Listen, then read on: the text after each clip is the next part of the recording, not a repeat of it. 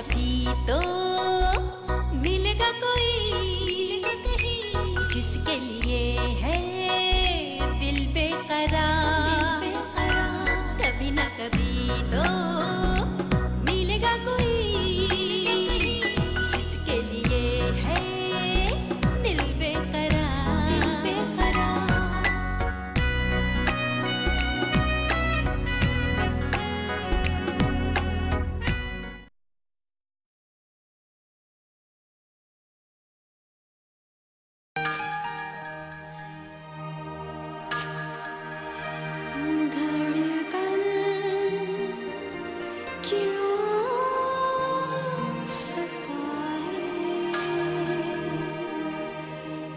चाहता हूँ कि तुम्हारे अंदर का सारा गम आँसू बनकर बह जाए। पापा क्या दिल से मांगी हुई दुआ कबूल हो जाती है?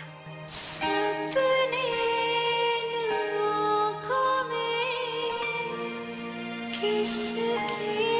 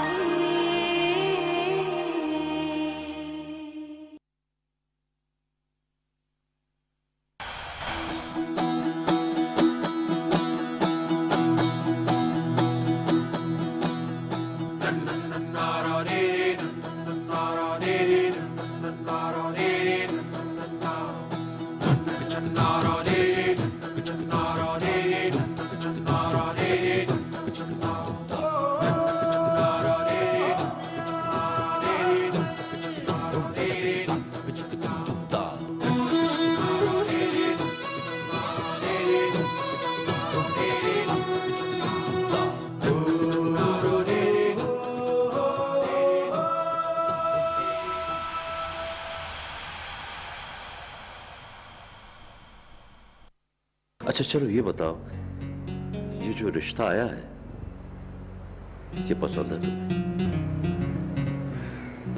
तो आप ये चीज़ें मेरे लिए नहीं लाए क्या? डरो नहीं। मैं ये सारा सामान तुम्हारे लिए लाया हूँ। ताकि तुम्हारी सारी हसरतें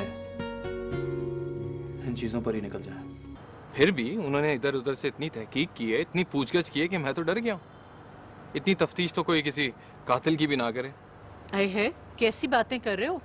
रिश्तों में ये सब कुछ होता है। आमना का रिश्ता देखने आ रही है ना कुछ लोग। ऐसे बीच में ना आ जाए कोई बात ना करते बहुत खानदानी लोग हैं वो। वो खानदानी है तो मैं क्या करूँ? मुझे क्यों ताना देते हैं। मैं अपनी मर्ज़ी से तो यहाँ नहीं आई ना आप खुद ही उठा के लाए हैं। आप आप किसके साथ बहस कर रहे हैं? ये तो कंगाल होके वापस इसी घर में आएगा जब इसकी बीवी इसको छोड़ देगी। अब मैं यहाँ आइंदा नहीं आऊँगा। मुझे तो जी बड़ी खुशी है कि जो रिश्ता टूटा था वो कहीं और जुड़ गया है। कम अज कम अब मुझे कोई ताना नहीं देगा। मुन्ना उनके सहाफी को खरीदो। उनके अफसर को खरीदने का है कुछ भी करने का है लेकिन ये साबित नहीं होने का है कि ये शिप दुबई आयला था।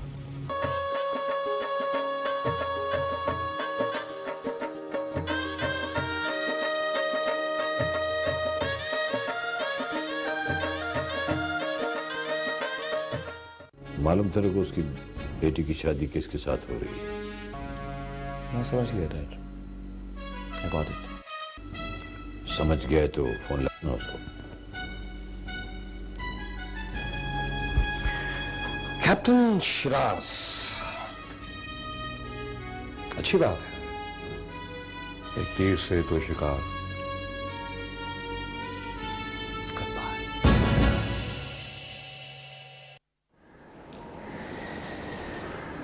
गनी बाबा बहुत थक गया हूँ मैं। बेटी घर से चली जाए तो कहते हैं क्रिसमस चली गई। बरकत चली गई। हाँ बाबा बैठिया अल्लाह साईं की रहमत होती है। घर खाली खाली लगने लगा है। बाबा सही अल्लाह सही अहमद नवाज़ को वो औलाद देगा तो रौनक फिर हो जाएगी। आज पहली दफ़ा अपने आप को बहुत बूढ़ा महसूस कर रहा हूँ मैं। सलाम सलाम दुबई जाने का प्रोग्राम क्या बना? अभी तुम चले जाओ बाबा। दो चार दिन में हम भी आ ही जाएँगे। ठीक है वासाई मेरी एक दो मीटिंग्स हैं। मैं आज ही जा रहा हूँ। ठीक है। पर देखो बेटा वो सेठ कादर के बेटे के साथ कोई मीटिंग ना करना। बात सही सिर्फ़ बात करने में हर्ज क्या है? बाबा वो रेतला नाग है रेत जैसा। दिखाई नहीं देता है। उसकी हेरोइन पकड़ी गई है। अब खलीजी रियासतों में उसके पाँव जम नहीं सकते। ज़ाहिर है वो यूरोप की तरफ़ भागने की कोशिश करेगा ऐसे हालात में बाबा उससे मिलना खुद को मशकूक बनाने वाली बात है। मैं जानता हूँ बाबा सही उसने इस केस से बचने के लिए बड़ी रकम खर्च की है। बड़े अफसरों की कोठियाँ बन गई हैं रातों रात हाँ बाबा शाबाश है उस साफी को जिसने उनकी खबर लगा दी शक में तो डाल दिया ना उसने। लेकिन बात सही इस दफ़ा नादिर बच जाएगा। वो शिराज से कहना कि जरा होशियार रहे। उसने सेठ कादिर की हेरोइन पकड़वाई है। वो कमीना कहीं ना कहीं उस पर छपट्टा मारने की कोशिश ज़रूर करेगा। देखो बाबा सही अपना शिराज शेर जवान है। बाबा मैं उसको सारी हिस्ट्री समझा दूँगा। ना गनी चाचा ना। उसको कुछ भी बताने की या डराने की ज़रूरत नहीं है। वो जानता है कि कौन क्या है। चलो ठीक है मैं उसे किस तरह बता दूँगा समझा दूँगा। तुम जाओ जाने की तैयारी करो बाबा।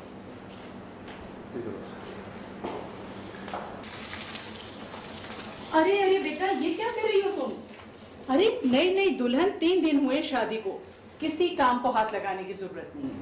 आंटी आखिर कब तक मुझे घर में मेहमान बना के रखेंगे?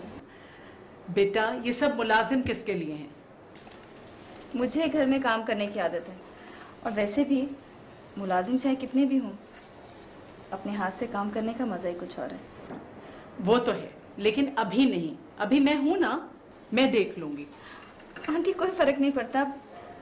अब तो ये मेरा अपना ही घर है। वो तो तुम्हारा ही घर है लेकिन अभी नहीं। चलो जाओ शाबाश ये मैं देखती हूँ।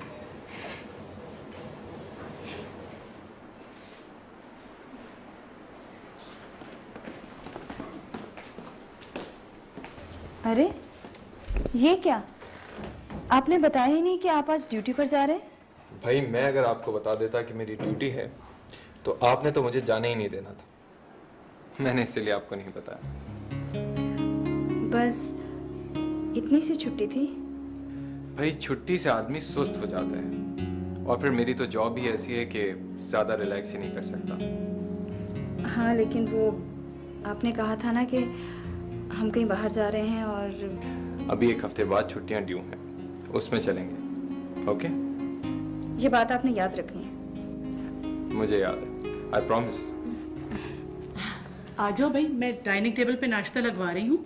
वहीं चल के नाश्ता। हाँ मुझे याद आया। इसको समझा दो। ये किसी काम में हाथ ना लगाए। अभी नई नई दुल्हन है। आंटी मैं फारिग नहीं बैठ सकती। फारिग नहीं बैठ सकती? तो फिर हम तुम्हारे लिए कोई और काम सोच लेंगे। हाँ प्लांट्स देख लिया करो ये कैसा आइडिया है? हाँ ठीक है। चलो आ जाओ तुम लोग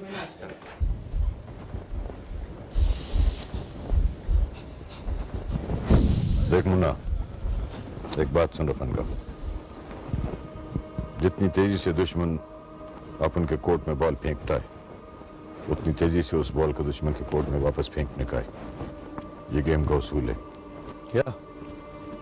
आई नो दिस लेकिन नहीं इसके लिए मैंने एक बहुत खूबसूरत सा जाल तैयार किया ना मुन्ना ना अरे जो जान अपन को लाए उसके लिए वो बहुत मज़बूत है बहुत कड़क है।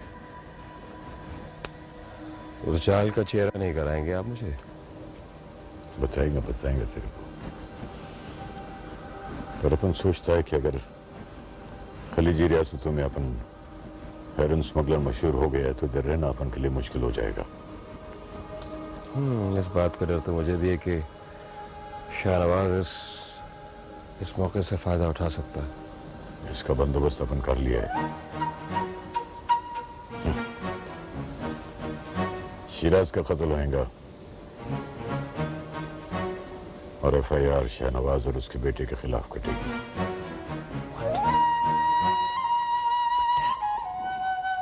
ये ये कैसे हो सकता है हाउ इज़ पॉसिबल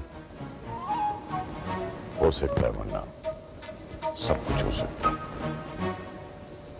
हाँ लेकिन इससे पहले कैप्टन शिराज की माँ को हमें कन्विंस करना होगा कि उसका बेटा एक स्मगलर का मात होने जा रहा है। इस पर काम चालू है मुन्ना तेरा क्या ख्याल है? अपन उसको छोड़ देगा। अरे वो अगर अपन को इधर स्मगलर मशहूर करेगा तो अपन उसको हेरन का स्मगलर बनाएगा उसको दहशतगर्द बनाएगा उसको सारे कारोबार को हेरन में लपेट देगा। जाऊँगी तब भी आप कहेंगी कि शानी बीबी से मिलने गई थी। और ये बेजाई को क्या ज़रूरत थी मेरी शिकायत लगाने की? वो नौकर है मेरी को मुखबिर तो नहीं। अब तुम इस तरह बात करोगे हमसे? तो और क्या करूँ जी वहाँ पर तो नौकरानी थी यहाँ पर तो गुलाम बन गई हूँ मैं। Deja, deja, let's go. I don't think you should buy this. Why? Buy yourself a chopper? We have already. Yeah? Tell you. Chuti? What sort of language you are using today? Come, give. Go. Yeah. Yeah. Oh, great. I think so. Oh, yeah. What is it? Yeah, it was. It was. Oh. Wait, wait for a while. Wow! What a pleasant surprise, Ahmed Nawaz Khan. You are here. Nice meeting you. Hmm? क्या अच्छे मौके पे मिले आज। क्यों भाई आज ऐसा कौन सा अच्छा मौका है आपको एक खास दोस्त से मिलाना था वैसे तो आप हमें मिलना पसंद ही नहीं करते कहाँ हाथ आते हैं आप हमारे हैं वो बस आप इतनी खबरों में होते हैं कि खबरदार रहना पड़ता है no no no no it's not like that वैसे भी पब्लिक प्लेस है इससे क्या फ़र्क पड़ता है लोगों का आना जाना तो लगा ही रहता है ना हम्म? हाँ आई नो मैं कोई डरता नहीं हूँ इसलिए कि जिसके हाथ साफ़ होते हैं कभी डरता नहीं।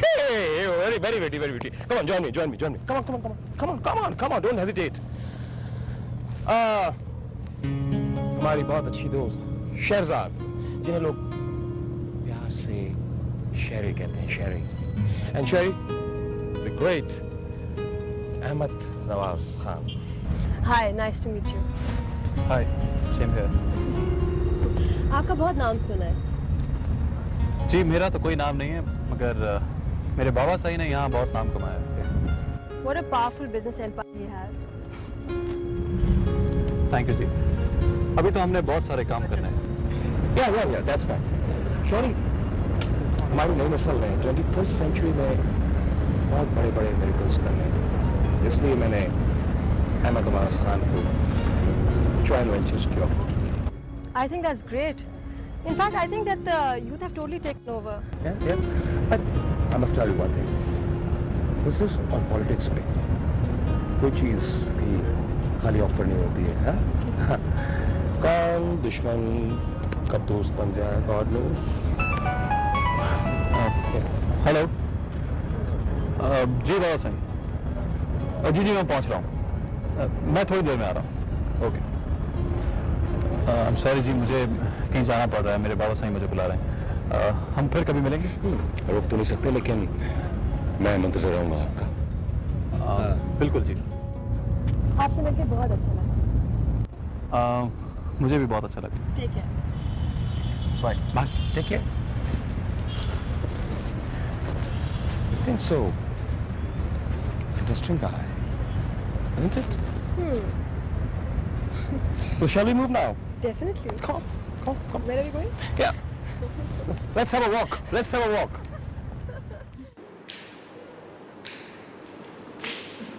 ये बेगम साहिबा ये सुनियारे का बिल है और ये बैंक वालों का बिल है इधर दिखा देखें इतना बिल किसने खरीदी इतनी ज्वेलरी दिखाओ हाय अल्लाह तीन लाख पच्चीस हज़ार का बिल ज्वेलर का? किसकी इजाज़त से खरीदी उसने ज्वेलरी? इजाज़त किससे लेनी है? वो तो अभी भी शॉपिंग पर गई हुई है। और ये देखो। एक लाख दस हज़ार का बिल क्रेडिट कार्ड पे। हाँ भाई यहाँ कौन किसी से पूछता है? हमने तो ऐसा कभी भी नहीं किया। और इनको देखो। ये ले अभी भी पता नहीं क्या क्या खरीद कर आ रहा है। जाओ उसको बुलाओ और सब कुछ लेकर आओ अभी।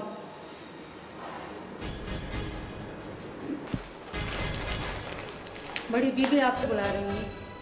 अच्छा ये सामान अंदर रखो। वो कहती है सामान साथ लेकर आए। क्या देखना है उन्होंने? खबर रहती है उन्होंने चीज़ें देखनी हो।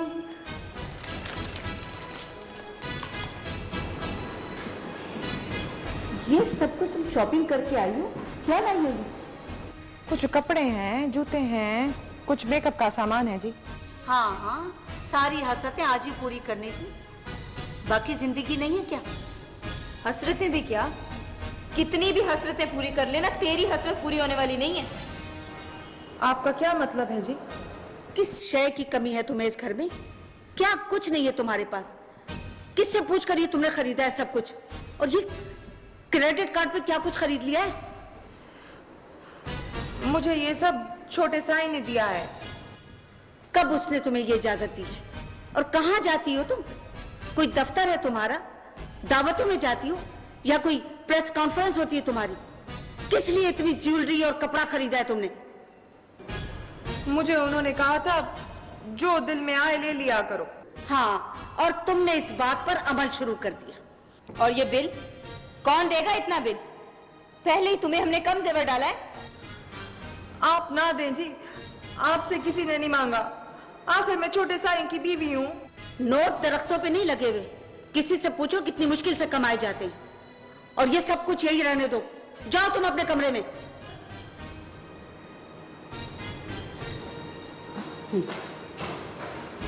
जब देखो शॉपिंग जब देखो शॉपिंग और ये ड्राइवर को बिल्कुल मना कर दो मेरी इजाज़त के बगैर ना जाया करे। हटोगे? बाबा है ना तवाज मैंने तुम्हें मना किया था कि उस स्मगलर के बेटे नादिर से नहीं मिलना है। नहीं बात वो महज इत्तेफाक था। मुझे एक एक पल की खबर मिल जाती है बाबा। हर जगह मेरे लोग हैं। तुम नहीं जानते कि कादिर सेठ के दफ्तर पर छापा पड़ा है।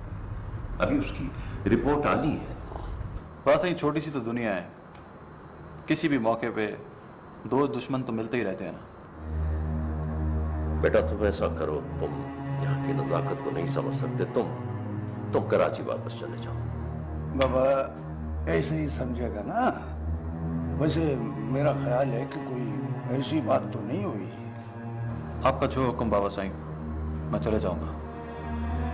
मगर एक बात मैं आपको बता दूँ। आजकल दुश्मनों का दौर नहीं है। आजकल समझौते होते हैं। कॉम्प्रोमाइजेस होते हैं जैसे सियासत में होते हैं। आजकल सियासत में कल के दुश्मन आज के दोस्त होते हैं। अरे बाबा क्या अक्ल की बात की है? हम मोटी अकल के लोग हैं बाबा। पुराने तजुर्बे को मानते हैं। बुज़ुर्गों की बातों में जमानों की अकल होती है। और जो शायद अच्छी नहीं लगती वो अच्छी भी नहीं होती। बाबा अक्ल की बात की है आपने भी। बाबा गनी तुम ये बताओ तुम किसके साथ हो? बाबा मैं तो अकल के साथ हूँ सही? बात सही ठीक है अगर आपको मेरी सोच पसंद नहीं है तो मैं आइंदा आपके किसी काम में नहीं आऊँगा। ना बाबा ना बा- ठंडे ठंडे ठंडे बाबा ठंडे। ठीक है बात सही। अगर आपको मुझ पर एतबार होगा तो मैं फिर ही आपके साथ काम करूँगा। इजाज़त बात सही नहीं बाबा बैठ बैठ नाराज़ नहीं हो ऐसा करो कुछ दिनों के लिए तुम कराची चले जाओ आराम करो। फिर आ जाओ। ठीक। है ठीक है बस भजाई नज़र नहीं आ रही। कमरे में होगी अपने। उसको तो बस कमरे में बैठने के अलावा कोई काम नहीं वो सुना रहा है। सुना? कौन सुना? पापा तुझे उस दिन कुमार का जेवर लाया था। अम्मा वो आया होगा ना ज्वेलर। अच्छा ब्लाउज। उसे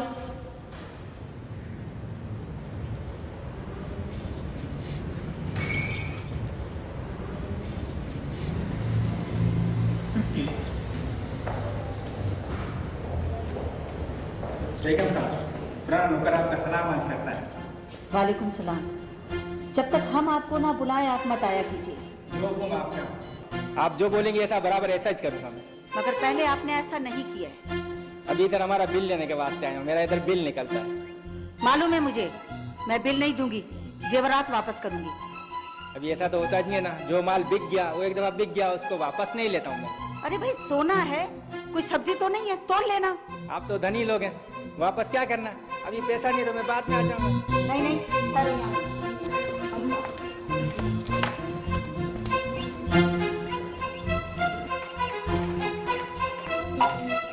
हाँ हाँ हाँ। पता चल गया होगा ना? ज्वेलर आया। इसलिए जल्दी जल्दी जेवर पहन रही। मैं तैयार हो रही थी कि छोटे साई आ रहे हैं। अदर आवाज़ के आने की खबर? इसको कितनी जल्दी मिल जाती? बस बस जो पहन लिया सो पहन लिया। ये सब कुछ मैं वापस कर रही हूँ। अब मैं ये तू पकड़। और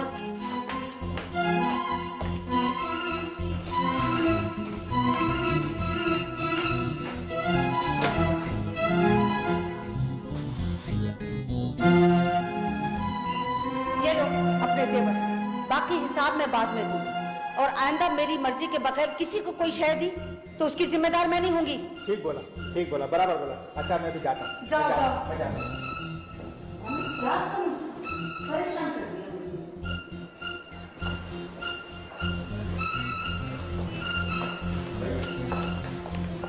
सलाम अम्मा से वालेकुम सलाम। खैरियत से आ गया। तुम कब आई हो? बस दो दिन हो गए यहीं पर। सब ठीक है ना? हाँ हाँ सब खैर मेरे। बेटा खाना लगवाऊं नहीं अम्मा मैंने जहाज़ में खा लिया था। अच्छा। ठीक है।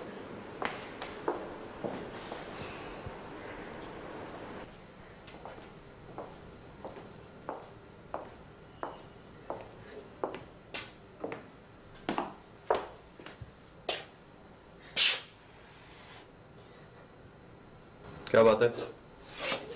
मेरा आना अच्छा नहीं लगा क्या? ना सलाम ना दुआ। अपनी अम्मा से पूछो ना जिन्होंने सारा जेवर मुझसे ले लिया है सारी चूड़ियाँ मुझसे ले ली हैं। तुम्हें ये भी नहीं मालूम कि कोई सफ़र से आता है तो क्या करते हैं। जाओ ये, ये सामान लाया हूँ जो चाहिए ले लो। इसमें सोने की चूड़ियाँ भी हैं। जाओ। क्या ले लू? फिर सारा कुछ छीन लेंगी वो मुझसे।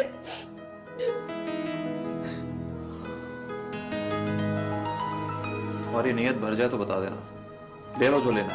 जाओ। मैं तो नौकरानी बन के इस घर में आती तो अच्छा था। अब तो पता ही नहीं चलता इस घर में गुलाम हूँ या मालकिन हूँ। तुम्हारी इन बातों के लिए ना मेरे पास वक्त है ना दिमाग। समझी?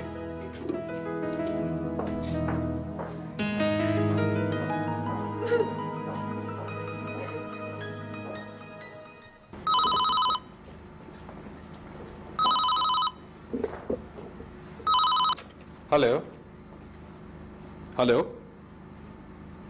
हेलो आप कुछ बोलते क्यों नहीं है? हेलो कौन है? पता नहीं अम्मी। कुछ बोला ही नहीं और फ़ोन रख दिया। वही होगा। और कौन हो सकता है? मुझे तो डर लग रहा है। कुछ नहीं अम्मी। आप डरे नहीं। जो भी होगा बहुत जल्द सामने आ जाएगा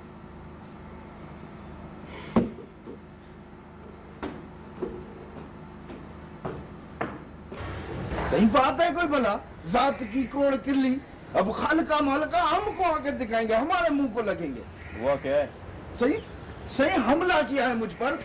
सब जानते हैं जलने लगे हैं मुझसे। अब मैं आपका साला हूँ ना कोई कमी कमी तो नहीं हूँ ना। बाबा बात तो पूरी करो ना। हुआ क्या है? सही में तो आपकी वजह से खामोश रहा नहीं तो मैं दांत तोड़ देता।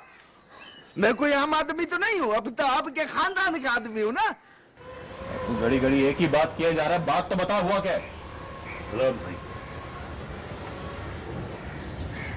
सही सलाम। क्या हुआ? क्या किया तुम लोगों ने? सही हम आपके पाँव की जूती है। और सही आपके पाँव की जूती की भी तो इज़्ज़त होती है। बस साईं इसी बात का हमको ताना मिलता है। और इस जूती का मज़ाक भी उड़ता है साईं। समझा नहीं मैं। सही हम आपके नौकर हैं। आपकी रियाया है। मान लिया। लेकिन कोई हमें बेइज्जत करे कोई हमें इस बात का ताना दे ये कहाँ का इंसाफ है? बाबा बात क्या हुई है? पूरी बात करो। बस साईं अब क्या कहें? ये फरीद की हमशीरा मतलब आपकी बेगम साहिबा ने सही, उन्होंने मेरी बीवी को बड़ा बेजत किया है। सब तो मत है। आपकी इज़्ज़त के मुतालिक कैसे बातें कर रहा है? सही, हम आपके नौकर हैं। आप भले हमें बेइज्जत कर ले, मगर हमें गरीबी का ताना न दे। बस बस। आइंदा, तुम लोगों ने फरीद से बात नहीं करनी। मेरे और मेरे खानदान के बारे में किसी ने कोई बात की? तो उसकी जबान निकलवा दूँगा मैं। समझे?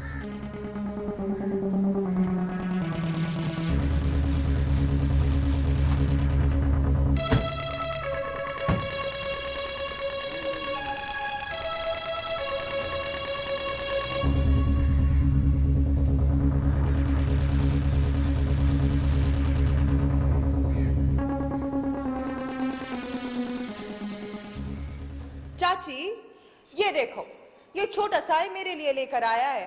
तुम जितनी बार भी मेरा जेवर छीनोगी ना हर बार मुझे लाके देगा। और भी बहुत सारा जेवर है। तुम कहो तो मैं दिखाऊँ। अम्मा देख रही हो? अदा नवाज़ ने तो मुझे शादी पर भी इतने तोहफे नहीं दिए थे। इसके लिए कितना कुछ लेकर आया? अरे ये तो नदीती है। दिल नहीं भरता इसका इसीलिए लाया होगा वो। तुम्हें जो कुछ चाहिए अपने मियाँ से कहो ना ये भाइयों की इतनी ड्यूटियाँ नहीं होती हैं। देखो अम्मा किस तरह फालतू में जबान चलने लगी है इसकी? तो फिर जल्दी क्यों हो? मेरा मियाँ मेरे लिए लेकर आया है। मेरे लिए ना लाए तो फिर किसके लिए लाए? अम्मा पकने दे से कभी मोरी की ईट महलों में लगी है क्या? तो चाची तुम्हारी बेटी किस महल में जाके लगी है? अम्मा इसीलिए आई हूँ मैं यहाँ पर कि मैं इससे ताने सुनूं और वो किस नीच से जिसे हम खुद कूड़े से उठा के लाए ये मुझे बातें सुनाएगी। क्या हो रहा है ये सब कुछ?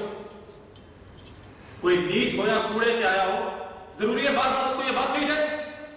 तुम्हें यहाँ का माहौल पसंद नहीं है तो जाओ यहाँ से। जाओ यहाँ से। इसके लिए बहन पर गुस्सा हो रहे हो। इसके लिए जिसने मेरी बेइज्जती की है इसके लिए तोहफे लाए हो जो मुझे जूती के बराबर समझती है। बस अम्मा रहने दो। अब कभी नहीं आऊँगी मैं इस घर। हाँ बेटी चली जा। अब मेरी मैयत पर आना मेरी वजह से हो रहा है ना सब कुछ। ये सब कुछ मेरी वजह से हो रहा है ना तो सुन लो गौर से। मैं इसे तलाक देता हूँ। तलाक देता हूँ तलाक देता हूँ।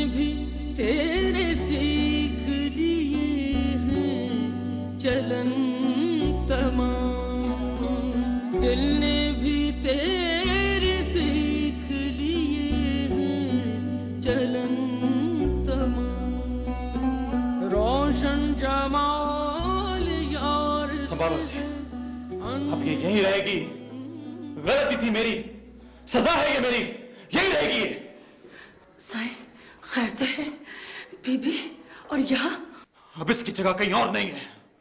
यही रहेगी ये। मुझे ताना देते हैं कि मैं इसे कहीं से ले आया। हाँ तो ले आया ना। क्या करता मैं? मुझे किसी ने मौका नहीं दिया सोचने का। मुझे मोहलत नहीं दी। क्या करता मैं? किसी की शक्ल मेरे सामने थी। यही थी मेरे सामने। हमेशा मेरे सामने आ जाती थी। मेरे रास्ते में। पागल हो गई अपनी औकात भूल गई है। औकात भूल गई अपनी। साई ये आप क्या कह रहे हैं?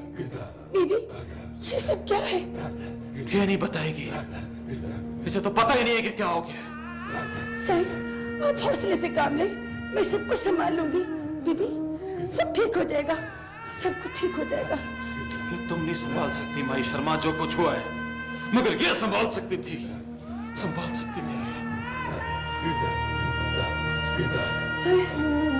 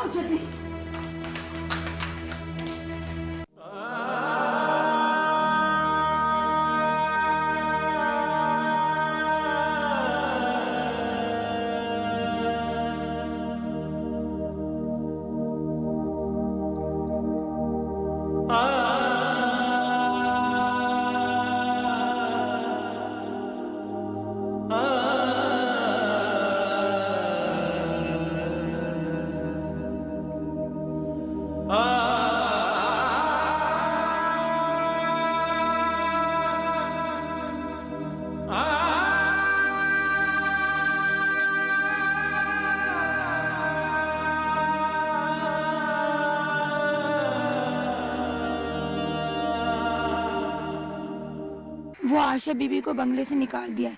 छोटे वहाँ खुद हवेली में लेकर आए सुना तलाक भी हो रही है। तूने किससे सुना? ये सारे इलाके में बात फैली हुई है। आशा हवेली में है। ककर पे अंगूर नहीं लगते वो ककर ही रहता है। आखिर जहाँ की खाक थी ना वहीं पे पहुँची। तुझे कुछ पता भी है या एवी अंदाजे लगा रही है तू?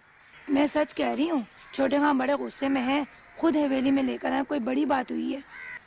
कोई छोटी मोटी लड़ाई हुई होगी और तुम खाम का हवा में वट्टे मार रही हो। किसी अंदर के बंदे ने मशहूर की है। या हो गई है या होने वाली है। उसके लक्षण आबाद होने वाले थे ही नहीं। अरे हम तो हवा में सूंघ कर बात की तह तक पहुँच जाते हैं। रोज रोज के बाज़ार के फेरे रोज रोज लश पश जेवर कपड़े और परफ्यूम्स अरे कोई अंधेर थोड़ी है? आखिर आ गई ना औकात सामने। अम्मा जी आप खाम खा बात को बढ़ा रही हैं। अब पता नहीं ऐसा कुछ हुआ भी है कि नहीं। बीबी जी आपकी जिद में शादी की थी। कोई मोहब्बत तो नहीं थी ना उसको? मोहब्बत का क्या है? बंदा साथ रहे तो हो ही जाती है। और अम्मा जी हमें क्या है? किसी की तलाक हो या मौज करे हमने तो खुद रिश्ता तोड़ा था ना? कसूर तो हमारा था। क्या पता पुराने जख्म भर ही जाए।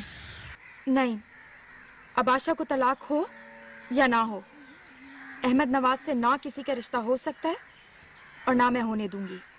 बस।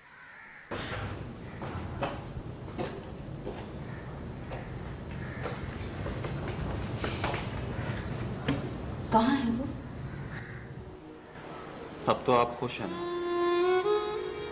अंदर है वो क्या करेंगे अब आप उसका? हमने कब चाहा था? तुम्हें पता है तुमने क्या कर दिया? पता है मुझे। अदा हम तो उसके भले की बात कर रहे थे। और हम क्या करते वो? हर बात का जवाब ही इस तरह से देती तो मैंने जो कुछ किया ठीक किया ना? अब मैं और क्या कर सकता था? किसी से पूछा भी है?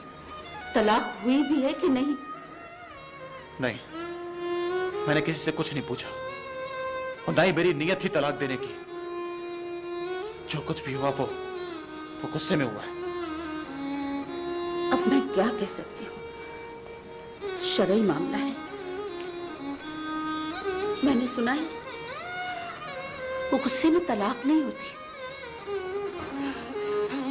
अम्मा मेरे ससुराल में सबको पता चलेगा तो पता नहीं क्या कहेंगे वो लोग। तेरे बाबा साईं को इत्तला करनी ज़रूरी है। वैसे कल गनी भाई तो आ रहे हैं। नहीं किसी से कुछ कहने की ज़रूरत नहीं है। बात तो फैल गई है। ड्योड़ी में किसी ने मुझसे पूछा बचाई से ड्राइवर और सब नौकरों को पता चल गया। हाँ तो क्या हो गया? मैं क्या किसी के घर से खाता हूँ? क्या चाहता है तू? उसे यहीं रखेगा। तो और कहाँ जाएगी वो? मैं उसे छोड़ना नहीं चाहता। अब मैं क्या कह सकती हूँ? इतना गुस्से में आने की क्या ज़रूरत थी? अब उसे देखें उसे हौसला दें क्या करें अभी? नहीं बैठा रहने दो उसे अंदर। किसी को क्या कह रही है वो? वो बोली थी रास्ते में। पत्थर की हो गई है वो। मर गई है अंदर से और बाहर से। कुछ नहीं बोली वो। अम्मा मैं देखती हूँ। नहीं अभी कुछ दिन रहने दो। मेरा ख्याल है उसकी माँ को बुलाओ। वो उससे बात करेगी। बात को यहीं रहने दीजिए। हमें दबाने से क्या होगा? शरा की बात है पूछनी तो पड़ेगी बेटा। आपकी मर्ज़ी है जो चाहे करें। मगर मैं एक बात कह रहा हूँ। वो यहाँ से कहीं नहीं जाएगी बस। कहीं नहीं जाएगी। वो।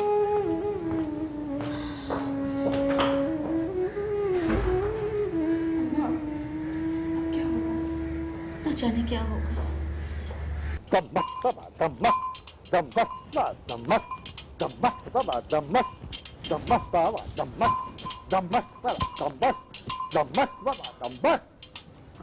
शाबाश शाबाश बच्चों। पीरों की खिदमत किया करो। नहीं तो दोजख के अंगारों में दम पुख्त हो जाएगा तुम्हारा। ठीक है ना बाबा? हाँ दमपक दमक हाँ दमक दमक ये झंडे वाला पीर। है मुर्शद है। मुर्शद सरकार सही जिए डंडा दौरी जिए चिमटा जिए डेरा। सही हम तो मान गए आपको मान गए। हाँ, क्या हुआ? उच्ची सरकार के सदके में हमारा ताबीज भला निशाने पे बैठा के नहीं? झंडा साई ऐसा वैसा। हाँ हाँ हाँ हाँ। हाँ। ऐसा निशाने पे बैठा है कि सुना है कि काम हो गया है। हवेली से खबरनामा नशर हो रहा है। फरीद गायब मामला सेट। अरे बच्चा बच्चा हमरा कहते थे कि एक बकरे की मार है वो लड़की। अच्छा बताओ भला तलाक हो गई है ना? सही। झंडे शाह पीर यू समझो कि काम तमाम हो गया है। बत्तियाँ गुल दम पुख्त और फरीद गैब छुट्टी। हाँ। ना ना ना। अभी भी सितारे कहते हैं कि रुकावट है। एक बकरा और। पीर झंडा साईं बकरा तो मुश्किल है। हाँ? कुकड़ से काम चलेगा। नहीं मरदूत नहीं मलून अरे बाबा कुक्कड़ की पहुँच इतनी ऊँची नहीं है जितनी बकरे की होती है। चलो उठो यहाँ से वरना भस्म हो जाओगे सारे के सारे। उठो उठो। पीर झंडा साई काम मुकम्मल हो जाए बकरा भी पेश कर देंगे। सही बात है? हाँ सही वादा वादा बस आप अपना काम जारी रखो। हाँ। ठीक। ठीक है। वादा मान लेते हैं बाबा वादा मंजूर है। लेकिन वादा पूरा करना। लो जाओ जाओ जाओ। हट हट ये धुआँ ये ना पीर झंडा साईं वजीफा जारी। जारी जारी जारी। ये धुआँ भी तुम्हारे साथ जाएगा बाबा मुकद्दर किस्मत लेकर। जा उठ। जाते हैं जाओ बाबा। ये जनेशा ये तेरा अरे बाबा जी ये दादौरी हाजिर बाबा हाजिर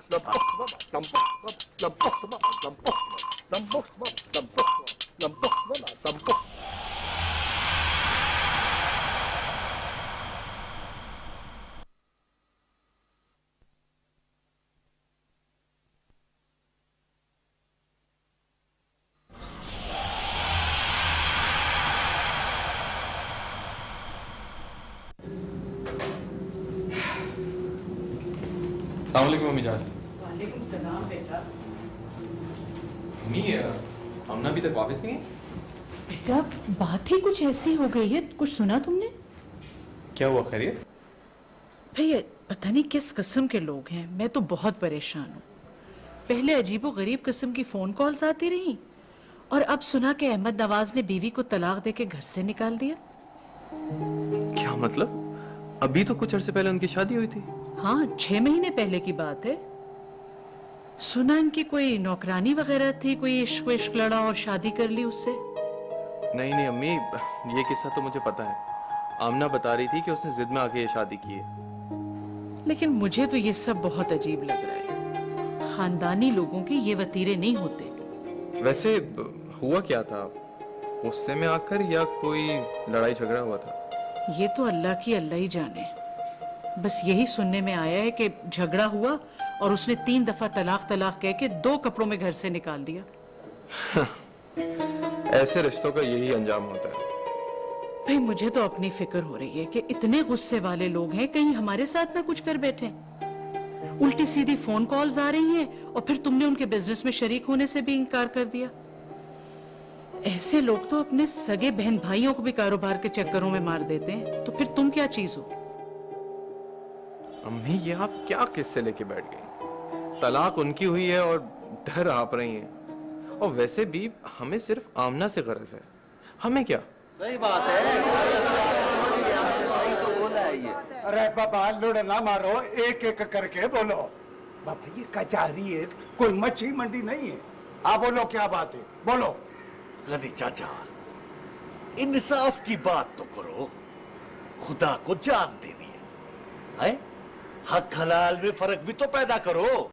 बाबा हक शरई भी जानते हैं हराम हलाल भी जानते हैं। तू मामा लगता है?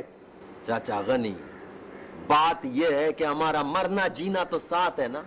बाबा हम नहीं बोलेंगे तो कौन बोलेगा? साई ने उसको तीन बार तलाक बोल दी है। अब वो साई पे हराम है। उसको हवेली से बाहर निकालो उसको उसके घर भेजो। मगर बाबा ये तो बड़ों की बात है। बड़े साईं आएँगे तो फैसला करेंगे। वाह चाचा वाह। इतनी देर हराम की बात होगी? ऐसा तो नहीं होना चाहिए ना? गुनाह की बात है। बाबा मामले को जब तक समझेंगे नहीं हम बोल नहीं सकते। हमने मौलवी साहब से पूछा है। वो बोलता है कि अगर तीन दफ़ा तलाक तलाक तलाक बोल दो ना तो तलाक हो जाती है।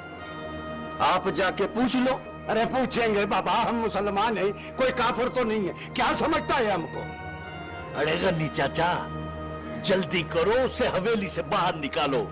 भेजो उसको उसके घर। बाबा कोई गवाह है या? गवाह तो अल्लाह साईं है गनी चाचा। तो एक बात है गनी चाचा। कि साईं कुरान पे हाथ रख के बोल दे कि उसने तलाक नहीं बोली। तो बात खत्म क्यों गई अरे ठीक है बाबा ठीक है।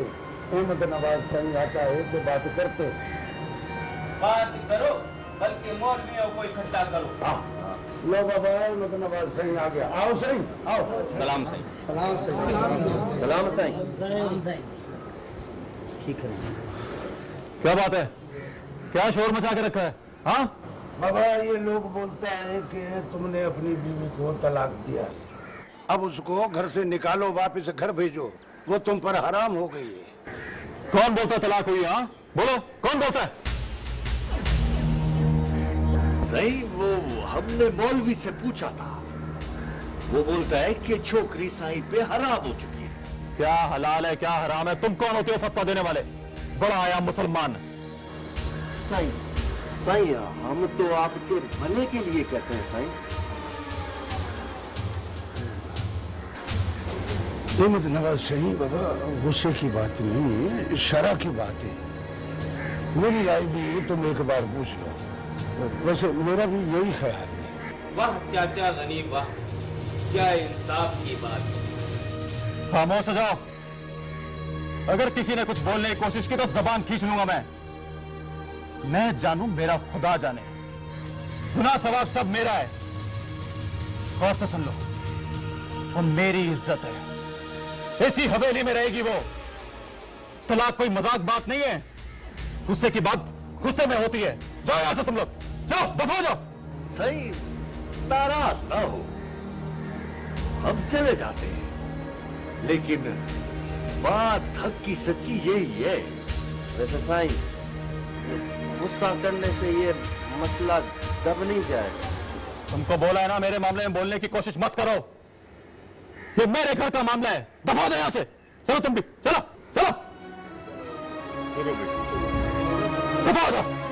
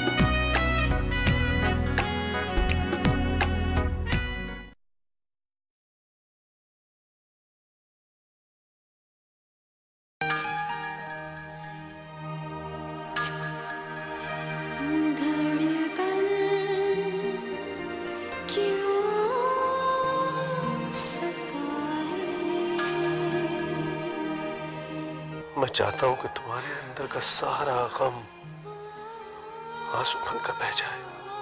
पापा क्या दिल से मांगी हुई तो आप कबूल हो जाती है?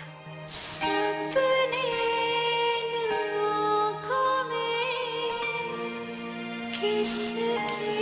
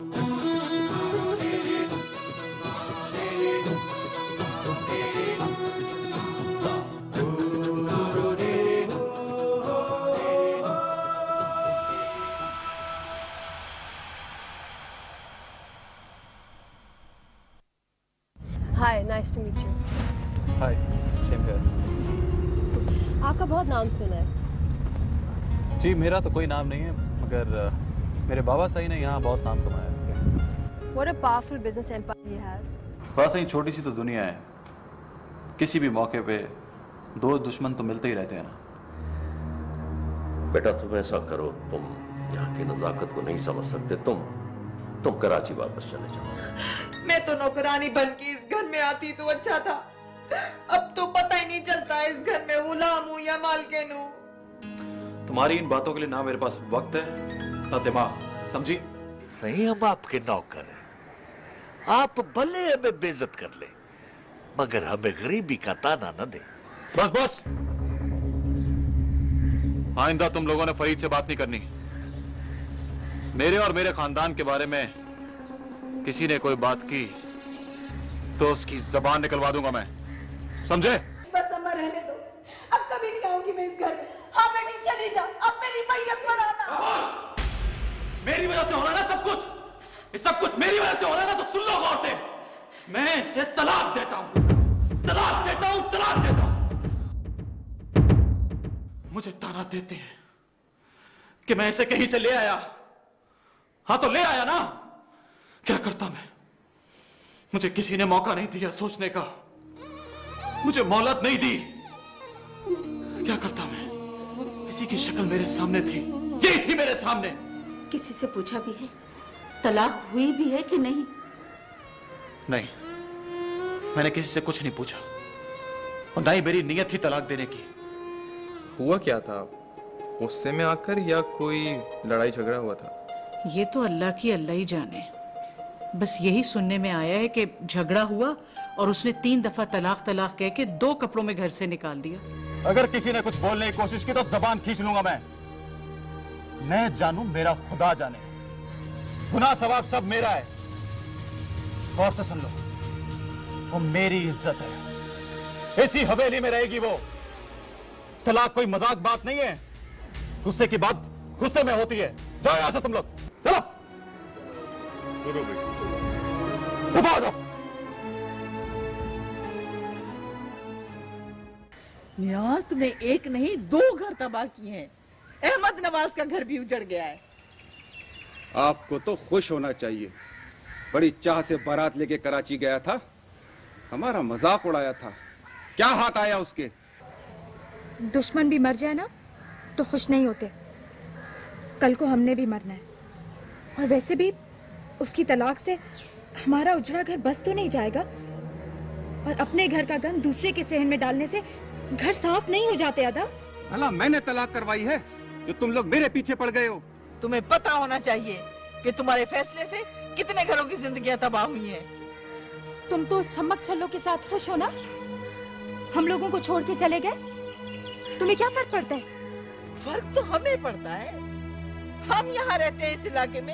हमें यहाँ के लोगों की बातों का जवाब देना पड़ता है। और वैसे भी जब भी बात होती है तो हमारा ज़िक्र आता है। अच्छा है। तुम्हारे घर की नौकरानी थी। वापस अपने काम पर आ जाएगी। तुम्हें तो खुश होना चाहिए। किसी मासूम की ज़िंदगी तबाह हो गई है? और तुम खुश हो रहे हो अदा? ओ बाबा मेरा उस मासूम से क्या वास्ता? मैंने तो अहमद नवाज़ को नहीं उकसाया था। ये नहीं मानेगा। हम जिस हाल में हैं इसे तो उसकी भी परवाह नहीं है। दो मिनट के लिए आया था। आइंदा नहीं आऊँगा। हम मर नहीं जाएँगे तुम्हारे बगैर। जाओ मत आना।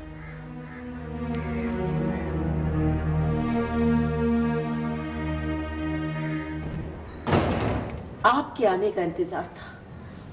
मैं नहीं जानती कि क्या करना चाहिए। जो कुछ हुआ वो तुम्हारे सामने हुआ है मुमताज़। तुम गवाह। सोच लो अल्लाह को जान देगी। जो हक सच था बता दिया आपको।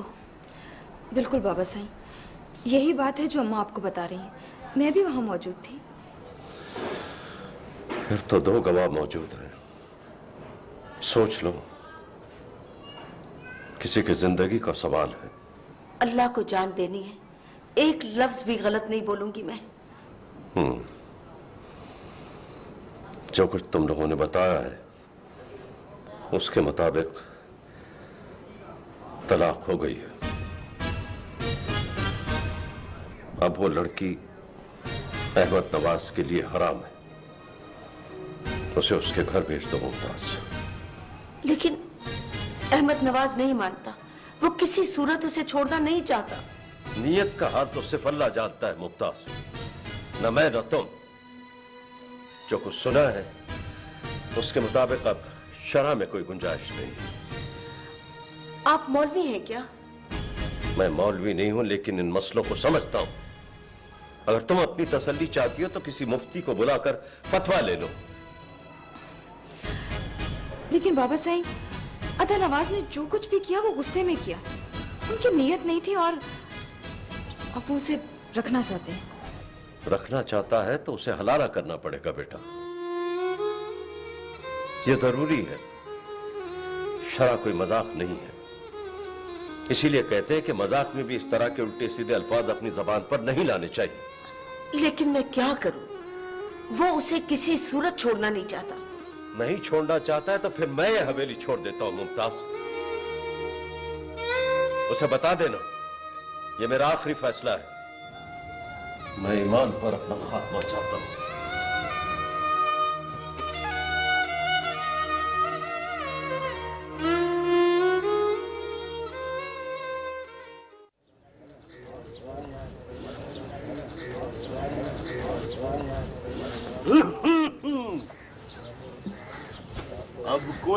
नहीं चलेगी। ओए बहन को तलाक हो गई है और वो अभी तक हवेली में और जा जा के ले आ। आराम है वो। और घर ले आ उसको वरना सबको गुनाह होगा। देख मालिक तेरी मेरी बोलचाल बंद है। बकवास नहीं कर। अरे किस किस का मुँह बंद करेगा तू बेगैरत? अब तो बड़े खान ने भी कह दिया है कि उस छोकरी को तलाक हो गई है। तुम अपनी साजिशों से बाज आ जाओ। ये उनका मामला है। तुम बाज नहीं आए ना तो फड़का दूँगा। और किस किस को फड़काएगा तू? हाँ? सारा इलाका तेरे खिलाफ हो गया है। तो क्या फ़र्क पड़ता है? मियाँ बीवी राज़ी तो क्या करेगा काजी? ना ना ना ना ना ना। अब तो जो कुछ करना है काजी ने करना है। काजी को इतना भोला ना समझो। काजी तो ये किस्सा मुका के छोड़ेगा हाँ। तो तुम्हारे पेट में क्यों मरर उठ रही है? हम तो तेरे भले की बात की है। ये जंजीरी किससे लेगा तू? बड़े कपड़े ठुमका लिए। हैं? बड़ी पंपियाँ पहन ली तू। बड़ी सोने की मुंदरियाँ पहन ली तू। बाबा खेल खत्म पैसा हजम। हाँ। जब तलाक नहीं होगी ना तभी तुमसे पूछूँगा। अभी जितना खुश होना है हो लो। बकवास करता है।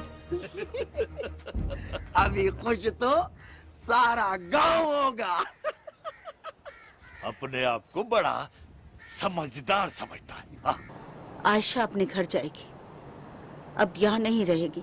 बाबा मसला शरीयत का है। गुनाह सवाब की बात है। आप लोग जो सोच रहे हो ऐसा तो हुआ ही नहीं है।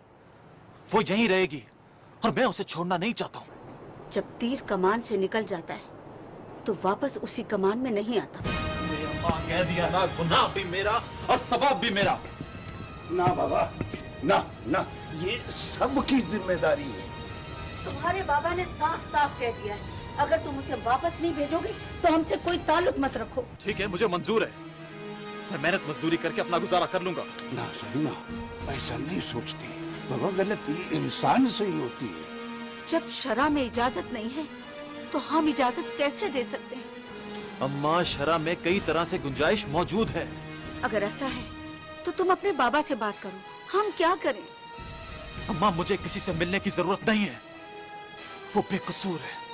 तो फिर मैं उसको सजा किस बात की दूँ? सजा तो बाबा उसके साथ साथ तुझे भी भुगतना है मजबूरी है। तुम्हें रिश्तों की कमी है क्या? अम्मा मैं किसी के साथ जुल्म नहीं करना चाहता हूँ। जुल्म तो बाबा हालात का है कोई क्या कर सकता है? मुझे हुक्म मिला है कि मैं तुम्हें कोई पैसे न दूँ और तुमसे कोई ताल्लुक भी न रखूँ। ठीक है। मेरा आज से आप लोगों से ताल्लुक खत्म।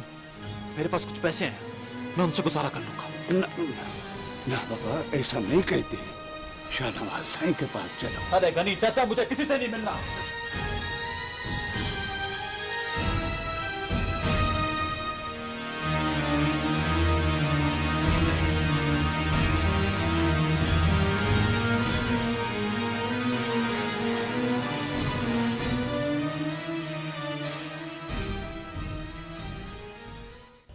Achieving the goal before this decade is out.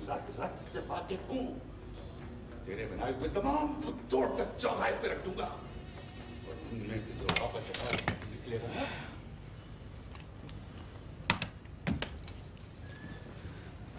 क्या बात है? कुछ परेशान है? मुझसे बात ही नहीं कर रहे। कोई ख़ास बात नहीं है। ज़्यादा दिन वहाँ पे रही इसलिए नाराज़ है। क्या करती? मसाइल ही कुछ ऐसे थे। ऐसी बात नहीं है आमना।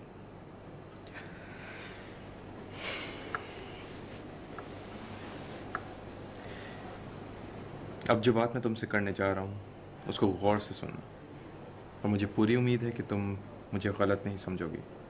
मुझे आप पर पूरा एतमाद है। हम दोनों का एक दूसरे से छुपा कुछ भी नहीं है। आप कहिए। तो सुनो। कुछ दिनों से टेलीफोन कॉल्स आ रही हैं कि तुम्हारे पापा एक स्मगलर हैं।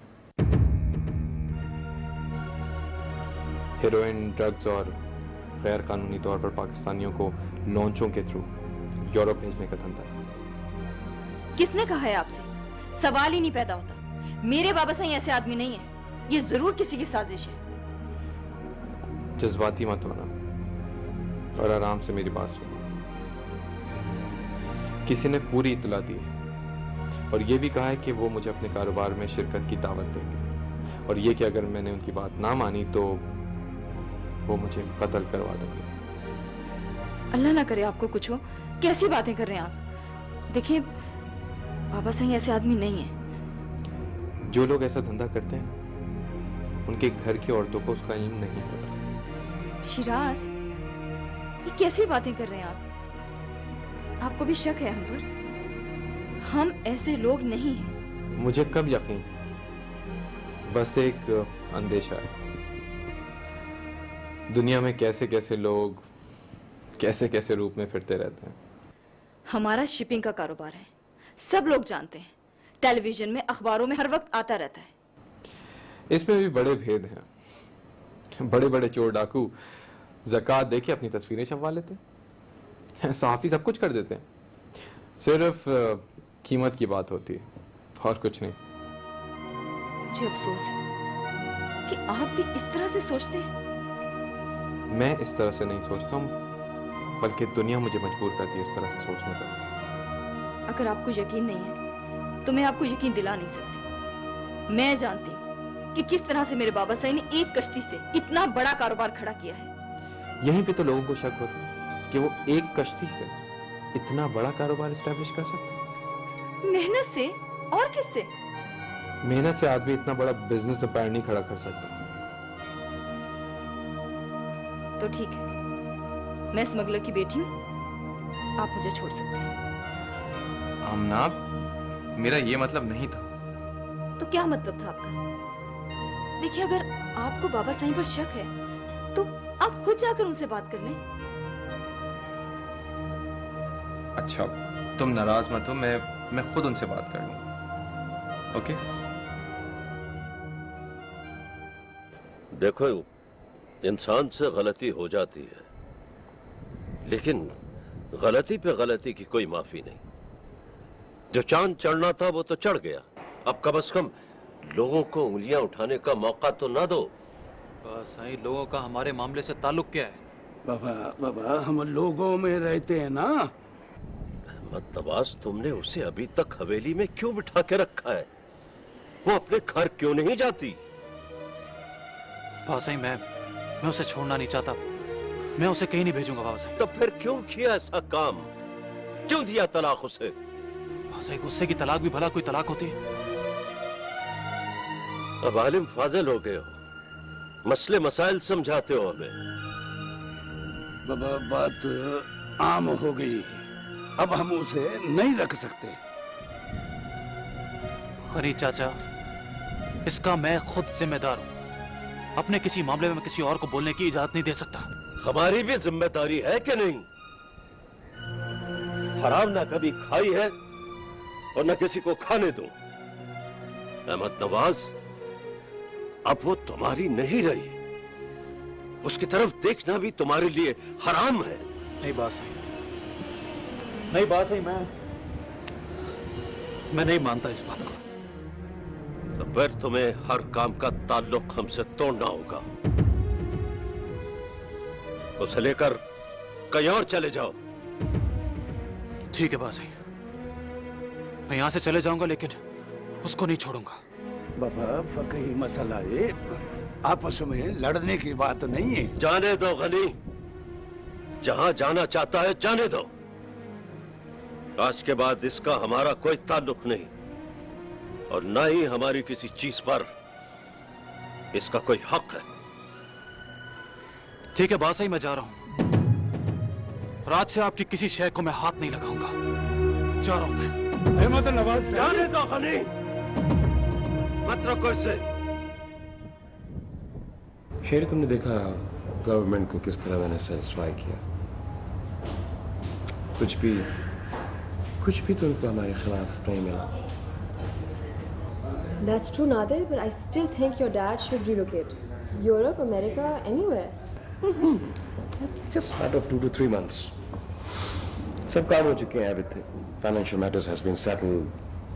वहाँ की गवर्नमेंट से negotiations चल रही हैं. Very soon, very soon we are going to open a very, very big chain of shopping malls. Nadir, you do realize that our company was going to merge with yours. Because of all this slander, we can't do that anymore. Business में चीज़ें टूटती और बनती रहती हैं कोई चीज़ भी आखिर नहीं होती लेकिन आपकी और हमारी दोस्ती तो सच्ची है ना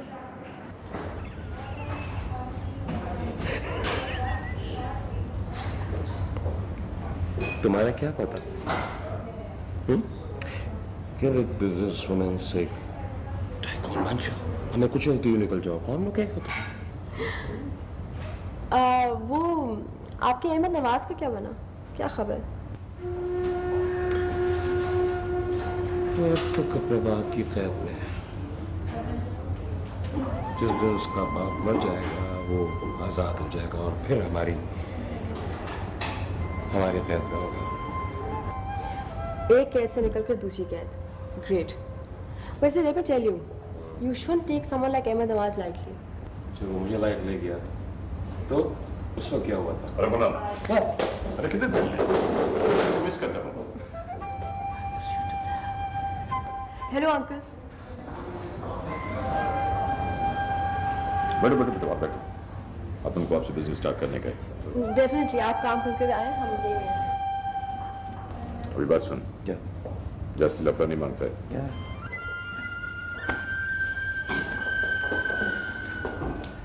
Yeah, I see.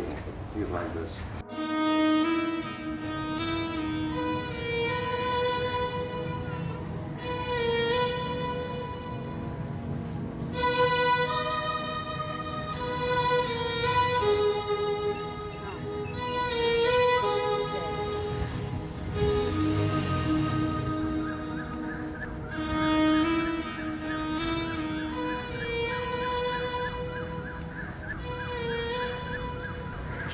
कब ली है तुमने और क्यों ली है?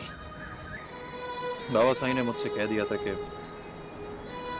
मेरा उनसे अब कोई कोई रिश्ता नहीं। कैसी मनहूस बातें करते हो तुम। उन्होंने गुस्से में कह दिया और और तुमने सच मान लिया? मगर बाबा साई जो चाहते हैं वो वो मैं किसी सूरत नहीं करूँगा। और इस मोटरसाइकिल पर बैठकर सारी दुनिया का चक्कर काटोगे। क्या करोगे तुम? मैं आयशा को लेने आया हूँ। हम दोनों यहाँ से कहीं कहीं दूर चले जाएँगे। खबरदार जो तुमने ऐसा सोचा। अगर मामला शरई है तो इसका फैसला ना तुम कर सकते हो और ना मैं। मुफ्ती साहब करेंगे। जितने फैसले चाहिए मैं लेके आ सकता हूँ। मगर फैसला वो होगा जो हम अपने मर्ज़ी के मुफ्ती से लेंगे। ठीक है। आप फैसला ले आए मैं मैं आयशा को लेकर जाऊँगा। तुम्हारे साथ नहीं भेज सकती मैं। वो पर्दे में है और अब वो हमारी अमानत है। फैसले तक कहीं नहीं जाएगी वो और तुम उसे हाथ तक नहीं लगा सकते। मैं यहाँ इंतज़ार कर रहा हूँ। आप मुफ्ती साहब से फतवा ले आए। ठहरो। मैं तुम्हारे बाबा साईं से बात करती हूँ।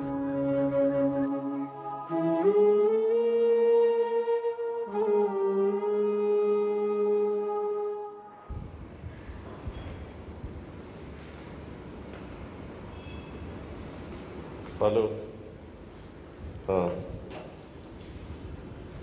अच्छा। ठीक है तब उससे मेरे पास भेजो। मैं समझाता हूँ उसे। नहीं अभी भेजो।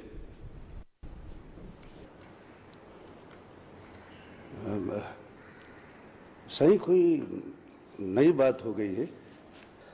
अहमद नवाज़ मोटरसाइकिल ले आया है और आयशा को ले जाना चाहता है।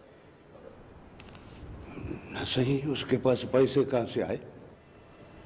पैसे तो उसके पास है बाबा। डॉलर पड़े हुए थे ना। बस उसी से खरीद ली होगी मोटरसाइकिल। सही ये मामला और आगे जाएगा। इसको यहीं पे रोक लो। सचमुच कहीं मुँह ना, कर जाए गर्म खून है ना। ऐसा तो करेगा ही। कोई बात नहीं। ठीक हो जाएगा। आमना चुप चुप रहती है। मुझसे बात भी नहीं करती। कमरे में घुसी रहती है। असल में अम्मी मैंने उससे बात की थी इसलिए वो नाराज़ हो गई है। पता नहीं क्या सच है क्या झूठ है। सच झूठ कुछ भी हो। हमें इससे क्या? तुम अपने काम से काम रखो। बल्कि मेरे ख्याल में तो उनके पास जाने की भी ज़रूरत नहीं है। मेरे ख्याल से हमें शाहनवाज खान से बात करनी चाहिए ताकि उन्हें एटलीस्ट पता तो हो कि क्या हो रहा है और कौन कॉल्स कर रहा है। ऐसा ना हो वो नाराज़ हो जाए। अम्मी मैं एक सिपाही का बेटा हूँ और मैं किसी से नहीं डरता। बेटा ये रिश्तों के धागे बहुत नाजुक होते हैं। हाथ से पड़ी गिरहें दांतों से खोलनी पड़ती हैं। अम्मी मैं कब तक खौफ में लटका रहा? हूँ मैंने टेलीफोन एक्सचेंज में कंप्लेंट कर दी है और बहुत जल्द पता चल जाएगा कि कौन कॉल्स कर रहा है। घर का माहौल ऐसा तो नहीं होता। जल्दी कोई फैसला करो। उधर वो कमरे में पड़ी रोती रहती है इधर मैं दीवारों से बातें करती रहती हूँ। मैं शाहनवाज खान को बता देता हूँ। मेरे ख्याल में तुम आमना से पूछ लो कि वो किस तबीयत का आदमी है। मैं ऐसे लोगों को जानता हूँ। खुद ही पता चल जाएगा। ठीक है। आमना आमना बेटा जरा बाहर आना।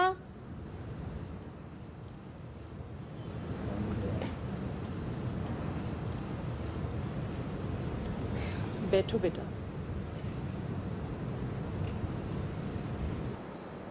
देखो बेटा, हम तुम्हारे दुश्मन नहीं हैं। तुम्हें बड़े चाव से ब्याह कर लाए थे हम।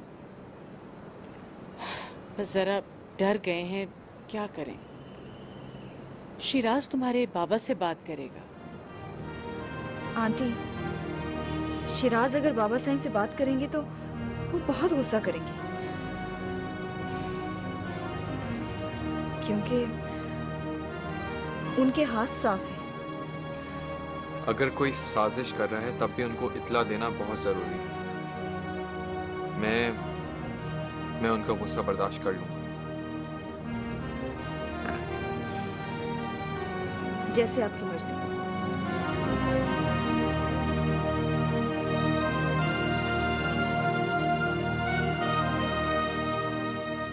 देख बाबा ठंडे ठंडे गुस्से की बात तो तूने देख ली। देखो अगर तुम उसे अपने पास रखना चाहते हो तो फिर किसी मुफ्ती से या किसी माने हुए मुस्तनद आलिम से फतवा लिखवा ताकि मैं इलाके के लोगों की जबानें बंद कर सकूँ बाबा। बस ही मैं अपने मस्जिद के इमाम से ले आऊँ। देखो बाबा बात वो जो सर चढ़ के बोले। तुम सही किसी ऐसे आलम के पास जाओ जो दलील से बात करे। बाबा कुरान और हदीस की बात करे। और जिसकी मशहूरी भी हो। मैं जाता हूँ। देखो अहमद नवाज़ तुम दो तीन मुफ्ती सामान से फतवा लिखवा लो। अगर तुम्हारी तसली ना हो तो मैं मिस्र के मुफ्ती आज़म को फ़ोन करके उनसे फतवा ले लेता हूँ। मुझे कबूल है बादशाह। लेकिन एक बात अगर फतवा तुम्हारे खिलाफ हुआ बेटा तो फिर तुम अपनी इज़्ज़त छोड़ दोगे।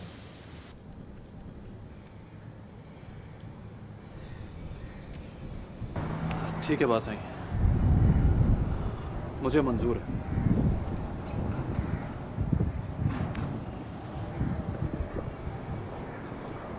कुछ समझ में नहीं आता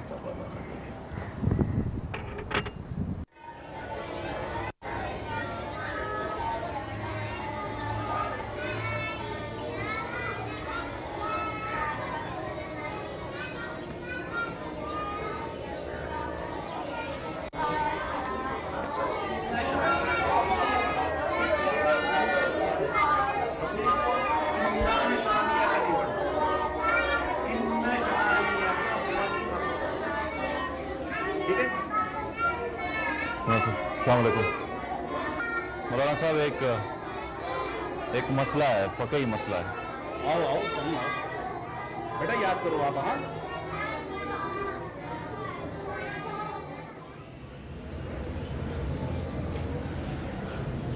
सही जो आप पूछने आए हो ना वो मुझसे पहले भी बहुत लोग पूछ के जा चुके हैं। मैं जानता हूँ मौलाना साहब। तो मुझे मेरी बात सुन के ये बताओ कि शरा क्या कहती है। जो हुआ ना वो मुझको साफ़ साफ़ बताओ। बाबा होना क्या है? औरतें बेजबारी कर रही थी घर में। मैं बाहर था घर पहुँचा तो उनको लड़ता देखकर गुस्से में आ गया। गुस्से में आकर मैंने तलाक तलाक तलाक कह दिया। अगर आप गुस्से में थे ना तो आपको ये याद नहीं होगा कि तलाक का लफ्ज आपने कितनी बार बोला। हाँ यही कुछ तीन बार कहा होगा मैंने। हम्म। साईं नियत तो नहीं थी ना? गुस्से में कहा था। ना ना नियत नहीं थी। मुख्तलिफ़ फुकाहा है। कई मिसालें हैं। मेरा ख्याल है इसमें गुंजाइश है। गुस्से में तलाक नहीं होती। ये ये लिख के दे दोगे? हाँ बाबा लिख कर भी दूँगा। उन किताबों का हवाला भी दूँगा। ठीक है मौलाना साहब ये ये तबर्रुक रख लो।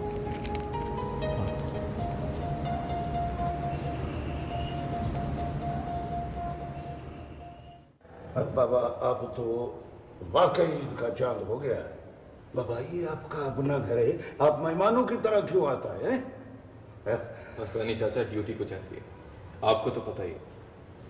ओहो बाबा आज तो कुछ बांटना चाहिए। शिराज भी आए हैं हम तो तरस गए थे।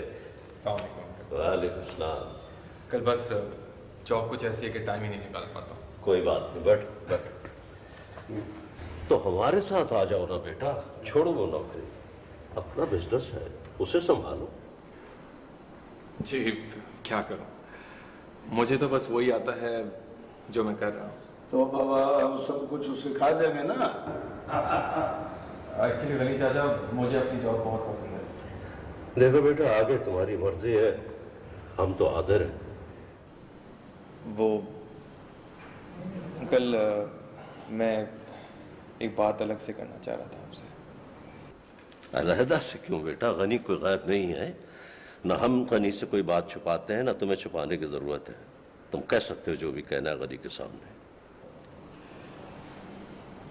बात यह है कि कुछ दिनों से ऐसी कॉल्स आ रही हैं जिससे हम बहुत परेशान हैं। कैसी कॉल्स बात ही कुछ ऐसी है कि यकीन तो नहीं आता।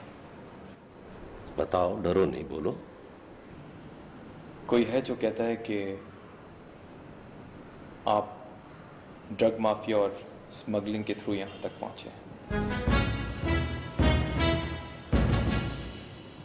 और ये कि आप मुझे अपने कारोबार में शामिल करना चाहते हैं। और अगर मैंने आपके कारोबार में शामिल होने से मना कर दिया तो आप मुझे कत्ल करवा देंगे।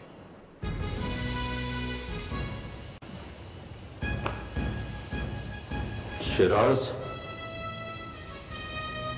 अगर तुम हमारे दामाद ना होते तो मैं तुम्हारे साथ वो करता जो तुम ज़िंदगी भर याद रखते। लेकिन मजबूरी यह है कि अपने हो। इसलिए हम कुछ कर नहीं सकते। मजबूरी थी। आपको बताना ज़रूरी था। बात बताने की नहीं है शिराज। तुम्हारे दिल में ये शक कैसे पैदा हुआ? शीशे की तरह साफ़ है हमारा किरदार। तुमने सोचा ही कैसे? बाबा जान की अमान हो तो अर्ज़ करूँ? तुम मत बोलो गनी। शिराज तुम्हारे दिल में ख्याल ही कैसे आया कि हम ऐसे हो सकते? तुम्हें उसका मुँह तोड़ देना चाहिए था। जिसका चेहरा ना हो उसका मुँह कैसे तोड़ा जा सकता है? जिसका चेहरा ना हो उसके झूठ के पाव भी नहीं होते। आपको बता दिया है कि अभी कोई साजिश कर रहा है और कल कुछ भी हो सकता है। कुछ नहीं होगा। कुछ भी नहीं होगा। ये हमारे दुश्मनों की चाल है। घबराओ नहीं। अंकल मैं अब इजाज़त चाहूँगा। बैठो कुछ चाय वगैरह पीकर जाओ। फिर से वैसे भी मुझे अभी बहुत काम है। माफ़ी चाहता हूँ आपको तकलीफ़ पहुँची। नहीं नहीं।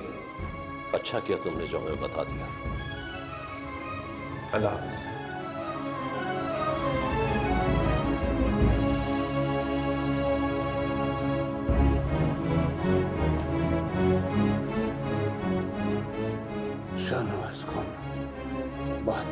बात खतरे की है।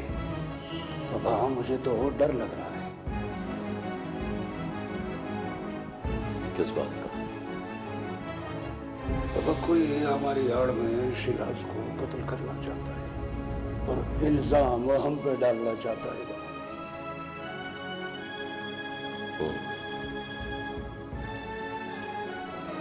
ये हो सकता है। तब जल्दी से फ़ोन मिलाओ। और इसके लिए गार्ड्स का इंतज़ाम करो। जो कुछ आपने बताया है उस हिसाब से शरई तौर पर किसी किस्म की कोई गुंजाइश नहीं है। आपकी तलाक हो चुकी है। मगर मौलाना साहब घोट वाला मौलवी कहता है कि गुंजाइश है।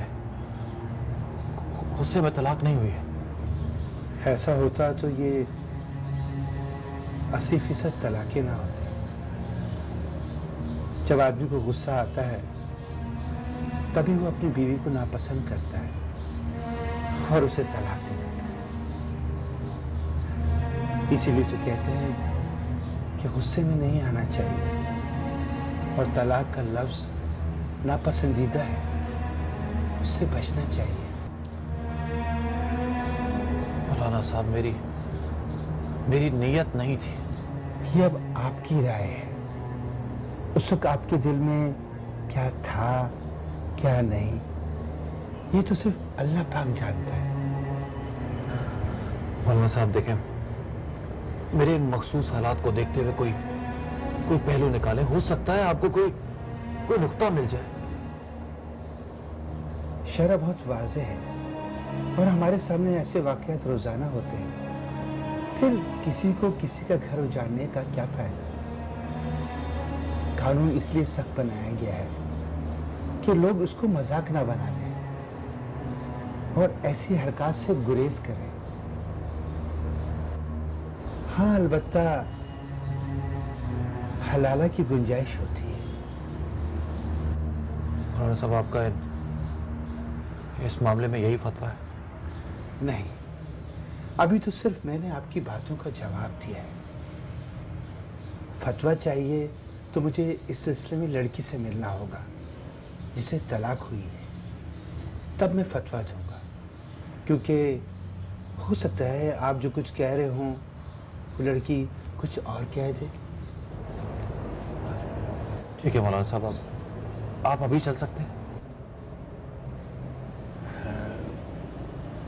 ठीक है मैं आपके साथ चलता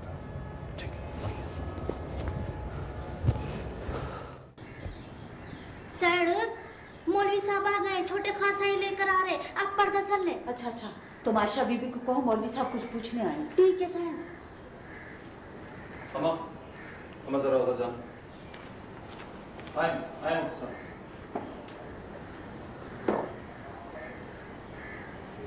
आ जा इधर आ जा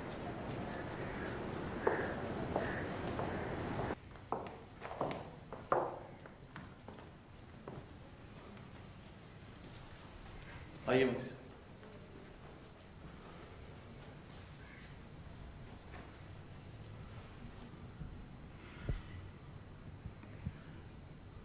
आपका नाम आयशा बेगम है। जी। देखें बीबी ये मामला शरा का है। तो जो कुछ पूछूँ पूरी ईमानदारी से और खुदा को हाजिर नाजिर जानकर आपने जवाब देना है। वरना हराम और हलाल की सारी ज़िम्मेदारी आप पर आएगी। जी। क्या जब अहमद नवाज़ ने आपको तलाक दी तो आप इनके साथ थी? हाँ जी। आपको अच्छी तरह याद है कि इन्होंने तीन दफ़ा तलाक का लफ्ज इस्तेमाल किया था?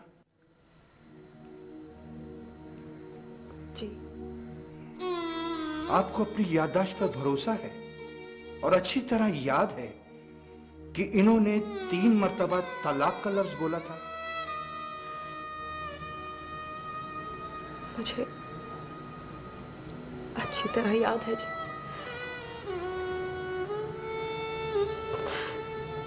तीन तीन बार बोला गया। वहाँ कोई और भी था? जी हाँ। मेरी सास और मेरी नंद वहाँ थे। इन्होंने कहा कि मैं तलाक देता हूँ? जी हाँ। शुक्रिया। मुझे और कुछ नहीं पूछना है। बीबी आपको तलाक हो चुकी है। लगते करे जवाब चो। लगते करे जवाब चो। कास कहूँ बे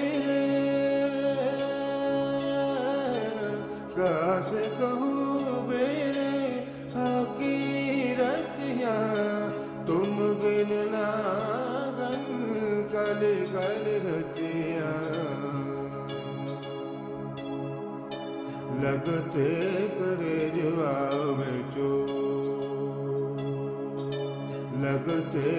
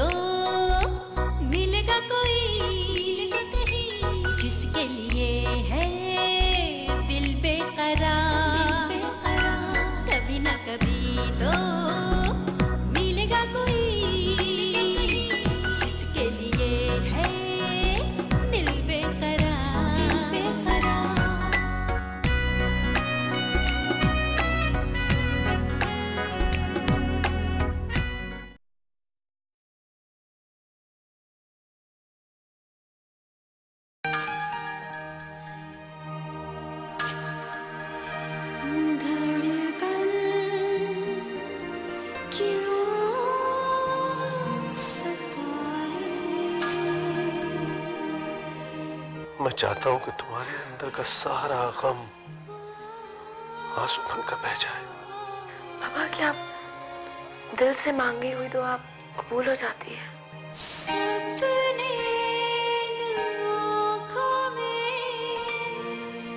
किसके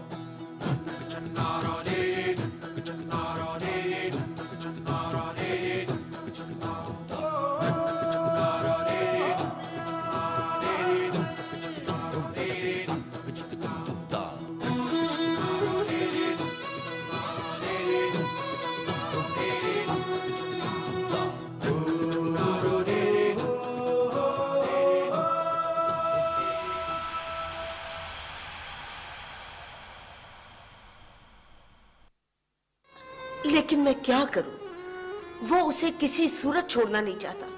नहीं छोड़ना चाहता है तो फिर मैं ये हवेली छोड़ देता हूँ मुमताज़। उसे बता देना ये मेरा आखिरी फैसला है। अम्मा शरा में कई तरह से गुंजाइश मौजूद है। अगर ऐसा है तो तुम अपने बाबा से बात करो हम क्या करें? अम्मा मुझे किसी से मिलने की ज़रूरत नहीं है। अहमद नवाज़ अब वो तुम्हारी नहीं रही। उसकी तरफ़ देखना भी तुम्हारे लिए हराम है। नहीं बात सही नहीं बात सही मैं मैं नहीं मानता इस बात को। तो फिर तुम्हें हर काम का ताल्लुक हमसे तोड़ना होगा। कुछ दिनों से टेलीफोन कॉल्स आ रही हैं कि तुम्हारे पापा एक स्मगलर हैं। किसने कहा है आपसे? सवाल ही नहीं पैदा होता। मेरे बाबा सही ऐसे आदमी नहीं है। ये ज़रूर किसी की साजिश है अगर मामला शरई है तो इसका फैसला ना तुम कर सकते हो और ना मैं। मुफ्ती साहब करेंगे। जितने फैसले चाहिए मैं लेके आ सकता हूँ। कोई है जो कहता है कि आप ड्रग माफिया और स्मगलिंग के थ्रू यहाँ तक पहुँचे हैं।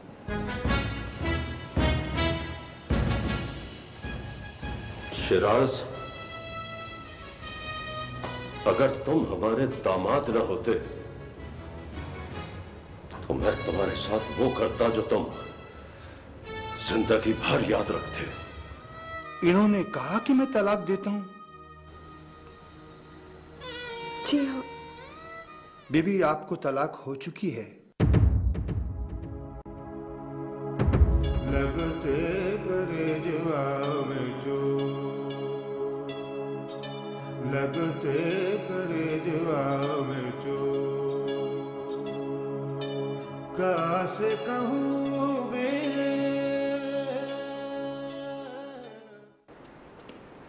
हाँ बाबा दो तीन दिनों में आ रहे हैं। पता है जहाज़ आने वाला है, तभी तो आ रहे हैं ना बाबा। हाँ हाँ ऐसा करो, जो भी मीटिंगें हैं, उन्हें दो तीन दिन आगे बढ़ा दो। और जो यूनान और इटली से फैक्स आए हैं ना, उनके जवाब दे दो। हाँ हाँ। हाँ हाँ आ जाएँगे। ठीक है, कोई बात हुई तो मैं तुम्हें फ़ोन करूँगा। ठीक। अल्लाह हाफ़िज़। मगर शाहनवाज अब यहाँ रुकने को क्या रह गया है? कल चलते हैं ना। अभी तो जहाज़ के आने में दो तीन दिन बाकी है। मैं चाहता हूँ जाने से पहले इधर के झमेले तो निपटा लें। बाबा अब तो बात खत्म हो गई है। तुम अहमद नवाज़ सही से बोलो कि जहाँ चाहे जैसे चाहे निकाह कर ले। बाबा शादी तो पहली बार होती है। बाद में तो सिर्फ़ निकाह रह जाता है। देखो अभी गया है ना अपनी तसल्ली करने मौलवी के पास। बाबा अब तसल्ली क्या करनी है? कोई और घर देखना पड़ेगा। और फिर रिश्तों की कोई कमी तो नहीं है ना? हाँ बाबा वो तो है। आओ आओ अहमद नवाज़। लाए हो फतवा।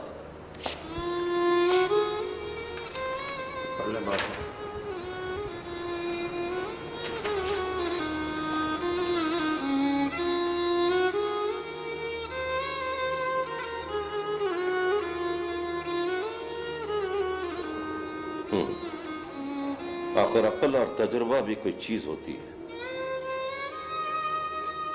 क्या कहता था मैं? लो बाबा गनी खुद पढ़ लो।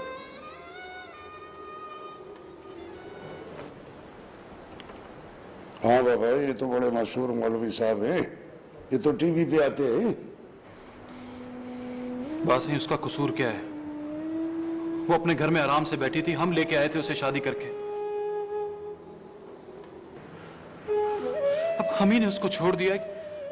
क्या ये गुनाह नहीं? बेटा ये सब किस्मत की बातें हैं। अब वो अगर घर में रहेगी तो वो गुनाह है। वो तुम्हारे लिए अब नामहरम है। भूल जाओ उसे। बाबा गनी जाओ जाकर उस लड़की को उसके माँ के हवाले कराओ। जाओ बाबा। हाँ सही जाता हूँ। लो। चाचा मैं भी मैं भी चलूँगा।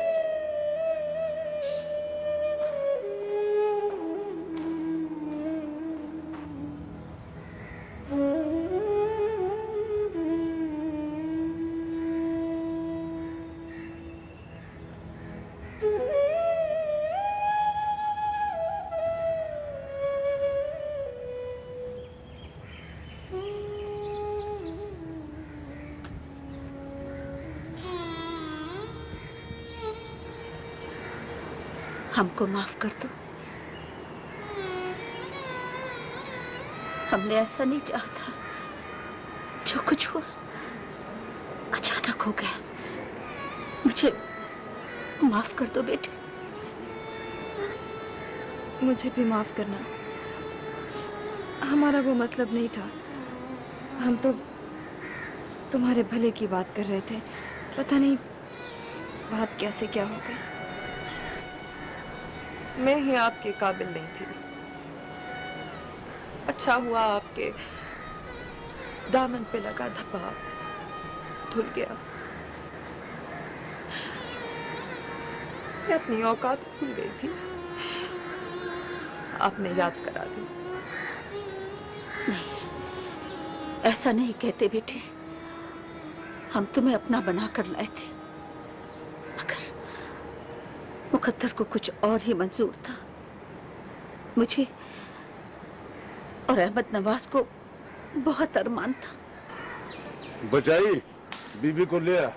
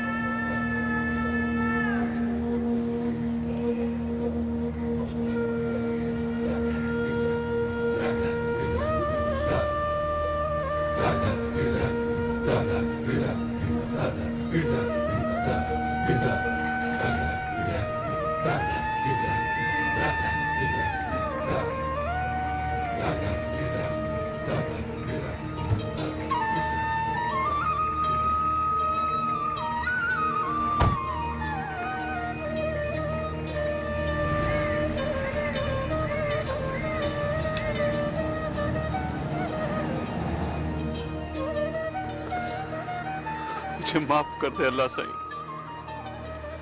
ये मुझसे क्या हो गया?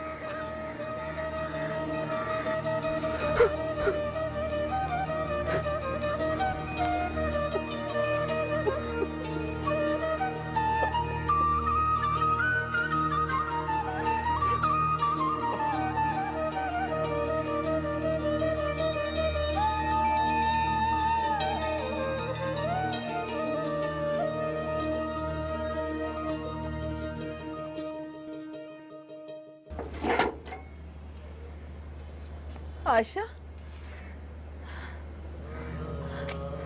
मेरी बच्ची। उजड़ गई मेरी बच्ची। पता नहीं किस जालिम की नज़र लग गई। अभी तो फूल खिला भी नहीं था तो मुरझा गया घर उजड़ गया मेरी बच्ची का। बस कर अम्मा बस कर। मेरा कोई कसूर नहीं है। सब गलती से हुआ। मौलवियों ने माफ़ी नहीं दी। मौलवी। अरे मौलवी क्यों माफ़ करेंगे? उन्होंने माफ़ नहीं किया तो वो क्या माफ़ करेंगे? और जिन्होंने तावीज गंडे किए ना, अल्लाह उनका बेड़ा गर्क करे।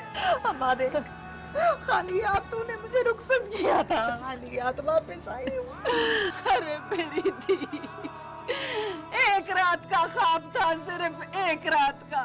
भूल जा भूल जा। हम तो घड़े की मच्छी है। जब जी चाहा निकाला जब जी चाहा फेंक दिया। अम्मा छोटे साईं का कोई कसूर नहीं। वो तो रोता था। बस मौलवियों ने इजाज़त नहीं दी। वो क्यों इजाज़त देंगे? उनका अपना कानून है। मैंने बोला था ना नहीं करो खरीदारी नहीं करो। अभी देखा? तू तो दफ़ा हो जाए यहाँ से। बहन का घर उजाड़ दिया तूने। कहा गई तेरी वो जंजीरिया वो गड़गाबिया वो कड़े वो होटल के खाने। अम्मा इससे पूछो इससे। इसने हमें जलील कराया है। ये रोज की नखरेबाजियाँ। अम्मा मेरा कोई कसूर नहीं है। इसका पेट भर भर के थक जाती थी मैं। अरे तू तू तो फकीर बनेगा। कुत्ते पड़ेंगे तुझे। दफाओ। तवीजों ने इतना नहीं किया जितना हमने अपने साथ खुद किया है। ये डब्बा पीट क्या करेंगे? अम्मा तू रो नहीं। मैं फिर से काम करूँगी। काम तो नहीं भूला ना मुझे। इसको बोल मेरी नज़रों के सामने से दूर हो जाए। दफ़ा हो जाए यहाँ से। देख लूँगा जाता हूँ जाता हूँ देख लूँगा सबको सबको देख लूँगा। दफ़ा।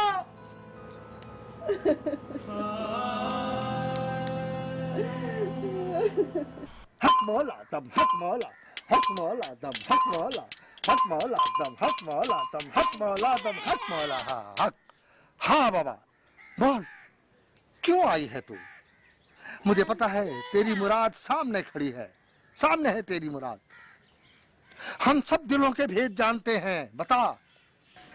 पीर साईं आप बूझे मैं किस लिए यहाँ आई हूँ?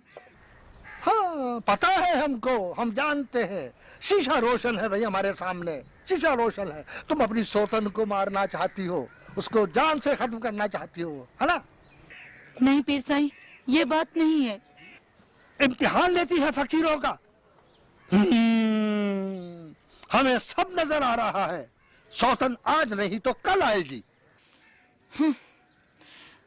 बाबा साईं मेरे खाविंद का इंतकाल हो चुका है तो सतन कहाँ से आएगी? हम्म, फकीरों का इम्तिहान तू लेती है। अरे शौहर आज नहीं कल तो आ जाएगा ना। अच्छा अच्छा अच्छा अच्छा। तो तू अपनी सास के हाथों तंग है? नहीं बाबा साईं ये भी बात नहीं है। मेरी बच्ची पर साया है उसे जिन आता है। देखा हम ना कहते थे कि कोई सौतन है। भाई ये साया और ये जिन ये भी तो सौतन है। दूर हो जाएगा दफ़ा दूर हो जाएगा। फ़िक्र ना कर? तू छोकरी को उधर लेकर आ हम धूनी देंगे साया सब दूर कर देंगे साये का जिन और भूत सब भाग के चला जाएगा। फ़िक्र ना कर। ला तू हमारे वजीफे के पैसे दे बाबा। बाबा साईं हम गरीब लोग हैं। यही हदिया हमारे पास है आप ले सकते हैं। अच्छा बाबा चलेगा।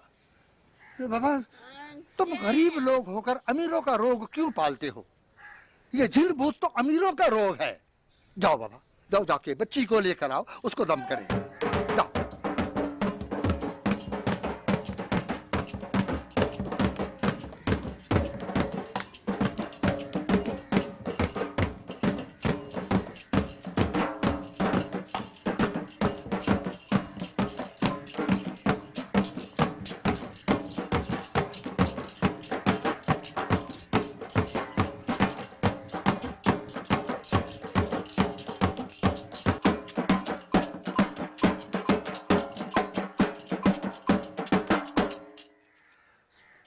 सदके सदके ऊँची सरकार के सदके झंडे वाले पीर के कुर्बान जाऊँ।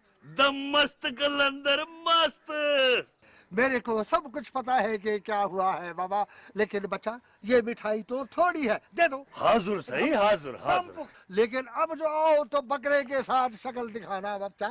मुर्शद सही झंडे वाली सरकार आप बोलो तो एक हज़ार बकरा में हाजिर कर दूँ। क्या करामत दिखाई है आपने है? कमाल कर दिया है कमाल कर दिया है, है? वाह झंडेशा वाह वाह वाह वाह। छोकरी घर आ गई है सब काम पक्का हो गया है। झंडे शाह को मशहूरी नहीं चाहिए बाबा बकरे के साथ शक्ल दिखाओ नहीं तो भसम कर दूँगा जला के हाँ। अरे हाजुर सही हाजुर झंडे वाला पीर। ऐसी कला जंग लगाई है कि सालों का काम दिनों में हो गया है। हाँ झंडे शाह को जलाल आ जाए ना तो सालों के काम मिनटों में हो जाते हैं बाबा। साईं झंडे शाह अगर हुक्म हो तो बकरे में जब चावल डालें तो हमें भी याद कर लें बड़ी देर हो ये बिरयानी खाए हुए। लदीदा है लदीदा देखे लदीदा। हाँ करना बाबा करना बिल्कुल ठीक है। दम पक दम पक कर अंदर दम पक दम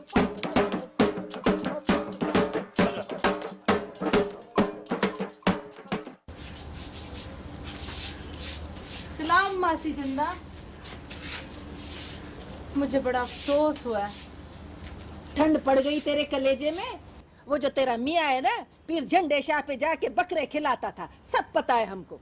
ना मासी मुझे कुछ नहीं पता। भला मैं खुश क्यों होंगी? इस हवेली की मालकन भला मैं बन के आई हूँ क्या? तो जा जगह खाली है। अपने मियाँ को जाके बोल अहमद नवाज़ के पास तुझको छोड़ के आए। तेरे कलेजे में ठंड पड़ गई है। अम्मा तू क्यों इनके मुँह लगती है? ये तो दुश्मन है तमाशा देखने आते हैं दफ़ा कर इन्हें आशा ऐसा क्यों सोचती है? इसीलिए तो जल गई थी तू। अब तो सुकून मिल गया ना तुझे। हमारी खुशी को तो नज़र लग गई। मासी मैं तो हाल पूछने आई थी। तो ये है हमारा हाल। देख है हमारा हाल ये। अरे दुनिया को और कोई काम नहीं है।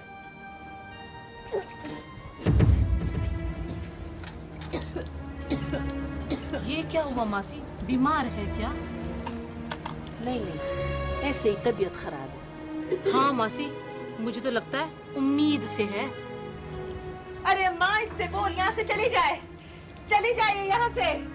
सकीदा खुदा के वास्ते जाए इधर से। वैसे मासी अगर बच्चा है तो तलाक कैसे होगी? अब जा इधर से चल।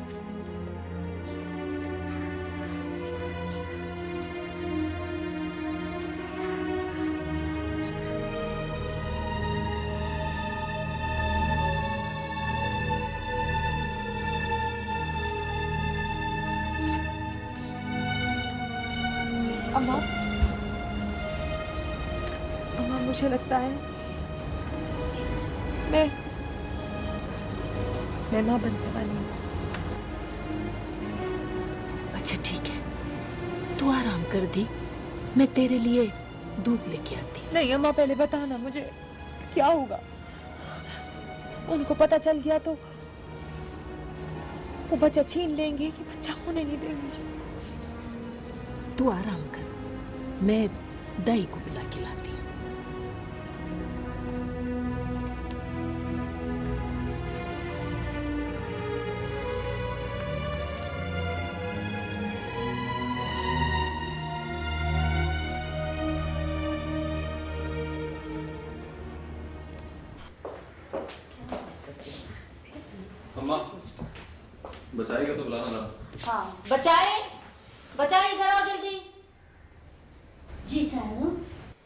हाँ बचाई।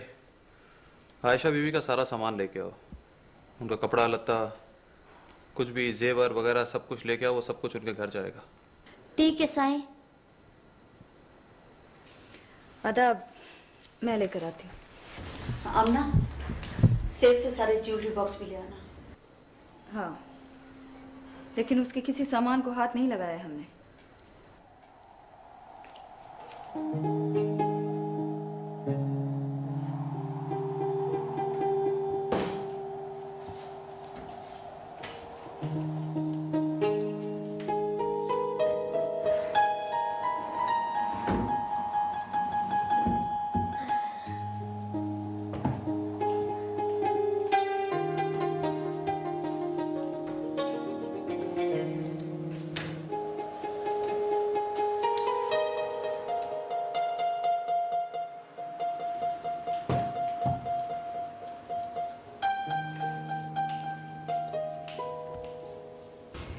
चाचा किधर है?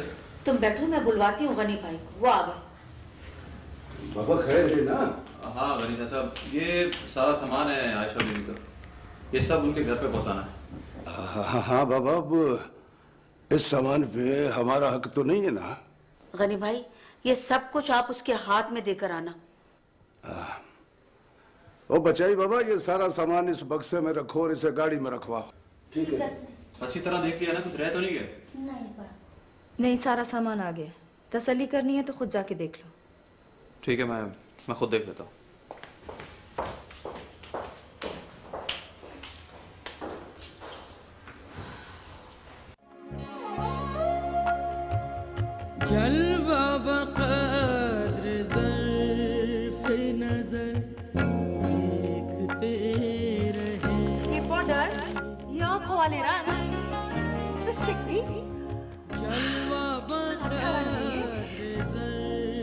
कुछ आप लिए लाए हैं जलवा बकद्र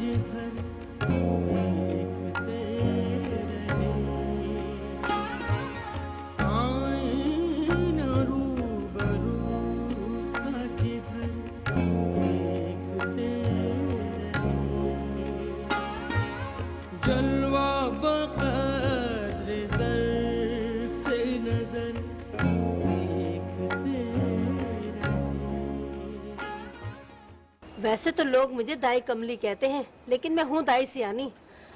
कोई काम आज तक गलत नहीं किया। ज़िंदा तेरी बेटी माँ बनने वाली है। खुश हो जा।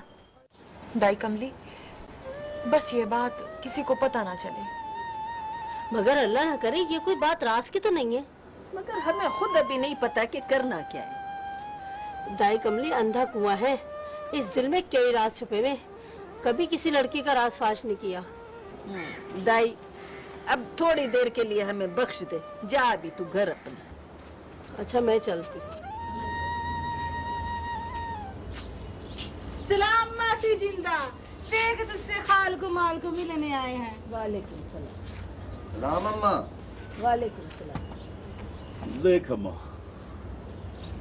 हम तेरे पुत्र हैं। हमको गलत न समझना। अम्मा हम तेरे भले के लिए आए और बाबा हमको पता है कि आशा बहन माँ बनने वाली है। अरे किसने कहा है तुमसे ये? मैं गवाही दूँगी तो बात साबित होगी ना? अरे जाओ यहाँ से चले जाओ यहाँ से। जाते हैं जाते हैं। लेकिन एक बात मैं समझा दूँ। कि अहमद नवाज़ को बताना नहीं है। अगर उसको पता चल गया ना तो वो बच्चा पैदा नहीं होने देगा। अरे पापा, तलाक जो हो चुकी है। अम्मा, बच्चा पैदा होने दे। और बाबा, वो जायदाद का मालिक बनेगा। आपको सब कुछ मिल जाएगा। पर हाँ हम किसी को कुछ नहीं बताएँगे। और इसमें तेरा और आयशा का ही फ़ायदा है। बच्चा इतनी बड़ी जायदाद का मालिक बन जाएगा। देख अम्मा, हम तेरे अपने हैं। हमको गलत न समझ। तलाक हो चुकी है। और बाबा, इस मसले को इधर ही दबा दो। अभी बच्चा होगा तो तुमको सब कुछ मिल जाएगा। ठीक है अम्मा, अब हम चलते हैं। इसमें तेरा अपना ही फ़ायदा है। किसी को बोलना नहीं। हाँ सलाम अम्मा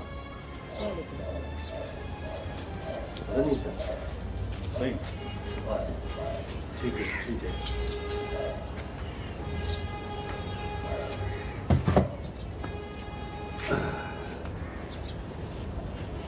ये तेरा है।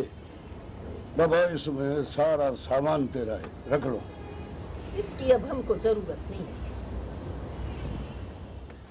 बाबा नवाज़ खान ने भेजा है। अम्मा रख ले। साई ने भेजा बल्कि मौका अच्छा है। छोटे सही से हमारा रिश्ता दोबारा बन सकता है। फरीद तो बीच में से निकल गया है। तो चल चल माफ़ी तलाफी करते हैं।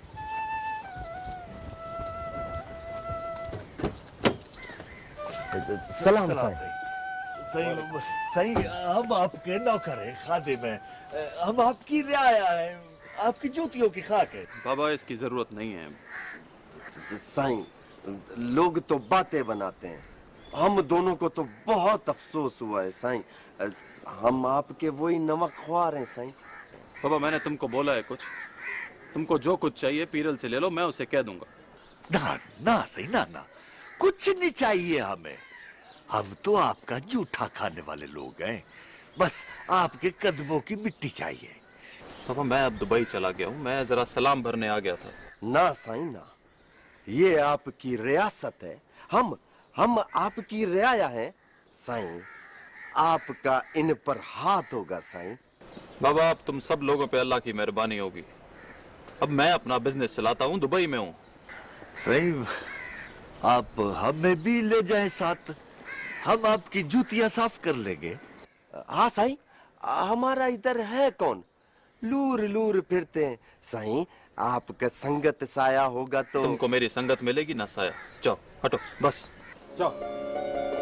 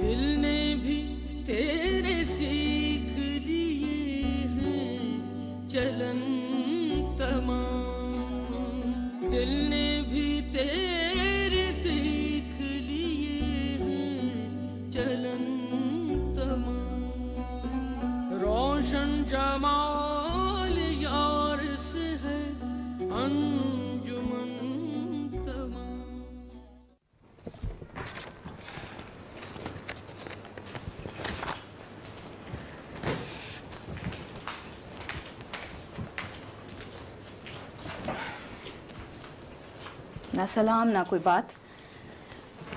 पहले तो बाहर से आते हुए आपने ऐसा कभी भी नहीं किया? क्या फ़र्क पड़ता है? वैसे भी कौन सा रोज़ाना आप मेरा इंतज़ार कर रही होती हैं? नाराज़ हैं। घर क्यों गई थी? घर तो ये आपका है नहीं। तो फिर नाराज़गी किस बात की? वहाँ पर मसला ही ऐसा हो गया था कि मुझे रुकना पड़ा। भाई समझ में नहीं आता।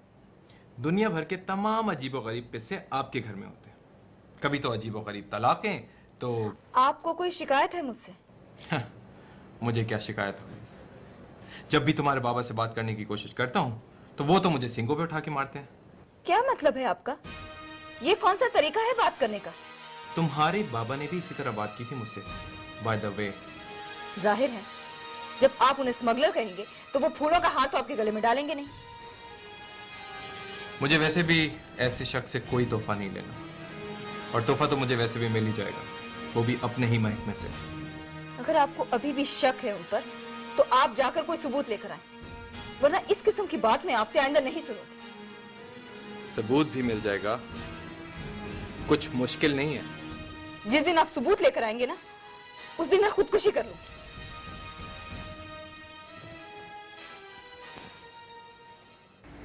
शानी बीबी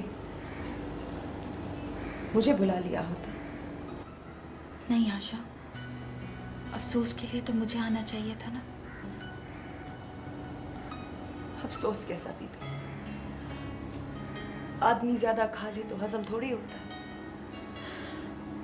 और फिर आपका जूठा खाने वालों को जब इतना मिल जाए तो? नहीं आशी ऐसा मत सोचो।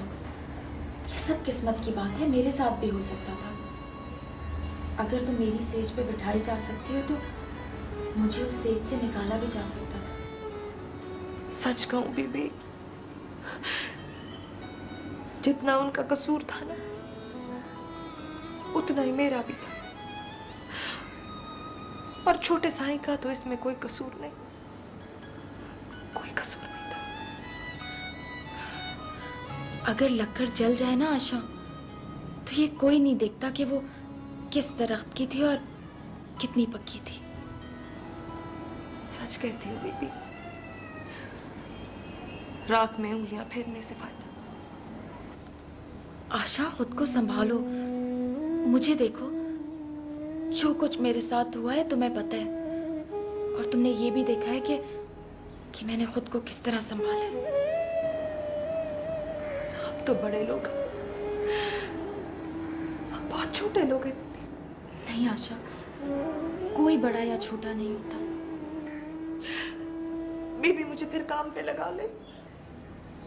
नहीं आशा। अब ऐसा नहीं होगा। अब तुम कभी मेरा जूठा नहीं खाओगी। आज से हम सहेलियाँ बन के रहेंगे। आप कहाँ और हम कहाँ? मैं वाकई अपनी औकात भूल गई थी। नहीं आशा। ऐसे नहीं कहते। आज से हम सहेलियाँ हैं पक्की सहेलियाँ। आपको पता है बीबी मुझे पहले भी इज़्ज़त रास नहीं आई। अब कहाँ रास आएगी? हाँ मुझे अपनी बांधी रहने दे दो नहीं आशी ये तुम्हारी इज़्ज़त नहीं है। मेरी इज़्ज़त है।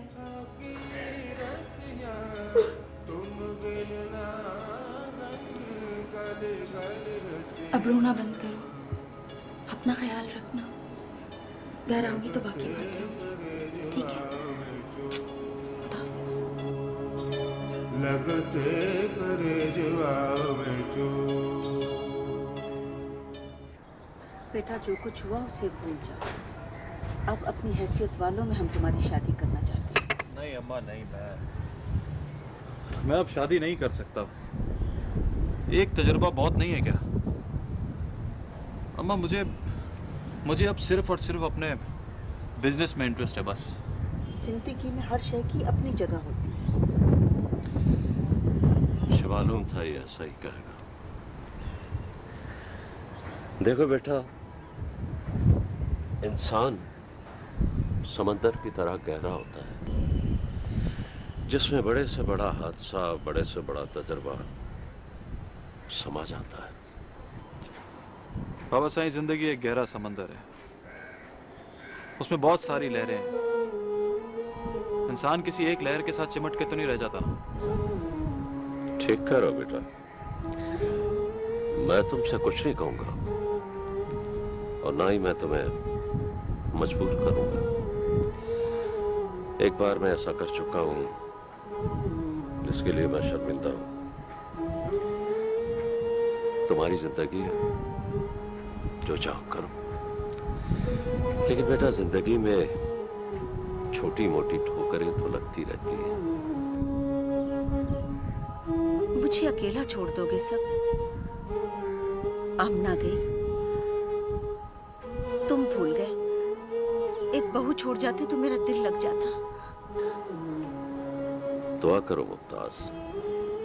बहू भी जल्द मिल ही जाएगी। आप मुझे अच्छा समझे या बुरा। मेरी बात माने या ना माने। मगर मैं आपको इस रिश्ते के मुतालिक ज़रूर बताऊँगा। मुझे तुम्हारी कोई बात नहीं सुननी। तुमने जो पहले किया है ना उसका खुमियाजा हम आज तक भुगत रहे हैं। उसको अपनी बात तो पूरी करने दो ना। आखिर इस तरह कब तक शानी को घर में बिठाए रखोगी? हाँ नाज बेटा बोलो क्या क्या कह रहे थे तुम? अब्बा एक बहुत अच्छा रिश्ता है। लड़का नेवी में डॉक्टर है और बहुत शरीफ खानदान है। और मेरा बहुत अच्छा दोस्त है। उनके घर से रिश्ता आया है। अच्छा तुम्हारा दोस्त है? फिर तो तुम्हारे ही जैसा होगा। ऐसी बात नहीं है अम्मा। वो बहुत शरीफ लड़का है। अच्छा उसने क्या कहा तुमसे? या उसके माँ बाप ने तुमसे कोई बात की है? उनके घर वाले तो आना चाहते हैं। मैं मैं इसलिए तो यहाँ आया हूँ। तुम उनको बुला लो। हम उनको देखकर फिर फैसला करेंगे। तो तो मैं कब कह रहा हूँ कि आप अभी फैसला करें? नहीं ठीक है न्याज बेटा तुम उन्हें यहाँ इनवाइट करो उन्हें लेकर आओ यहाँ। लेकिन इसका कसूर फिर भी माफ़ नहीं होगा। अम्मा आप मुझे बेशक माफ़ ना करें मगर मैं अपना फ़र्ज़ तो पूरा करूँगा। शानी खुद फैसला करेगी। उनसे कहो कि वो लड़के को साथ लेकर आए। आमने सामने बात हो तो ज़्यादा बेहतर है। अच्छा तो अब मैं चलता हूँ। अच्छा बेटा चलो ठीक है।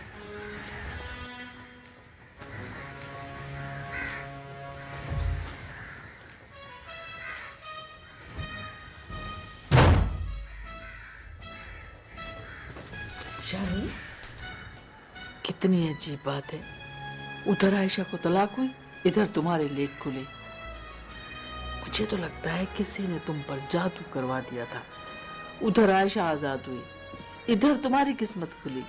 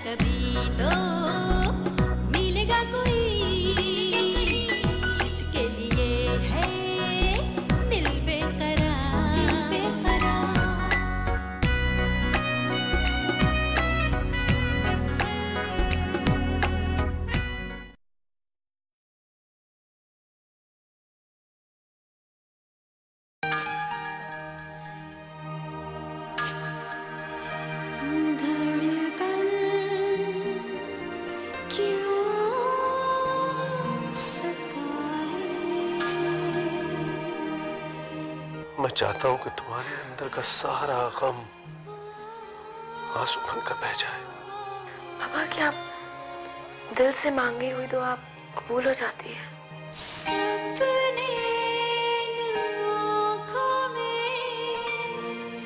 किसकी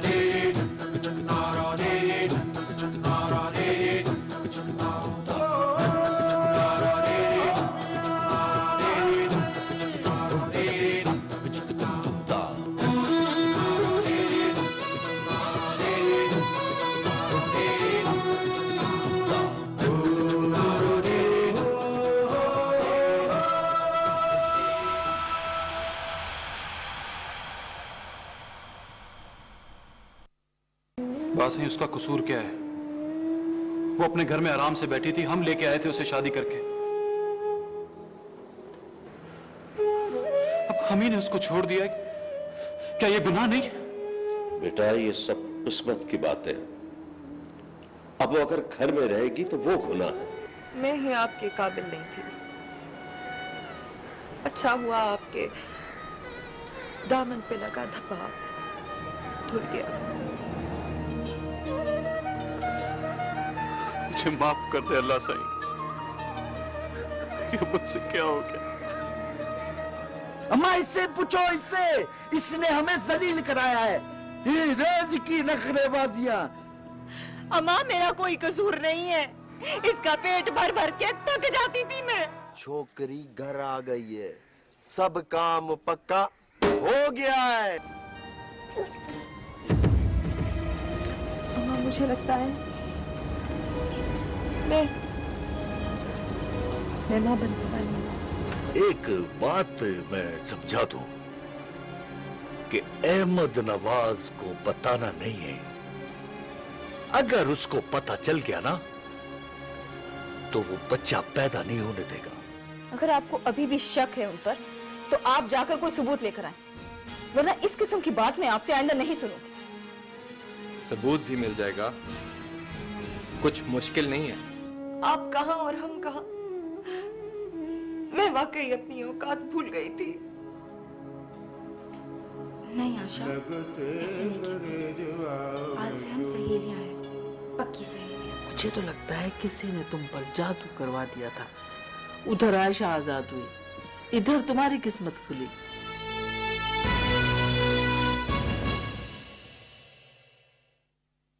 सब कुछ ठीक है ज़िंदा? बस थोड़ी कमज़ोरी है। और देख उसे देसी घी की पंजीरी और देसी घी की चूरी खिला और दूध भी पिला।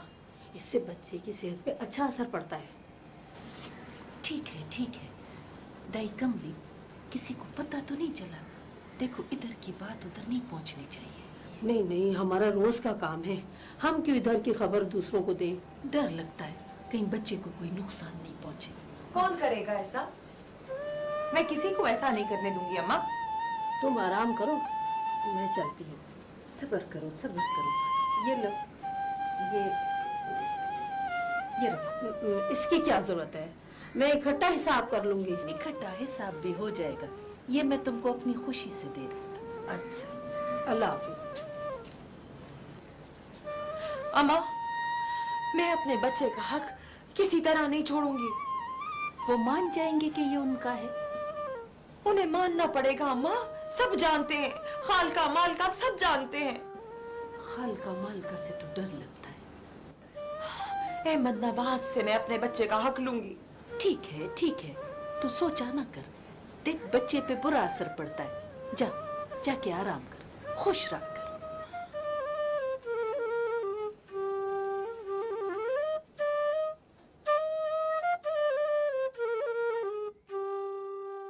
एक तरफ़ आप मुझे फ़ोन करके डरा रहे हैं कि शिराज की जान को खतरा है, दूसरी तरफ़ वो मुझे फ़ोन कर करके डरा रहा है। मैं कहा जाऊँ? क्या करूँ आखिर में? अल्लाह रहम करे। आखिर ये साजिश मेरे ही बेटे के खिलाफ क्यों बनाई जा रही है? आपसे किसने कहा उसकी जान को खतरा है? अच्छा।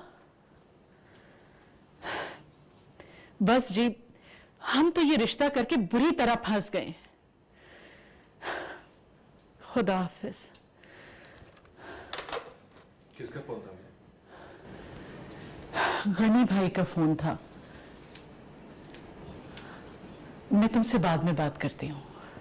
क्यों? मेरे सामने बात नहीं कर सकती? कोई हमारी आपस की बात भी हो सकती है। ठीक है। मैं तो गैर हूँ ना इस घर में। दुश्मन हूँ आप सब लोगों की। अच्छा तुम आओ इधर बैठ के बात करते हैं।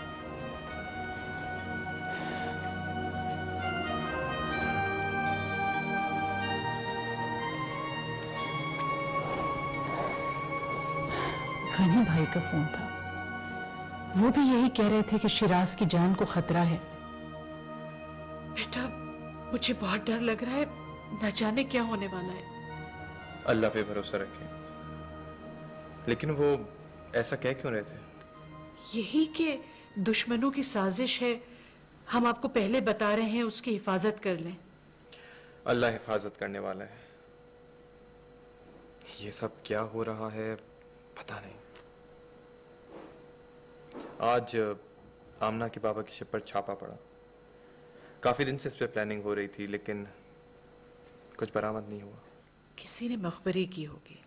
ये महकमे के अपने ही लोग अंदर से उनसे मिले हुए होते हैं। वो पहले खबर दे दें तो फिर ज़ाहिर है क्या बरामद होगा। वैसे ये बात भी हो तो सकती है। समझ में नहीं आता क्या करूँ। इस शादी की वजह से मैं तो इनके आपसी मसलों में फंस के रह गया कर भी क्या सकते हैं? ये रिश्ता तो तोड़ भी नहीं सकते। अब तोड़ने से क्या फ़ायदा? और खतरे में पड़ेंगे। रिश्ता तोड़ने से तो दुश्मनी और बढ़ेगी। मैं ऐसा करती हूँ सदका निकालती हूँ। अल्लाह बेहतर करेगा।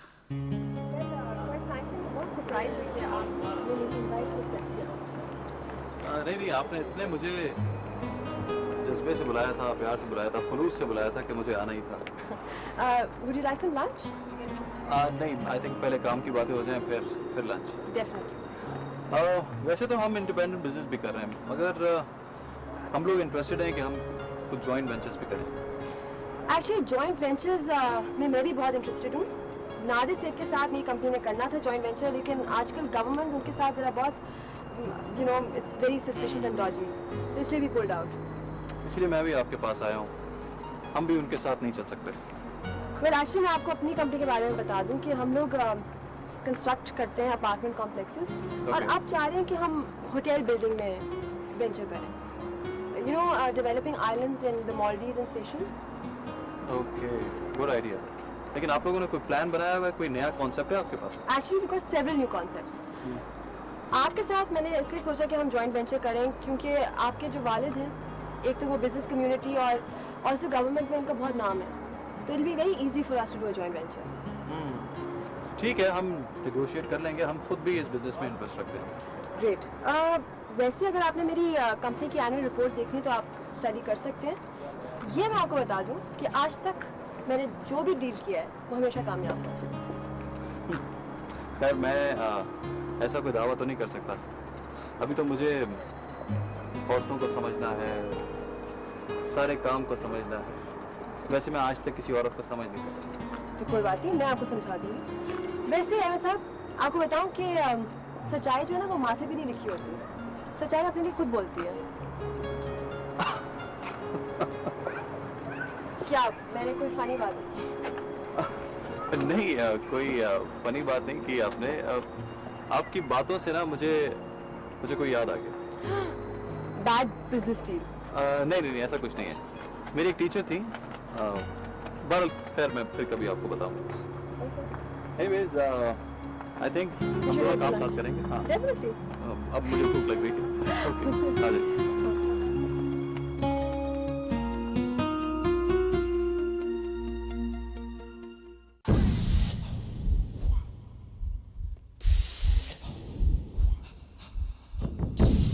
अरे तेरी शेरी नज़र नहीं आ रही आज। वो बस लंच पे गई है बात सुनने का मेरी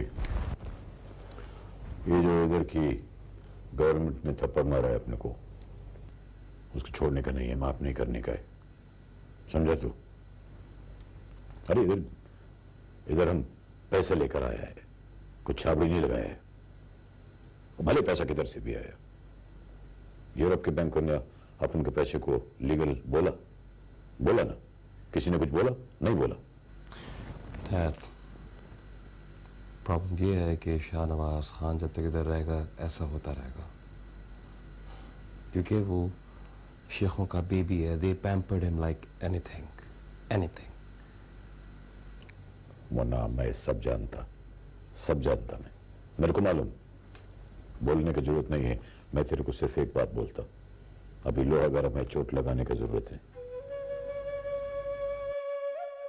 अगर शिराज का कत्ल होता है तो फ़ौरन इल्ज़ाम शाहनवाज पर लगेगा। उधर कराची के अखबारों से सारा सेटिंग हो गया है। और अब बात सुन, शिराज की माँ एफ़ आई आर कटवाएगी। क्या बोलता? हमारा प्रॉब्लम शिराज का मर्डर नहीं है। शाहनवाज की डिफीट है, उसकी डिफीट उसको यहाँ से निकालना है। He has to go by hook or crook. अरे मुन्ना मैं तेरे को अल्फायद का हेड बनाना माँगता जिसने पूरे यूरोप को आग लगा दी। आप आप करें हम उसी रास्ते पे चल रहे हैं उसी रास्ते पे वीरों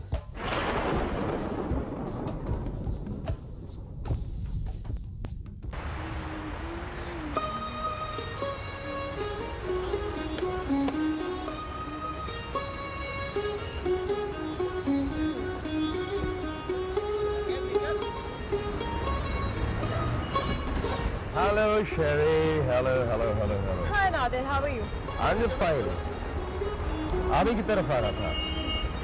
Nadir you know what I always make the right decision right person at the right time so do I you think this is the right time for us to I think so I don't लगता है अहमद नवाज़ खान के साथ बड़ी अच्छी meeting हुई आपकी। ये तुम कैसे कह सकते हो? मेरा अंदाज़ा है। मैं तुम्हें जानता हूँ तो मेरी बहुत अच्छी दोस्त हो। तुम्हें उससे दिलचस्पी पैदा हो गई है। या या। हो भी सकता है। लेकिन अ, ये मेरा पर्सनल मैटर है नादिर और ये भी हो सकता है कि मुस्तकबिल में अहमद और मैं बहुत अच्छे पार्टनर्स बन जाएँ। ओह तो मुलाकात बहुत अच्छी रही है। डिटेल नहीं बताओगी। कल अगर अहमद और मेरा मर्जर हो जाता है तो ये सारी इंफॉर्मेशन हाईली कॉन्फिडेंशियल है। I am sorry I can't कल के दोस्त आज के दुश्मन और आज के दोस्त। अंदाजे लगाने की ज़रूरत नहीं नादिर। बिज़नेस में कौन किस वक्त क्या चाल चले कौन जानता है? मेरा ख्याल है कि अहमद नवाज़ खान तुम्हारे लिए एक अच्छा घोड़ा साबित होगा चौकी का होता है। घोड़ा तो सिर्फ़ डेढ़ घर चलता है और मैंने तो दौड़ना है। Really? या। So, good luck. Take care. Thanks take care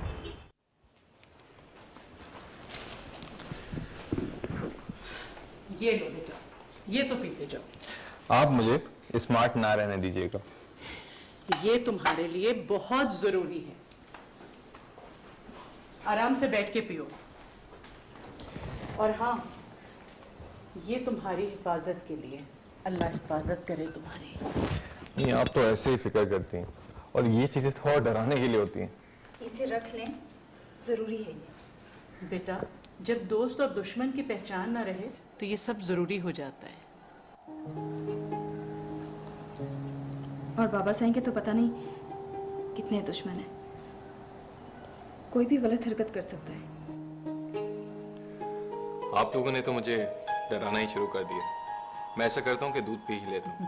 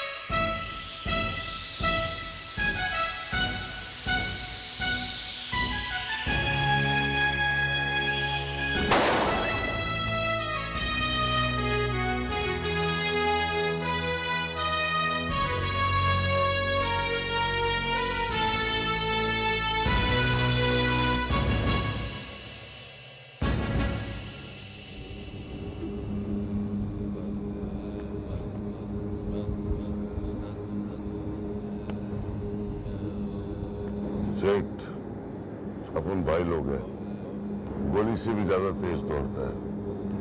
लेकिन मालूम, अभी मेरे को लगता है कि मैं बूढ़ा हो गया है। वो बम्बई फ़िल्म इंडस्ट्री का लोग, अंडरवर्ल्ड का लोग। मेरे को बोलता है कि फलाना हीरोइन को टपका डालो, वो फलाना टकले विलन का पाटिया गोल करो। मैं बोला, नहीं। अभी सेठ मूसा करीम छोटे लफड़े में नहीं पड़ता है। सेठ भाई लोग का भी कोई जमीर होता है। सेठ तुमको अल्लाह ने इधर बहुत इज़्ज़त दिया अभी ये शेख लोग को बोलकर, आप तो उनका खास आदमी है, सेठ। उनको बोलकर भाई लोग को भी थोड़ा इज़्ज़त दिलाओ मूसा मुजरिम ने सफ़ेद दस्ताने पहन रखे नज़र नहीं आता। जानते हो उसे क्या बोलते हैं? व्हाइट कॉलर क्राइम हाँ सेठ और वो।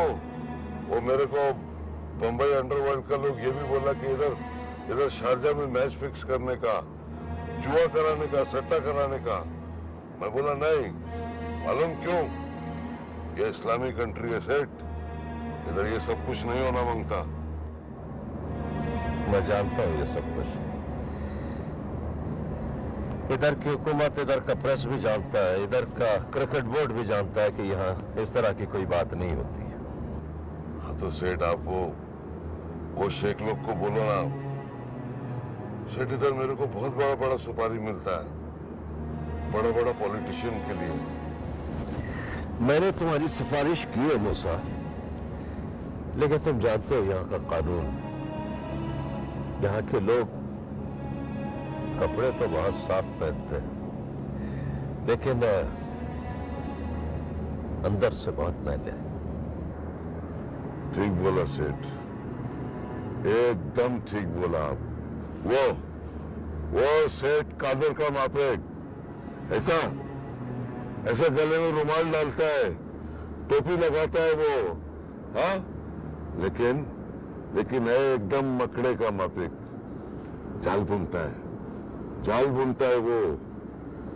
देखो मूसा हम अमन पसंद आदमी हैं। लेकिन अमन के लिए कभी कभी जंग भी लड़नी पड़ती है। आप एकदम बराबर बोला सेठ। आप बोला तो वो सेठ कादर का पार्टिया मैं गोल करेगा। आप आप खाली ऑर्डर लगाओ सेठ मेरे को। नहीं नहीं नहीं। उसका ज़रूरत नहीं है बाबा। क्योंकि उसका काम उसका धंधा उसे खुद पाकअप करा देगा। ज़रूरत नहीं है उसका। बाबा ये कराची की काल है हेलो। क्या? अच्छा कब? हाँ हाँ चलो ठीक। हाँ हम आते हैं। हाँ हाँ आते आते।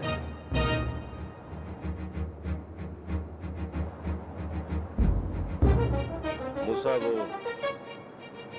एक ज़रूरी काम हो गया है। तुमसे फिर बात होगी। ठीक है सेठ। लेकिन सेठ वो शेख लोग से बात करना मैं इधर बस आखिरी ज़िंदगी के लिए कुछ नेक काम करना चाहता है सेठ।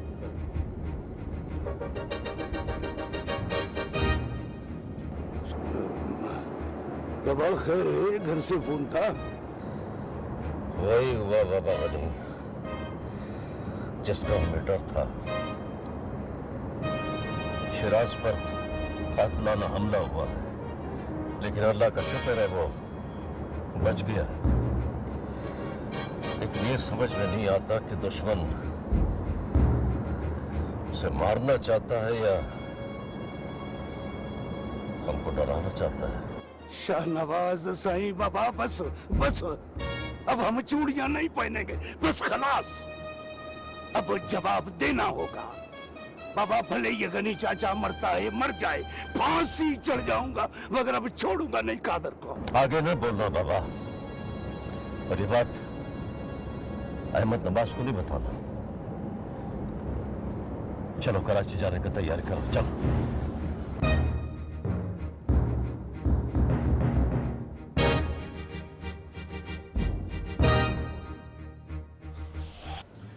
क्या वो आपको डराना चाहते थे या मारने आए थे? उनकी मूवमेंट से कुछ अंदाज़ा तो कर सकते हैं आप। जी नहीं। उन्होंने अचानक फायर खोला मैं नीचे हो गया। हम्म। काफ़ी देर तक फायरिंग चलती रही और वो मुझे मुर्दा समझ के चले गए। हम्म। कितने आदमी थे वो? ये मैं देख नहीं पाया। आपको किसी पर शक? जी दरअसल कुछ अरसे से हमारे यहाँ एब्नॉक्शस कॉल्स आ रही थी। तो इससे आपको किसी पर कोई शक है? जी मुझे किसी पर कोई शक नहीं। देखिए आपकी किसी से कोई दुश्मनी कारोबारी या मेरा मतलब महकमे में किसी कोई लड़ाई वगैरह हुई? हाँ हो सकता है। जी नहीं। ना तो मेरी किसी से कोई दुश्मनी है और ना ही कोई झगड़ा। देखें डरने की बिल्कुल कोई बात नहीं है। नाम खुफिया राज में रखा जाएगा। किसी पर कोई शक है तो बता दें। मैं जिस महकमे में काम करता हूँ वहाँ किसी को भी तकलीफ़ पहुँच सकती है। शिराज आप इन्हें बता दें कि आपने सेठ कादिर का माल पकड़वाया है। जी हाँ। ऐसे कई माल हम पकड़ते रहते हैं। लेकिन सेठ कादर तो दुबई में है। हाँ लेकिन वो हमला तो करवा सकता है। देखिए आप मेरी तरफ़ से बयान दें मुझे किसी पर शक नहीं है। आप प्लीज़ अपनी तहकीक जारी रखें। ओके। मुझे हो सकता है फिर आना पड़े तो आपको फिर तकलीफ़ दूँगा ओके जी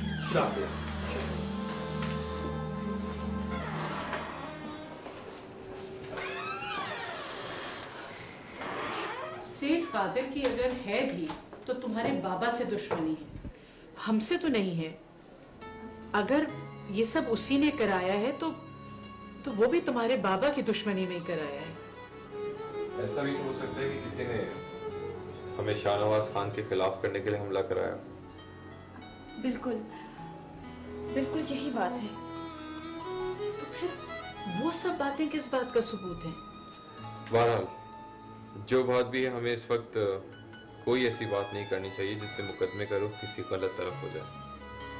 और और कुछ ऐसा भी नहीं कहना जिससे असल मुजरिम से निगाह हट जाए।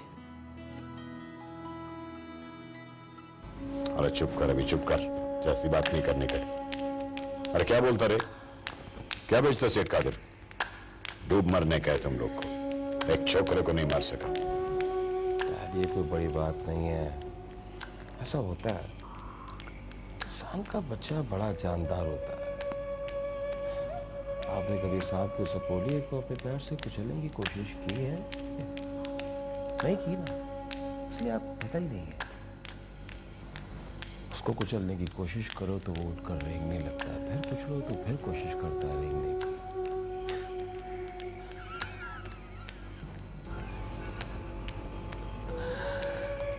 बड़ी मुश्किल से जान देता है। पहले उस छोकरे ने अपन का माल पकड़वाया। अभी वो शाहनवाज का दामाद बन गए। मैं बोलता तेरे को, इस छोकरे को इजी नहीं लेना है मुन्ना इजी नहीं लेने का। और सुन अपन को चैलेंज नहीं करने का है। नहीं तो अपन खुद जाके मारेगा उसको।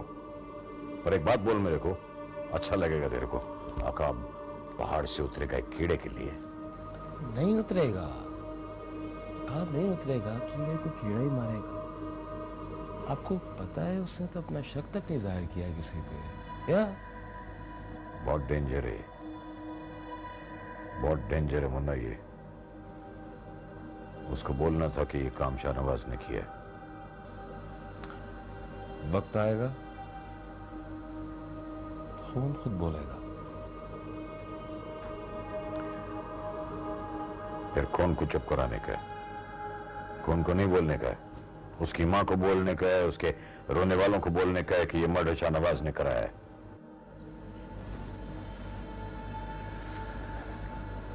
अगर उसको मारना होता कब का मार देते ये ट्रेलर था रेस होती ताकि हमारे आदमी उसको समझा सके कि ये किसका काम है।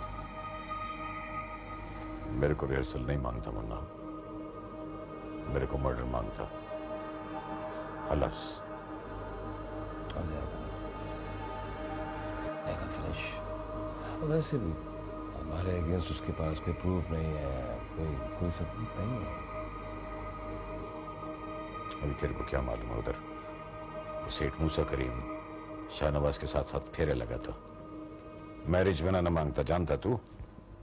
हम्म, उसके फेरों पे नज़र है हमारी। नाक सौ साल बाद अपनी जून बदलने की कोशिश कर रहा है। As simple as that अपन इधर ही रहना माँगता। इधर रहेगा बिज़नेस यूरोप में करेगा जानता तू इधर से दुनिया को कंट्रोल करना आसान है क्या बोला मैं ओके आप बेफिक्र रहो मैं संभाल लूँगा बट यू जस्ट रिलैक्स अरे मुन्ना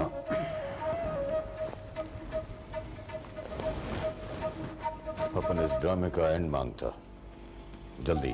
खलस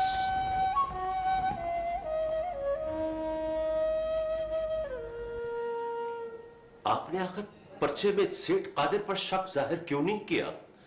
हो ना हो ये सेठ कादिरी का काम है। मैं आप लोगों की लड़ाई में अपना बेटा कुर्बान नहीं कर सकती। भाभी अब सिर्फ़ ये आप ही का बेटा नहीं हमारा भी बेटा है। अगर इसे कोई मैली नज़र से देखेगा तो क्या हम खामोश रहेंगे? दो हाथियों की लड़ाई में नुकसान घास का होता है। हम क्यों इसमें कूदें? देखिए अब तो ये मजबूरी है। मगर हमारी कोई मजबूरी नहीं है। हम ऐलान कर देंगे कि हमारा आपसे कोई ताल्लुक नहीं है। बस अम्मी बस। ये ये मौका अस्पताल में बात करने का नहीं मौका क्यों नहीं बेटा? अब ये गलत फहमियाँ दूर होनी चाहिए। आंटी आपके दिल में जो बात भी है आप प्लीज़ अभी कर लें। देखें जी बात यह है कि अगर हम पर्चा किसी के खिलाफ कटवाएँगे तो मालूम है क्या होगा? वो तो हमारा दुश्मन हो ही जाएगा। और जो छुप के वार कर रहा है वो भी बच जाएगा। कौन छुप कर वार कर रहा है? वो सेठ कादिर ही है। बाबा साहब आप प्लीज़ कुछ करें। इनको तो अब गार्ड्स के बगैर बाहर भी नहीं जाना चाहिए। बेटा मैंने चार गार्ड्स का इंतज़ाम कर दिया है जो हमेशा इनके साथ रहेंगे। गार्ड्स कभी किसी को नहीं बचा सकते। वो तो ठीक कहती है यहाँ बचाने वाला तो सिर्फ़ अल्लाह साई है ये तो सब बहाने हैं। लेकिन दुश्मनी सिर्फ़ हमारी वजह से तो नहीं है ना? शिराज कस्टम में है रोज किसी ना किसी स्मगलर से वास्ता पड़ता है हो सकता है उनमें से कोई हो। इसीलिए हमने तफ्तीश का हक पुलिस को दे दिया है। अब वो खुद मालूम करेंगे। देखिए अंकल मसला ये है कि ये जो कोई भी है इससे आपकी दुश्मनी है या नहीं लेकिन मेरी ज़िंदगी उस वक्त से खतरे में है जिस वक्त से मेरा रिश्ता आपसे बना है। बेटा मेरी बात समझने की कोशिश करो। तुमने उसका सामान पकड़वाया है ना इसीलिए वो तुम्हारा दुश्मन हो गया है। मगर माल तो रोज पकड़ा जाता है। सारे कस्टम अफसर कत्ल तो नहीं कर दिए जाते। या अल्लाह मैं तो कहती हूँ ये केस रजिस्टर्ड होना चाहिए। भाभी बुजदली इंसान को और कमज़ोर बना देती है। हज़रत अली का कौल है कि मौत ज़िंदगी की खुद हिफाजत करती है। अगर हम इस तरह कमज़ोर पड़ जाएँगे तो हमारा दुश्मन और ताकतवर हो जाएगा। आप समझती क्यों नहीं? बाबा साहब ये सब बातें घर चलकर होंगी। वैसे भी शिराज को आज छुट्टी मिल गई है हम बस घर ही जा रहे थे। ठीक है बेटा मैं अब चलता हूँ। मैं फिर शाम में आऊँगा। चलो अच्छा। अच्छा बेटा।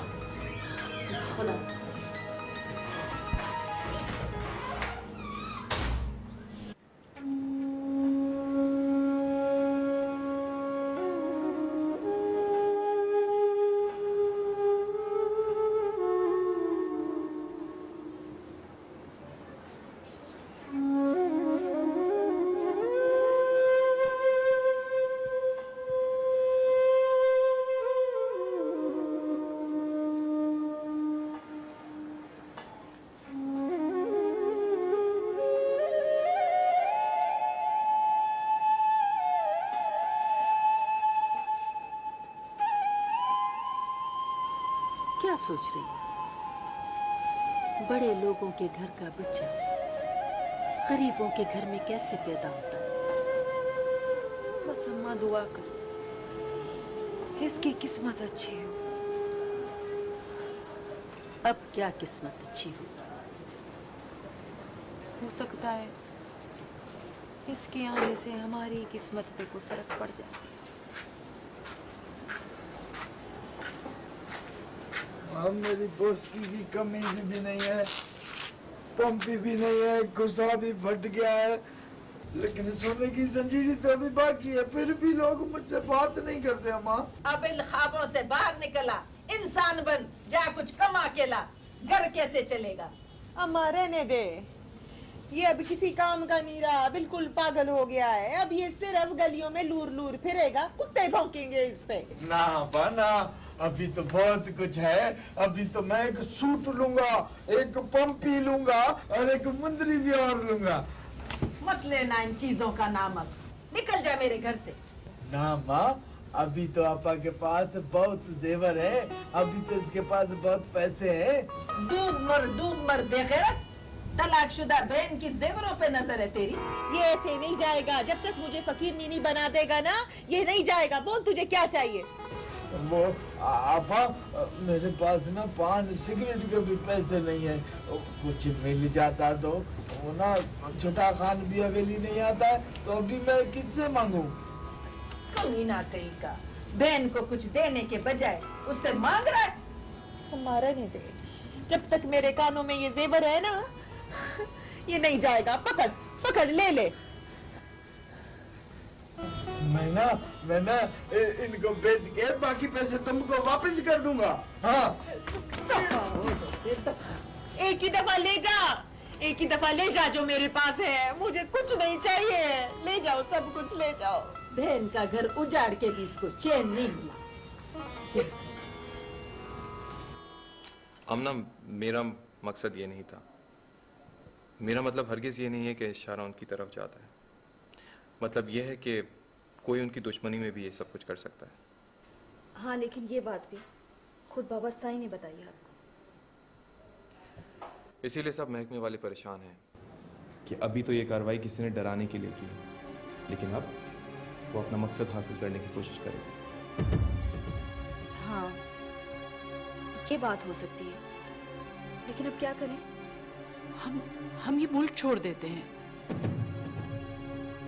देखो बेटा ज़िंदगी ही सब कुछ होती है।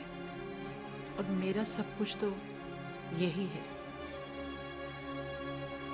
हम इस जान को बचाने के लिए न जाने कहाँ कहाँ भागते हैं। लेकिन इस दुनिया में कोई जगह महफूज नहीं है सिवाय कब्र के।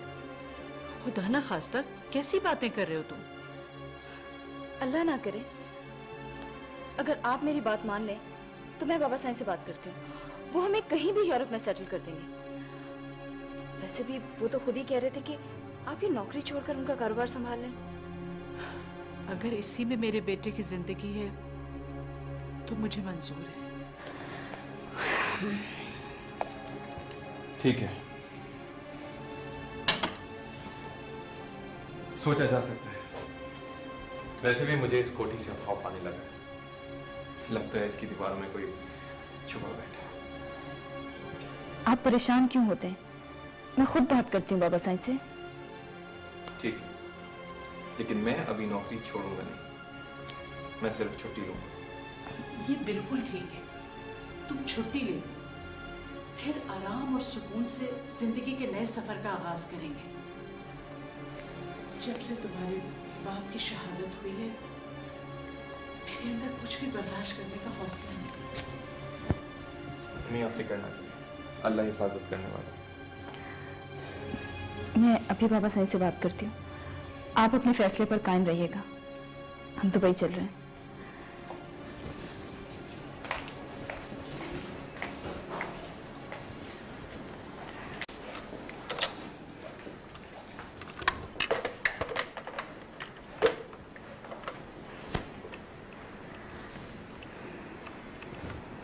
हेलो, बाबा सिंह से बात करनी है।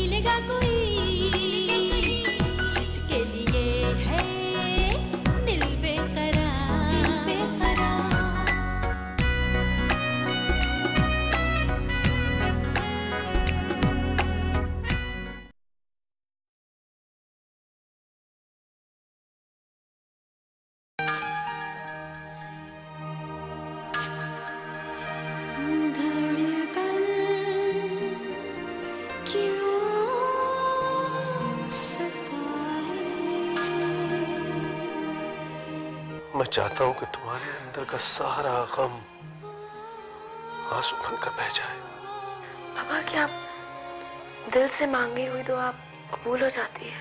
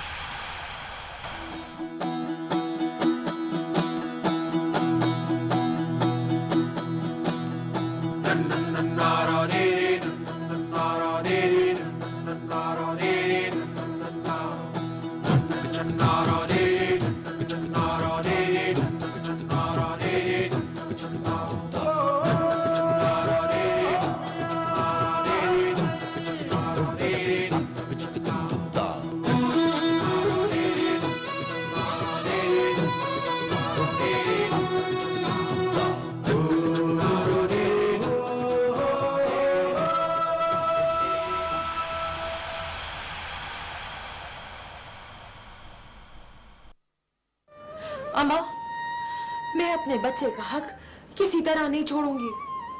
वो मान जाएँगे कि ये उनका है। उन्हें मानना पड़ेगा अम्मा सब जानते हैं। खाल का माल का सब जानते हैं। अ, वैसे तो हम इंडिपेंडेंट बिज़नेस भी कर रहे हैं मगर हम लोग इंटरेस्टेड हैं कि हम कुछ जॉइंट वेंचर्स भी करें। एक्चुअली जॉइंट वेंचर्स में मैं भी बहुत इंटरेस्टेड हूँ। नादिर सेठ के साथ मेरी कंपनी ने करना था जॉइंट वेंचर लेकिन आजकल गवर्नमेंट उनके साथ जरा बहुत you know it's very suspicious and dodgy तो इसलिए भी पुल्ड आउट मैं तेरे को सिर्फ़ एक बात बोलता अभी लोहा गरम है चोट लगाने की ज़रूरत है। अगर शिराज का कत्ल होता है तो फ़ौरन इल्ज़ाम शाहनवाज पर लगेगा।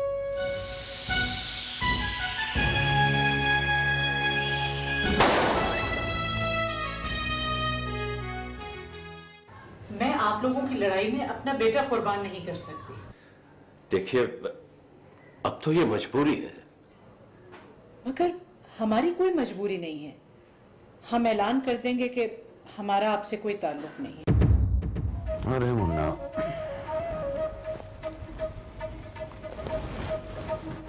अपन इस ड्रामे का एंड माँगता। जल्दी खलस। कमी ना कहीं का। बहन को कुछ देने के बजाय उससे मांग रहा है। हमारा नहीं दे जब तक मेरे कानों में ये जेवर है ना, ये नहीं जाएगा। पकड़ पकड़, ले ले। मैं अभी बाबा साईं से बात करती हूँ। आप अपने फैसले पर कायम रहिएगा। हम दुबई चल रहे हैं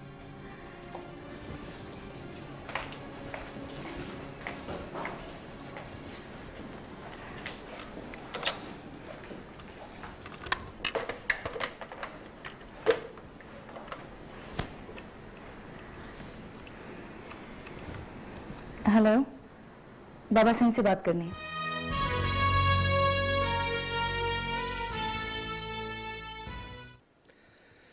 सच पूछे तो ये बात मैं खुद आपसे करना चाहता था भाभी। मेरे पास जो कुछ भी है वो आमना और अहमद नवाजी का है। और अल्लाह का दिया इतना है कि अगर कोई कुछ ना करे तब भी नस्लें खा सकती हैं। कोई कुछ क्यों ना करे भाई जी शिराज क्यों किसी का एहसान उठाएगा? इंशाल्लाह मेहनत करेगा और अपनी मेहनत के बल पे तरक्की करेगा। जी अंकल मुझे जो भी काम आता है मैं वो करूँगा। बाबा ये आपका तरका है। आप ही लोगों को संभालना है। जीनत बहन आप भी हमारे साथ दुबई चलें। हम सब मिलकर साथ रहेंगे। जहाँ मेरा शिराज रहेगा वहीं मैं भी रहूँगी। अच्छी बात यह है कि अहमद नवाज़ होटल बिज़नेस में जाना चाहता है। वो यूरोप अमेरिका और साहिली जजीरों पर होटल खोलना चाहता है। हाँ बेटा बस आप इसमें शामिल हो जाओ। नौकरियों में क्या रखा है? रिश्वत लो तब बुरे ना लो तब बुरे। तनख्वाह से कहाँ गुजारा होता है? ये जो घर चल रहा है इसके शहीद बाप की बदौलत ही है। सब कुछ उन्हीं का है। बात यह है भाभी कि जितना बड़ा दरख्त होता है तो उसकी जड़ें ज़मीन में उतनी गहरी होती हैं। इसी तरह जितना बड़ा बिज़नेस होता है उतनी ही बड़ी प्रॉब्लम्स भी हैं। हमें शिराज जैसे पढ़े लिखे अफसर की ज़रूरत है। इसे हमारी ज़रूरत नहीं है। आमना की सारी प्रॉपर्टी भी तो इसी की है। जब चाहे ले ले। प्रॉपर्टी का क्या करना? बस अल्लाह मेरे बच्चे की ज़िंदगी महफूज बना दे। बेटा अब जब भी तुम बाहर जाना गार्ड्स को साथ लेकर जाना। और हाँ मैंने दुबई में तुम लोगों के लिए एक अपार्टमेंट ले लिया है। लेकिन अंकल ये सब एक ट्रायल के तौर पर होगा। फ़िलहाल मैं दो साल की छुट्टी ले लेता हूँ और फिर देखते हैं। ठीक है। लेकिन बाबा साईं ये सब कुछ जल्दी हो जाना चाहिए। बस बेटा यही कोई एक आध हफ़्ते में। ऐसा करो तुम लोग अपना पासपोर्ट वगैरह तैयार रखो। हाँ बेटा उतने दिन घर से बाहर मत निकलना। आंटी एक आध दफ़ा तो ऑफ़िस जाना ही पड़ेगा। गार्ड्स के साथ।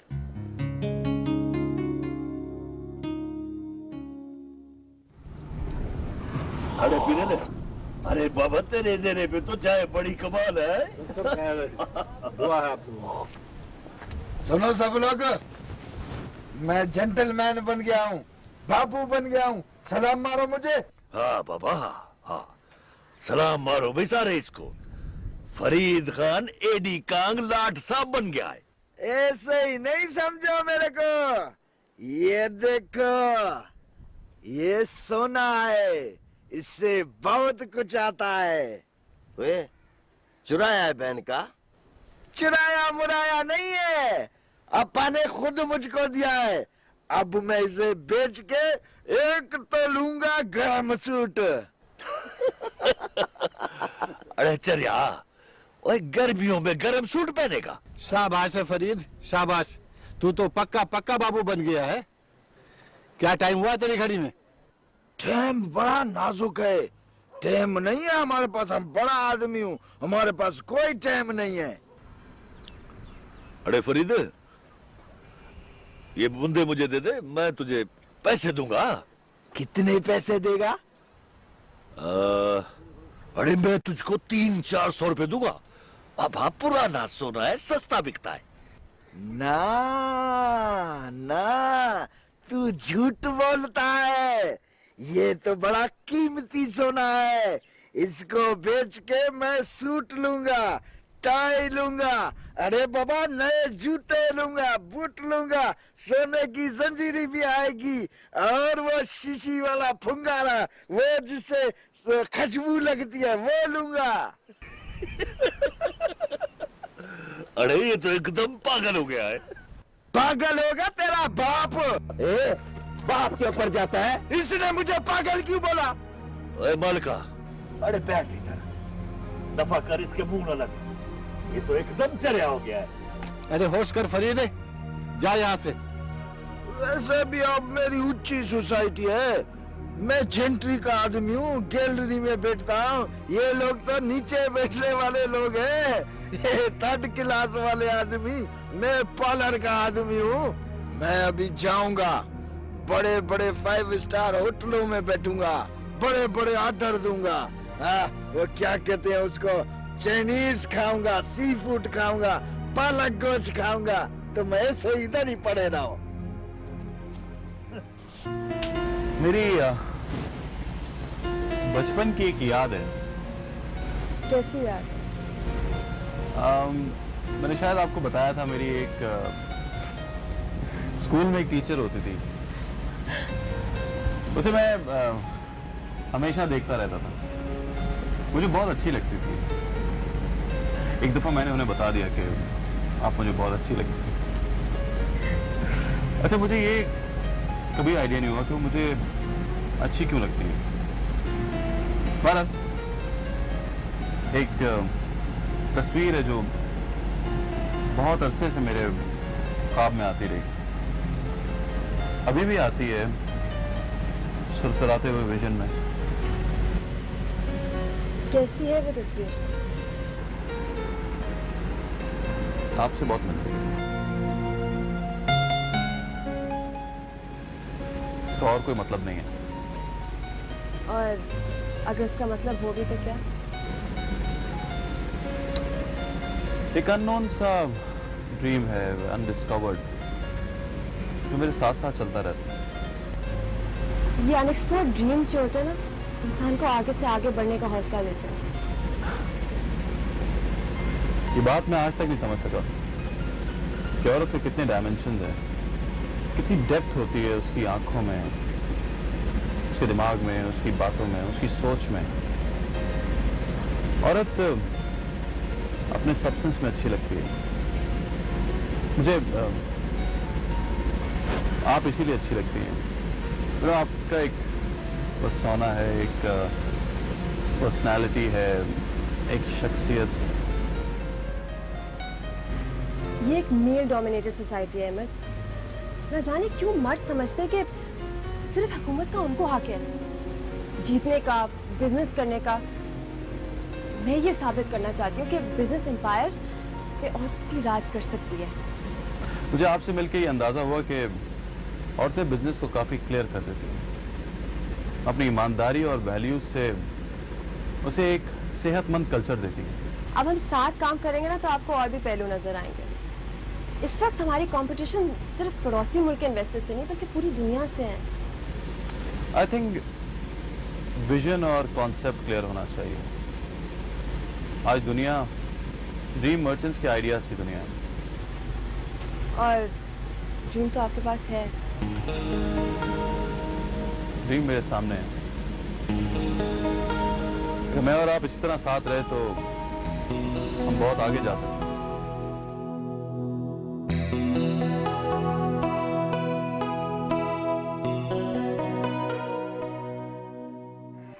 क्या कहती है भाई? क्यों कुफर बकती है? ये पीर झंडेशा किसी का पैसा नहीं खाता किसी का कुछ नहीं खाता खाली जिन को काबू में करता है। और जिन कितना खतरनाक है किसी कब्जा ग्रुप का जिन है वो उसने कब्जा करके रखा हुआ है। पीर साईं मैंने अब तक तीन मुर्गे खिला दिए हैं आपको लेकिन जिन ने अभी तक मेरी बच्ची से कब्जा नहीं छोड़ा। ए माई ये जिन बड़ा चलाक है बड़ा चलाक जिन है। भाई तारीख पे तारीख मेरे को देता चला आ रहा है। ये अपनी बिरादरी का भोलू पहलवान है। बड़ा बहादुर है। तीन मुर्गे खा लिए फेल कर दिए तीन मुर्गे। अब चौथा मुर्गा खिलाऊँगा तो उसको काबू पाऊँगा ताकि वो जिन मेरे कब्जे में आए। जा भाई जा फार्मी मुर्गी मत लाना देसी मुर्गी ले आना। पीर साईं मैं गरीब औरत हूँ। आप जिनसे कहें मुझे माफ़ी दे दें। ओ माई कर्मा वाली तो जिन माफ़ी देने के लिए नजराना लेता है तब माफ़ करता है। जा जा जा तेरा काम हो जाएगा। चल जा जा बाबू जा। हक अल्लाह हु अल्लाह हक अल्लाह हु अल्लाह। बाबा।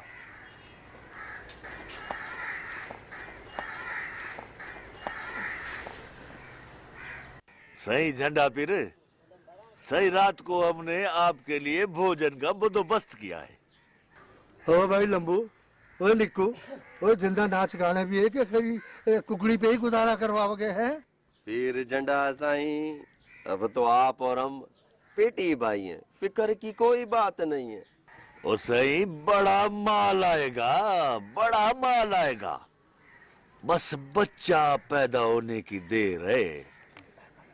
फिर हम अहमद नवाज़ खान से बड़ा माल मारेंगे। हाँ। ठीक है। दम पुख्त बाबा दम पुख्त फिर आज चलेगा क्या? अरे सही बड़ा कुछ चलेगा आज। है? देसी कुकड़ चलेंगे बिरयानी चलेगी कोरमा चलेगा है? और बकरे के गोश्त की कढ़ाई भी होगी सही? हाँ और वो सही वो दम मारो दम भी है कि नहीं बाबा? अरे वाह वाह वाह वाह वाह वाह मुर्शिद सही। रगड़े पे रगड़ा चलेगा, दौर पे दौर चलेगा, है? और साबी के प्याले चलेंगे। मुर्शद कैम, डंडा दौरी कैम, सदा झंडे वाला सिंह जी अरे झंडा सही। बस आपको एक बार हमारे साथ चलना होगा। जो ही बच्चा पैदा होगा, उससे पहले आपको उस इलाके में एक बात फैलानी है। अरे बाबा धूनी लगा देंगे धूम मचा देंगे। बस दम मस्त दम मस्त बाबा दम मस्त दम मस्त बाबा दम मस्त दम मस्त अच्छा बाबा अभी तुम लोग उठो जाओ धंधे का टाइम है ना? हाजुर सही हाजुर। हम जाते हैं। ये झंडे वाला पीर जिए डंडा दौरी। ज़िंदा मेरी बात सुन। ये खालका मालका अच्छे लोग नहीं है। तू इनकी बातों में ना आना। और जाके अहमद नवाज़ को बता दे कि आयशा उसके बच्चे की माँ बनने वाली है। नहीं नहीं नहीं नहीं। उनको पता चलेगा तो मेरी बेटी को मरवा देंगे या फिर गाँव से बाहर निकलवा देंगे। हाँ ये बात तो है। सोच ले। जब बच्चा पैदा होगा तो फिर वो लोग ये बात मान लेंगे। एक दफ़ा बच्चा हो गया ना तो सारा इलाका बोलेगा सब गवाह। अम्मा अब इस बहस से क्या फ़ायदा? क्या ज़रूरत है इस बहस की? अरे बच्चा मेरा है मैं उसे पैदा करूँगी। अगर किसी ने उसको उसका हक ना दिया तो मैं पाल लूँगी उसे। पेट भर लूँगी मैं उसका। एक सहारा तो होगा और फिर हक लेना हमको आता है। अहमद नवाज़ ऐसा आदमी नहीं है। उसे किसी शह की परवाह नहीं है। वो तो जागीर देता है भीख में। और फिर ये तो उसका अपना खून है। शक्ल देखेगा तो पहचान लेगा। बेटी तो ज़्यादा परेशान ना हो। ना दिल पे बोझ ले ना दिमाग पे। ये बात अब कोई ना करे। इसका ज़िक्र कोई किसी से ना करे। मैं इस घर में कैद हो गई हूँ। सिर्फ़ इस बच्चे के लिए। अब ज़्यादा देर इंतज़ार करना नहीं पड़ेगा। तू इसे गर्म दूध में घी डाल के पिला दे। मैं चलती हूँ। हाँ। अब तो मेरे पास जो कुछ भी है, वो इसी का है।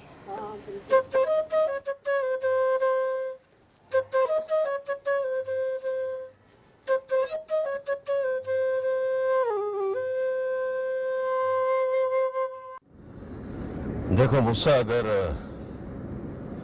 तुम्हारे पास कादिर के खिलाफ कोई रिपोर्ट है या कोई सबूत है तो वो तुम्हारे इज़्ज़त के लिए काम आ सकता है। सेठ मैं मैं देखा ना आपको वो वो कादर का खिलाफ सबूत। मेरे पास बहुत सबूत मौजूद है, सेठ। सेठ, वो क्या है कि पहले मैं ये सुपारी उपारी उठाता था। अभी अभी मैं ये लफड़े में नहीं पड़ता है। अभी बदला लेने का।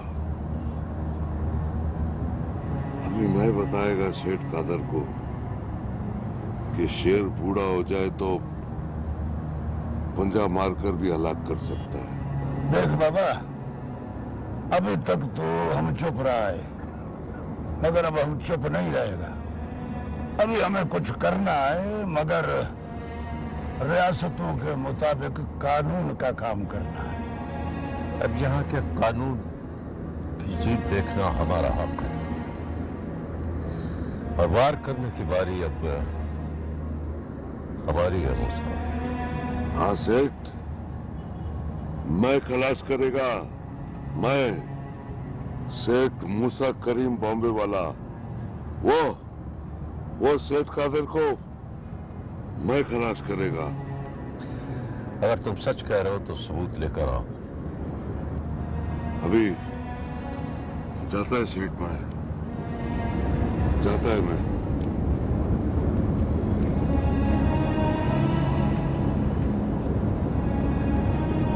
सलाम बात है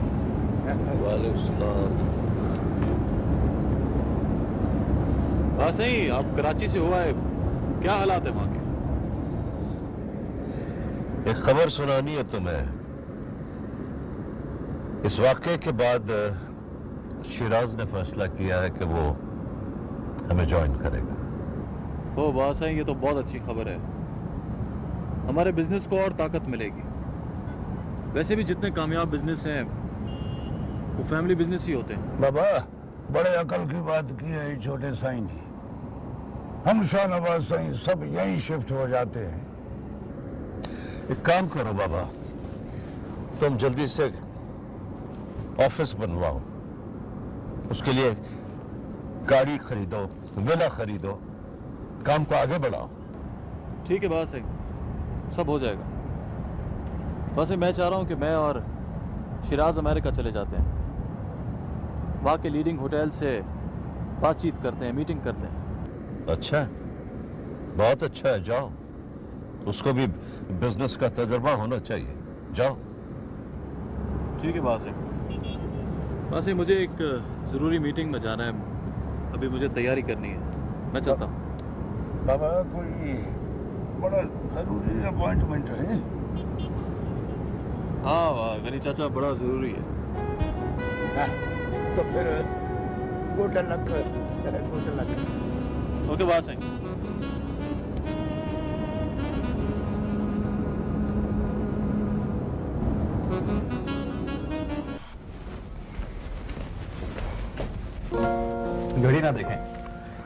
आप ये बताएँ कि आज का हॉरोस्कोप देखा आपने? आप हॉरोस्कोप में बिलीव करते हैं? आज तो कम से कम करूँगा। क्यों आज क्या स्पेशल है?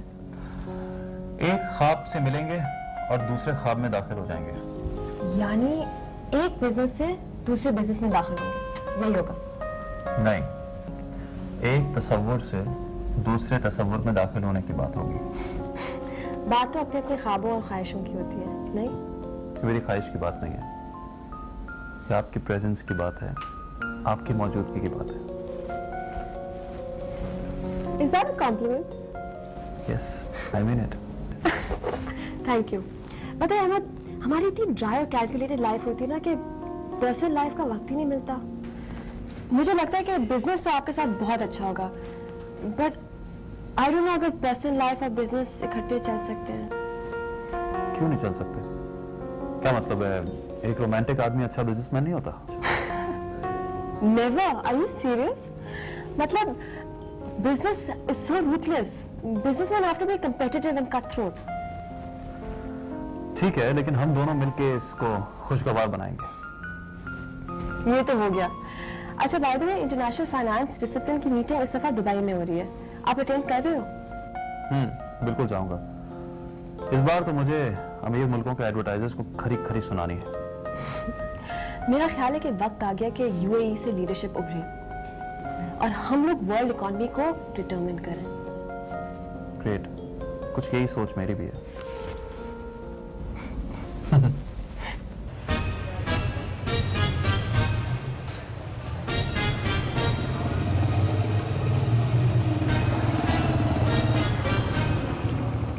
नहीं इनमें से कोई नहीं है। लेकिन आप जहन पे ज़ोर तो दें शायद इनमें से मैं जानता हूँ। इनमें से कोई ऐसा शख्स नहीं है जिसने मुझ पर हमला किया। आप सिर्फ़ इशारा करें इनसे जुर्म बनवाना मेरा काम है। ये सब के सब मानेंगे कि गोली इन्होंने चलाई। वो इसलिए मानेंगे क्योंकि आपकी सजा से अदालत की सजा बहुत बेहतर है। हकीकत यह है कि ये वो लोग नहीं है। और क्या ज़रूरी है कि जो गरीब शक्ल से मुजरिम लगता हो वो असल में भी मुजरिम ही है। आप मेरी बात लिख लें कि ये काम किसी वाइट कॉलर क्राइम करने वाले का काम है। और आइंदा मुझे नहीं बुलाएगा क्योंकि मैं इन्हें नहीं पहचानता। इंटरनेशनल फाइनेंशियल डिसिप्लिन की मीटिंग में जा रही हैं आप। बट ऑफ़ कोर्स मुझे लगा था कि मैं आपको वहीं मिलूँगी। मेरा ख्याल था कि हम दोनों साथ चलते रास्ते में नोट्स एक्सचेंज करते चलते। यहाँ से वहाँ तक की ड्राइव एटलीस्ट 40 मिनट्स की है। नोट्स एक्सचेंज करते हुए। नादर आप मुझसे मज़ाक कर रहे हैं। मुझसे आपको मशवरा क्यों चाहिए होगा? न्यू वर्ल्ड ऑर्डर तो आप इंट्रोड्यूस कर रहे हैं नहीं? ये तर्ज है। नाराज़गी है। या फिर हमारी तोहिन। The ball's in your court. You decide. मैं ये बॉल नहीं खेलूँगा। चाहे मुझे नुकसान उठाना पड़ जाए। तो फिर बेहतर होगा कि हम कॉन्फ्रेंस में लगता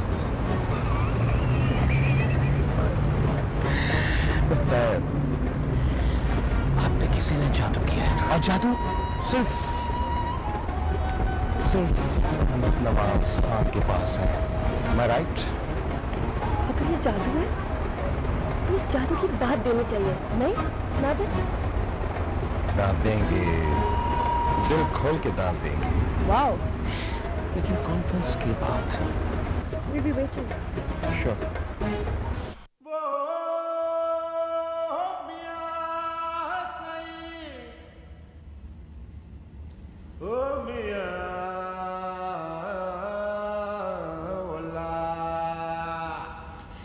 Ahmed Nawaz क्या आप कॉन्फ्रेंस में जा रहे हो?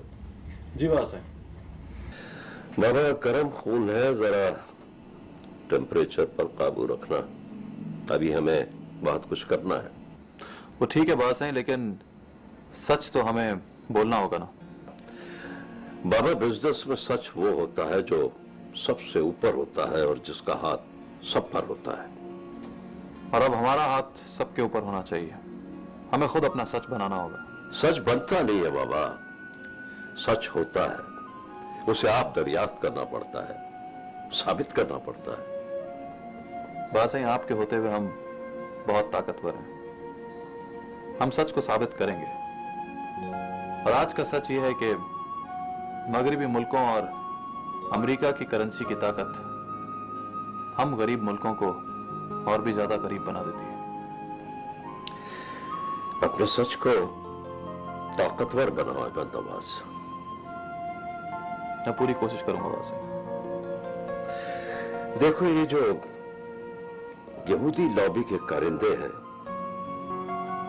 यही हैं जिन्होंने मुसलमान बैंक बीसीसीआई को बंद कराया अरब उनका टारगेट अरब वर्ल्ड उनसे होशियार है। लेकिन बात सही अब अरब वर्ल्ड का सूरज तुलू होगा। यही हमें उनको बताना है। इंशाल्लाह। इंशाल्लाह। ठीक है बेटा तुम जाओ। गुड लक थैंक यू बाजी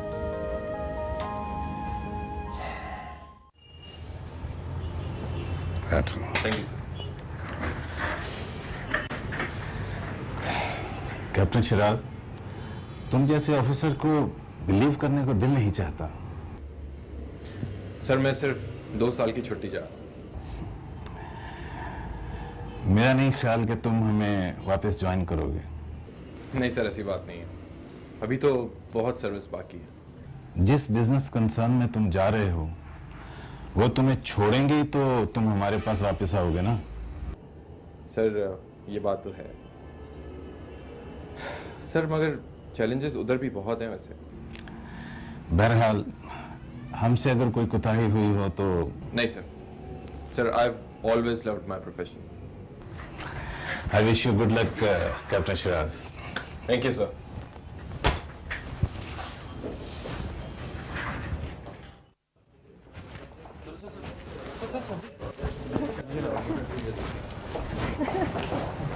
I think that was really effective.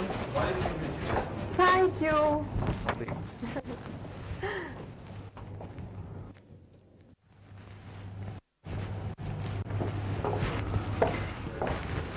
मैं देखा ये गोरे किस तरह नई नई थ्योरीज पेश करते हाँ। मगर लिसन हमने सेकंड सेशन में इनको इसी तरह से घेरना है। Have मतलब जो हमारी नई नस्ल है जो भी बिज़नेस करेगी उसे नए इकोनॉमिक डिसिप्लिन को फॉलो करना पड़ेगा। Definitely, I totally agree with you. Coffee, black definitely. You know that point that you brought up uh, about parallel financial cultures, that is very valid. Hmm. अमीर मुल्कों का और गरीब मुल्कों का। दोनों के अपने अपने मसाइल हैं।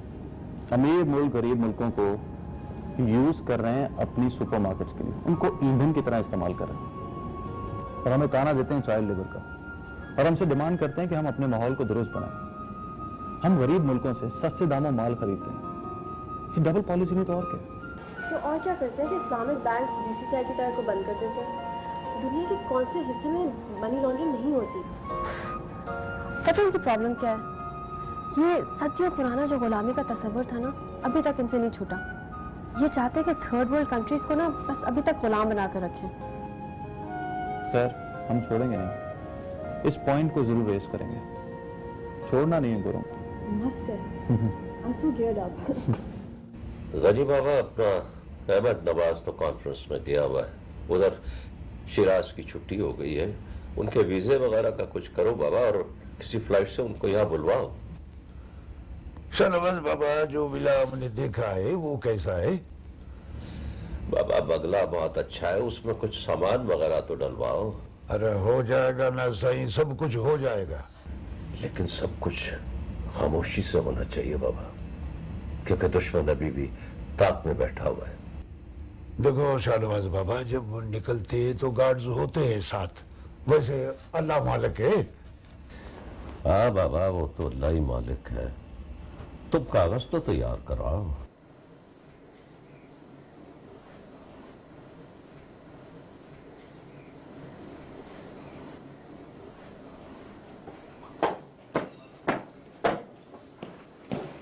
बस ये वाली करके ना इधर से पहले वो टेबल कर लो। अम्मी वहाँ से वीजे बन के आ गए हैं और टिकट्स वगैरह भी बन गई हैं। मैं जरा बैंक से होके आता हूँ क्योंकि कुछ अकाउंट्स चेक करने हैं और कुछ कैश भी लेना है। बेटा एहतियात से जाना मुझे बहुत डर लग रहा है। कार्ड्स हैं ना मेरे साथ अम्मी। और फिर ये ज़रूरी भी है। आमना जरा माँ की तरफ़ गई हुई है शाम तक आएगी। और फ़्लाइट कब की है? फ़्लाइट कल शाम की है।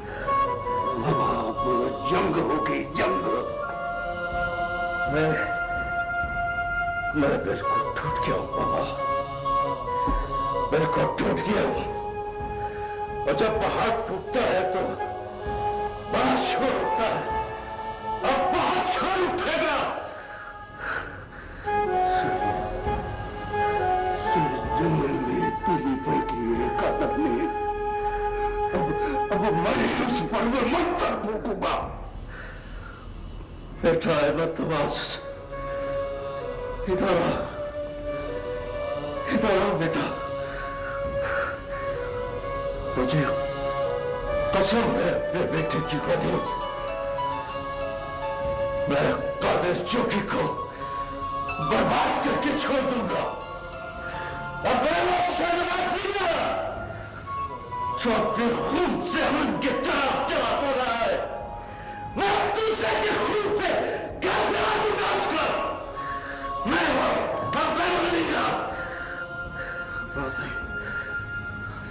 कसम है आपके कॉल की मैं भी अपनी डिक्शनरी से शिकस्त का लफ्ज निकाल दूँगा। सिर्फ़ जीतना है हमको, सिर्फ़ जीतना है। हौसले का वक्त है हौसले का। वह दुश्मन जो कर सकता था, वो कर चुका है। अब जो करना है, हमें करना है, सही हमें करना है।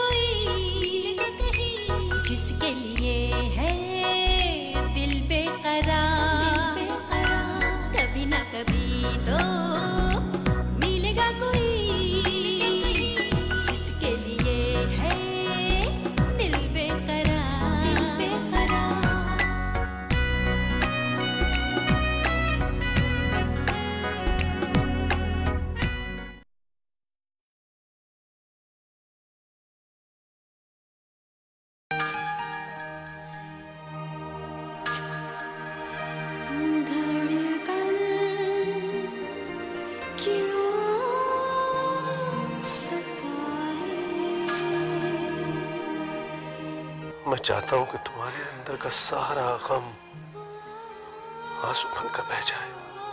पापा क्या दिल से मांगी हुई तो आप कबूल हो जाती है?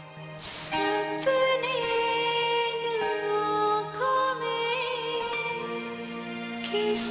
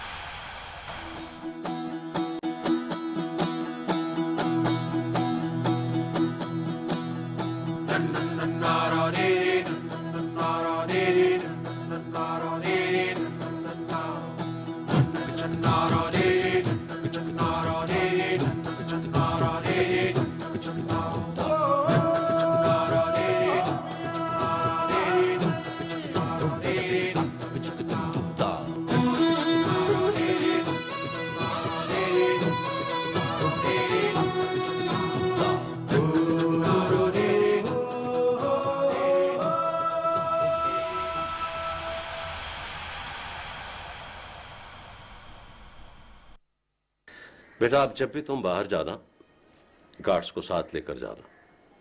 और हाँ मैंने दुबई में तुम लोगों के लिए एक अपार्टमेंट ले लिया है। लेकिन अंकल ये सब एक ट्रायल के तौर पर होगा। एक तस्वीर है जो बहुत अरसे से मेरे ख्वाब में आती रही। अभी भी आती है सुलसलाते हुए विजन में। कैसी है वो तस्वीर? आपसे बहुत मिलती है। बस बच्चा पैदा होने की देर है। फिर हम अहमद नवाज़ खान से बड़ा बाल मारेंगे। हाँ। अरे बच्चा मेरा है मैं उसे पैदा करूँगी। अगर किसी ने उसको उसका हक ना दिया तो मैं पाल लूँगी उसे। पेट भर लूँगी मैं उसका।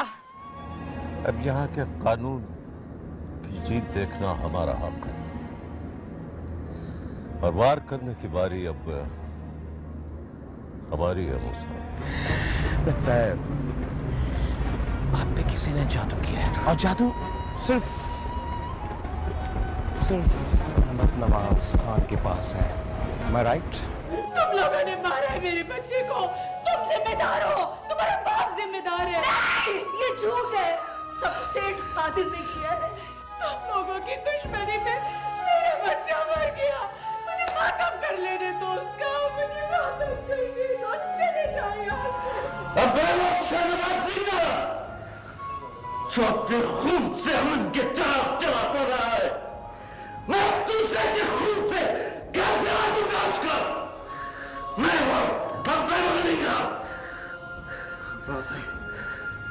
मुझे भी कसम है आपके कॉल की। मैं भी अपनी डिक्शनरी से शिकस्त का लफ्ज निकाल दूँगा। सिर्फ़ जीतना है हमको सिर्फ़ जीतना है। हौसले का वक्त है हौसले का। बाबा दुश्मन जो कर सकता था वो कर चुका है। अब जो करना है हमें करना है सही हमें करना है। अभी कुछ ही देर में पोस्टमार्टम की रिपोर्ट आ जाएगी। हम उस पर गौर करने के बाद कोशिश करेंगे कि जल्द से जल्द मुजरिमों तक पहुँच जाए। फ़िलहाल मैंने तीन टीमें तश्कील दे दी हैं जो मुख्तलिफ़ अमूर पर काम कर रही हैं। आपकी टीमें मुझे मेरा बेटा नहीं दे सकती। वो तो चला गया। चला गया। दीदी आप परेशान ना हो जल्दी मुजरमों तक पहुँच जाएँगे। और और उनसे मेरा बेटा ला देंगे। मुझे अब आपके कानून से कोई गरज नहीं कोई गरज नहीं है। आप एफआईआर में किसी मुजरिम को नामजद करवाना चाहती हैं? हाँ शाहनवाज खान। शाहनवाज खान जिम्मेदार है मेरे बेटे की मौत का। वो तो उनके ससुर हैं। और उनकी क्या दुश्मनी हो सकती है आपसे?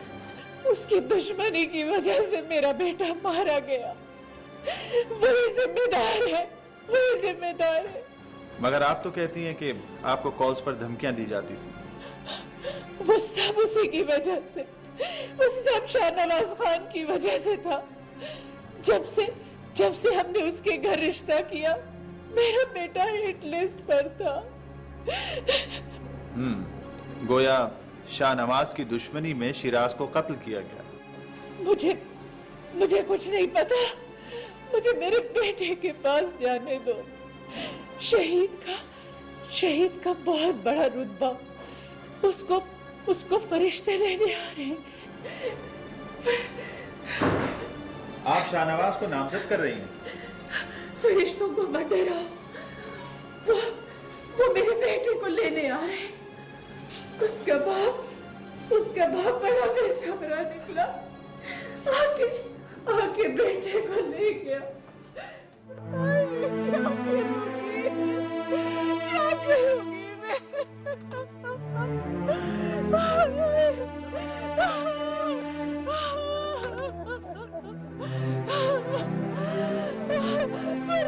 मेरे बच्चे को लेने आए। शहीद को लेने फरिश्ते आए ये ये क्यों है क्यों है ये ठहरो। मुझे इसका मुँह देख लेने दो। नहीं, मैं मुँह नहीं देखने दूँगी, उठा लो। ले जाओ, इसे मत देखने देना। तुम लोग मेरे ये मेरा हक है। अपने अपना हक नहीं दूँगी किसी को मैं मैं कयामत के दिन माफ़ नहीं करूँगी आप मुझे क्या होने दिखाओ क्या कह ले जा रहे हो इसे मारे नहीं उसे रोको नहीं देखने दो रहे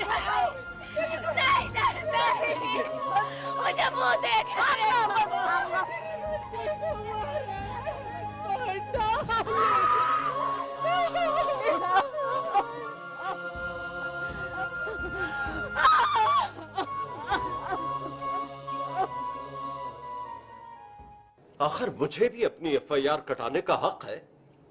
मैं शिराज का सुसर हूँ। मेरी बेटी बेवा हुई है। अगर मुझे को ये सब कुछ करना था तो मैं उसे दुबई सेटल कराता। ये सेठ कादिर के किराए के कातिलों का काम है। लिखे उसका नाम, जो इस वक्त दुबई में बैठा है। ये वही सेठ कादिर है जिसकी हेरोइन शिराज ने पकड़वाई थी। आप रिकॉर्ड चेक करें। बाबा हमारी बेटी की सास साहिबा ने ये तो नहीं बोला कि शाहनवाज साई ने कत्ल किया है। ये बोला होगा कि शाहनवाज साई की वजह से कत्ल हुआ है। बाबा दोनों बातों में बड़ा फ़र्क है। हम समझते हैं खान जी आप यहाँ तशरीफ़ लाए हमारे लिए ये आपकी बेगुनाही का सबूत है। एफआईआर तो वैसे ही काटी गई जैसा बयान दिया गया। तो फिर तफ्तीश करे पकड़े कातिल को। सुने वो क्या कहता है? लेकिन अफसोस तो इस बात का है कि अब आप उन्हें पकड़ भी नहीं सकते। इसलिए कि अब तक वो अपने मालिकों के पास पहुँच चुके होंगे। वो जहाँ कहीं भी होगा हम उसका पीछा करेंगे। हम कब्र तक उसका पीछा करेंगे। कराची में रोज न जाने कितने कत्ल होते जिनका कोई सुराग नहीं मिलता। दस बीस हज़ार में तो यहाँ लोग आदमी को मार देते। फिर सेठ कादिर के लिए कौन सी बड़ी बात है भाई? ये किसी के लिए भी कोई बड़ी बात नहीं है। देखिए इधर उधर ध्यान लगाएँगे तो आप भटक जाएँगे। आप जाए जाकर सेठ कादिर के पुराने साथियों को गिरफ़्तार करें। और बाबा हम आपको बताते हैं कि वो कहाँ मिलेंगे। ठीक है मैं आपका बयान भी दर्ज कर लेता हूँ। लेकिन हमारी टीमें हर पहलू पर गौर कर रही हैं। लेकिन आप कराची से बाहर नहीं जाएँगे। तो उसके लिए आपको मुझे गिरफ़्तार करना पड़ेगा। चलो गनी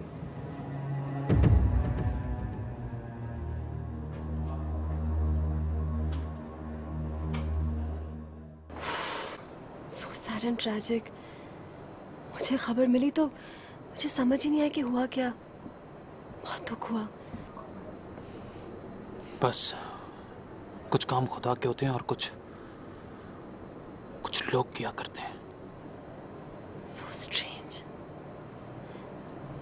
तुम कह रहे थे कि नादिर के बाप सेठ कादिर ने ये करवाया है। हाँ। उसी ने किया है ये सब कुछ। शिराज ने उनकी हेरोइन पकड़ी थी। उन्हें हम लोगों को कोई सदमा तो देना था ना?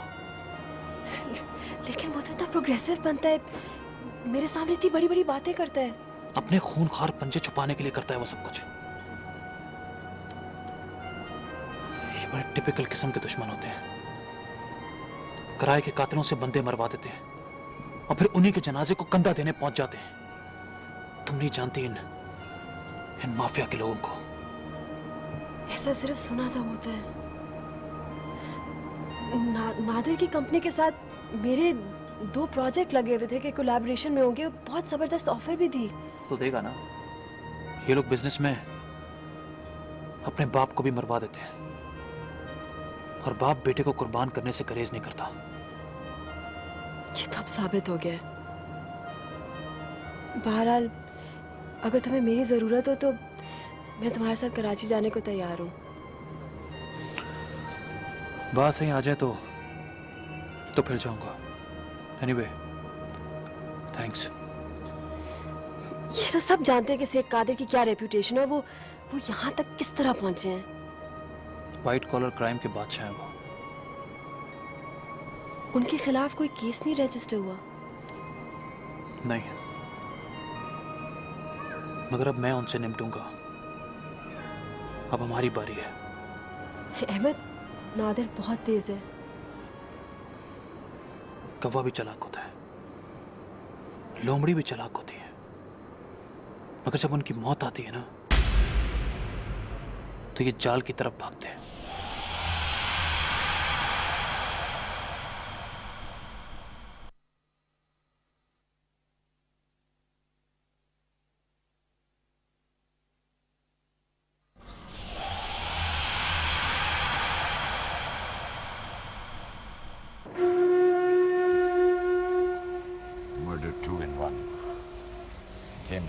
टेप अभी कुछ नहीं बोलने का है चुप रहने का है खलास But Dad, you didn't tell me कि ये सब कुछ होने वाला है.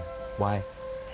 ये छोकरा लोग बहुत स्मार्ट है एकदम फिट काम करता है टेट लेकिन मर्डर ऐसे मौके पे हुआ है कि शक शाहनवाज खान पर आ गया है. मालूम तेरे को उसने उधर बहुत लफड़ा किया। पुलिस को हम लोग के खिलाफ भड़काने की बहुत कोशिश की है पर मैं तेरे को बोलता है कुछ नहीं होने का। Okay, but mind you one thing. Shahnawaz Khan इधर रीच करेगा वो जख्मी शेर की तरह इधर आएगा। ही विल कम वरना मालूम तेरे को शेर जख्मी होके बहुत शोर मचाता है बहुत पंजा मारता है। घास को बहुत नुकसान पहुंचाता है। लेकिन मैं आपसे कह रहा हूँ अभी कुछ नहीं करना। नहीं फिनिश फिनिश करना है। फिनिश फिनिश मैं बोला तेरे को। बिल्कुल फिनिश मैं बोला तेरे को फिनिश ओके हिसाब किताब finish okay okay fine okay अभी कुछ करने का नहीं है। ओके अभी साधु बनने का बगला भगत बनने का है शाहनवाज के पास जाने का है उसके बेटे का अफसोस करने का रोने का है। Okay but one thing more one thing more Ahmed Nawaz Khan और शेरी आपस में मिलके एक बिज़नेस डील बना रहे हैं बिज़नेस डील घबराने का नहीं है मना घबराने का नहीं है। ओके अभी हम अपने दिमाग में कंप्यूटर सिस्टम ऑन करेगा। फिर देखेगा। पर तू सुन तेरे को इधर नहीं रहने का है। तू सीधा यूरोप जा। ओके उधर अल्फायदा बन अल्फायद बनने के बहुत बहुत मौके हैं। ओके और एक बात याद रखना अल्फायदा के छोकरे वाले आशर नहीं होना। एकदम टॉप बिजनेसमैन बनना है समझा? बहुत बड़े बड़े बिजनेसमैन आ चुके हैं। ये एक आदमी का दौर नहीं है मल्टा नेशनल का दौर है मल्टा नेशनल मैं तेरे को क्या बोला? बता रहा हूँ मैं क्या बोला तेरे को? ना कह मेरी बात सुन मैं क्या बोला तेरे को? ओके मैं तेरे को बोला मेरे को समझाने का नहीं है। हाँ ओके। सुनना है। Okay okay. कल का छोकरा लोग तेरे को क्या मालूम दुनिया किधर है?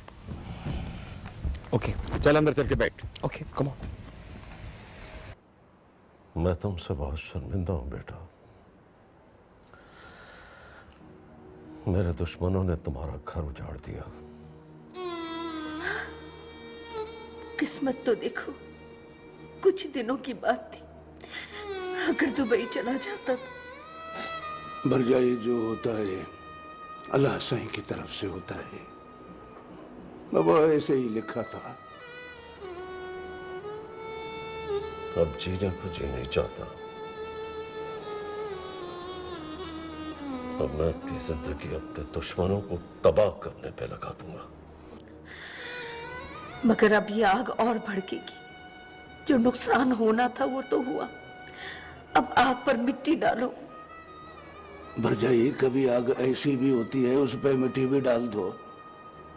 तो अंदर ही अंदर सुलगती रहती है। और आग ऐसी भी होती है जिसमें पानी डालो तो और बड़ा कुटती है। अब हम यहाँ नहीं रहेंगे दुबई जाएँगे। हाँ। अब इधर क्या रह गया है? चलो जिधर का पानी जिधर की हवा रासा है बाबा हवेली बरकतों वाली थी। जब से हवेली छोड़ी है ये बेबरकती शुरू हो गई है बाबा। ठीक कहते हो गनी बंदा पैरों की मिट्टी छोड़ दे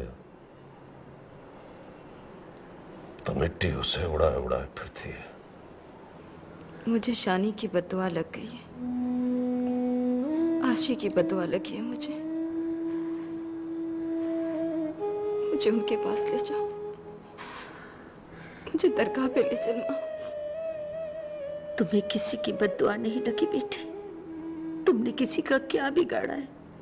कभी अनजाने में अगर किसी का कोई दिल दुखा दे तो उस उसकी माफ़ी हो जाती है बेटा। मुझे तो माफ़ी भी नहीं मिली पापा से। मुझे तो रोने का हक भी नहीं दिया गया। सबर बेटा, सबर। तेरे चाचे गनी ने इसीलिए शादी नहीं की। बाबा औलाद के दुख सहने के लिए जिगरा इतना बड़ा समंदर जितना होना चाहिए। पर बाबा, ये दुख भी तो अपना ही दुख है। गनी भाई, कोई दुआ दारू इस घर की मुसीबत टल जाए। अब तुम लोगों ने एफ़ आई आर भी कटवा दी है। यहाँ की F I R Shahnawaz Khan का कुछ नहीं बिगाड़ सकेगी मुमताज़।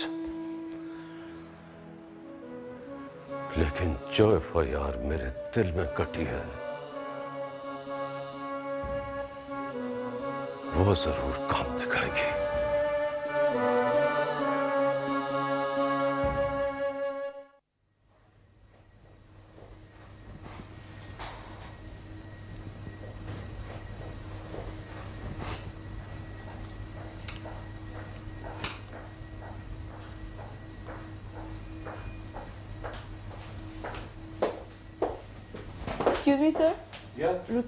पहले मैडम से बात करने दें।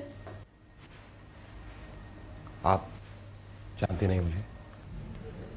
बट उन्होंने मना कर रखा है वो किसी से नहीं मिलेंगी आज।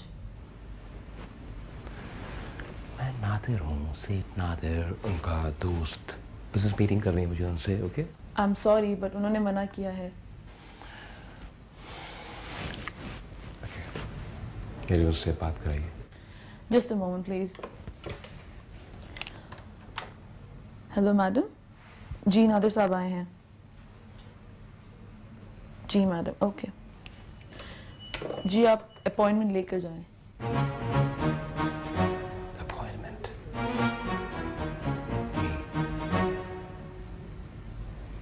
मैं खुद देख लेता हूँ excuse me sir please stop sir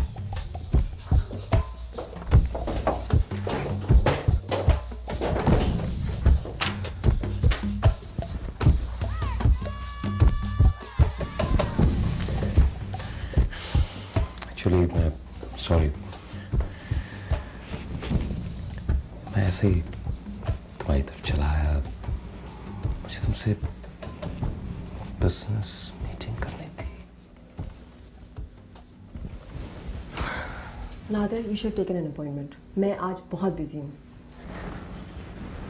Sherry, we are good friends. हम बहुत अच्छे दोस्त हैं यार we are. बिज़नेस में कोई किसी का दोस्त नहीं होता No, no, no, no, no. You, you, you said it. तुमने कहा था कि बिज़नेस में दुश्मन दोस्त बन जाते हैं यू रिमेम्बर इट दोस्त और दुश्मन का फ़र्क मैं बहुत अच्छी तरह से जानती हूँ। फ़िलहाल मेरे ऐसे अच्छे दोस्त हैं कि मुझे किसी दुश्मन के साथ काम नहीं करना। अहमद नवाज़ खान। अहमद नवाज़ खान ये सब उसी का काम है उसी ने भड़काया है तुम्हें। बच्ची नहीं हूँ नादिर। नादिर मैं कोई बच्ची नहीं हूँ कि कोई भी मुझे भड़का सके। वो जो आग तुमने भड़काई है उसकी तपिश मुझ तक पहुँच चुकी है।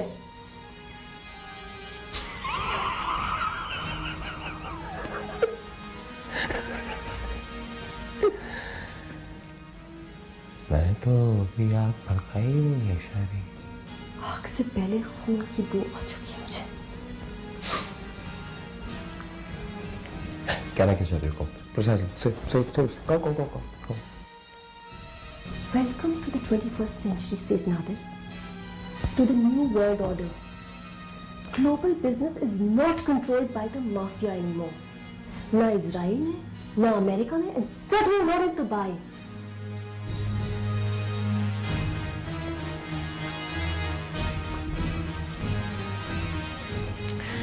इसका मतलब है कि दूसरा माफिया बन चुका है। अगर नहीं बना है तो हम बना देंगे महल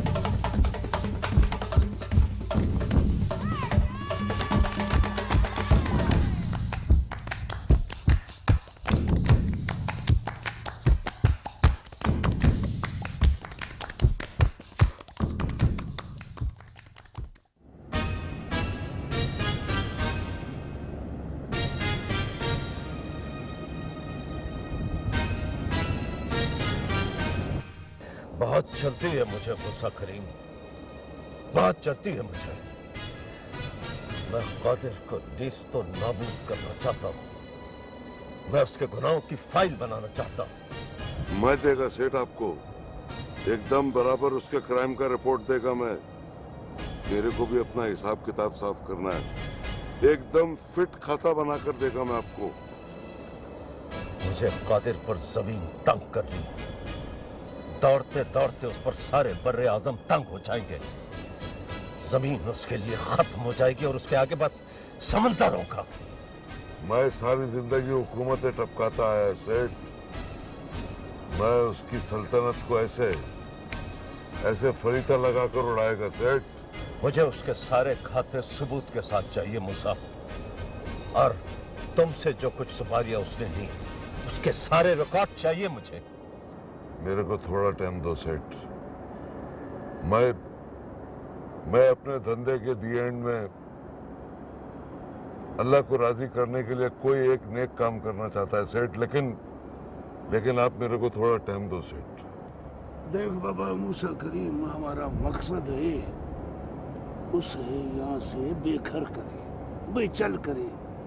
बाबा, पाकिस्तान में वो जा नहीं सकता है, इंडिया में वो रह नहीं सकता है।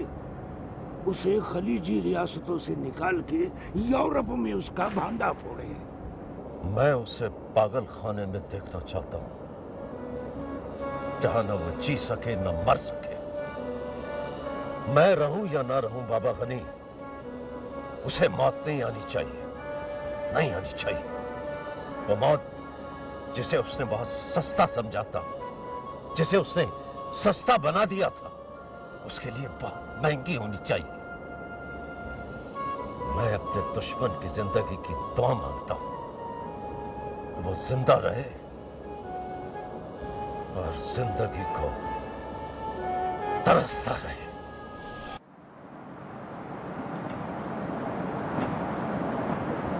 बस धमका के चला गया? माफिया बन के दिखाऊँगा। बन के क्या दिखाएगा? वो माफिया है। पर अहमद मुझे ये समझ नहीं आता कि ये पुराने तरीकों से दुनिया फतह करने की क्यों ख्वाब देख रहा है? इसमें उसका कसूर नहीं है। उसकी जीन्स का कसूर है। वो पुराने कबायली निज़ाम के ज़रिए दुनिया को पता करना चाहता है। यानी दो कश्तियों में सवाल। एक कश्ती मॉडर्न सेंसिबिलिटी की जो उसे तालीम ने दी और और दूसरी जो उसे विरसे में मिली है। ये दोनों चीज़ें मेरे साथ भी हैं। मैं भी दो कश्तियों का सवार हूँ। मगर मेरी ये कोशिश होती है कि मैं किसी तरह इन दोनों चीज़ों को बैलेंस करके चलूँ। But you're totally different, Ahmed. And please don't compare yourself to Nadir. Thank you मगर देखो ना वो जिस मट्टी की पैदावार है जिस दौलत की पैदावार है उसे उसी तरीके से आगे जाना चाहिए। नादिर उन्हीं में से एक है। Nadir I love the fact that we think alike मंजिल भी एक है। तुम्हारे साथ बिज़नेस करने में बहुत मज़ा आएगा। बल्कि मैं सोच रही थी कि जो हमारा पहला प्रोजेक्ट है इसमें हमें एक एट स्टार होटल बनाना चाहिए। बिल्कुल हमें ग्रीस जाना चाहिए बल्कि काम हो ना हो कुछ दिन वहाँ साथ ज़रूर अच्छे गुजार लें। Hi everybody Nadir. लगता है हमारे रास्ते एक है। ज़रूरी नहीं। शहरी ज़रूरी क्यों नहीं है? हम बार बार एक साथ जो चल रहे हैं जो? रास्ते एक दूसरे को काटते हैं वो करीब ज़रूर आते हैं लेकिन बहुत बुरी तरह टकराते हैं। वेल सर वेल सर मैं इतफाक से बस इस तरफ़ आ गया। सॉरी नादिर ऐसे इतफाक दुबई में नहीं होते। हाँ अगर कोई किसी पे नज़र रख रहा हो तो फिर ऐसे इतफाक हो जाते हैं। सॉरी अहमद नवाज़ खान मुझे बड़ा अफसोस हुआ आपके ब्रदर लॉ के मर्डर पर। फील वेरी बैड मुझे तुम्हारी ताजियत की ज़रूरत नहीं है क्योंकि कातिलों में तुम्हारे बाप का नाम भी शामिल है। बारह वर्षों से कुछ बात तो चलते रहते हैं। मुझे अफसोस हुआ रियली आई मीन इट किसी ने तो माफिया लोगों के बारे में ठीक कहा है कि वो कत्ल करके नमाज़ जनाजा में भी पहुँच जाते हैं। मेरा ख्याल है कि हमें चलना चाहिए। अहमद? वेल अगर कातिल हम हैं तो दुनिया में कातिल होते हैं। Okay Nadir. We have to go somewhere Ahmed? By the way आप लोगों को ये नया अलायंस मुबारक Keep it up. Keep it up. Mr. Mister Nadir क्या आज का दौर आज का वक्त डायलॉग बोल के बिज़नेस करने का नहीं है इसमें खामोशी चाहिए किसी कंप्यूटर के प्रोग्राम की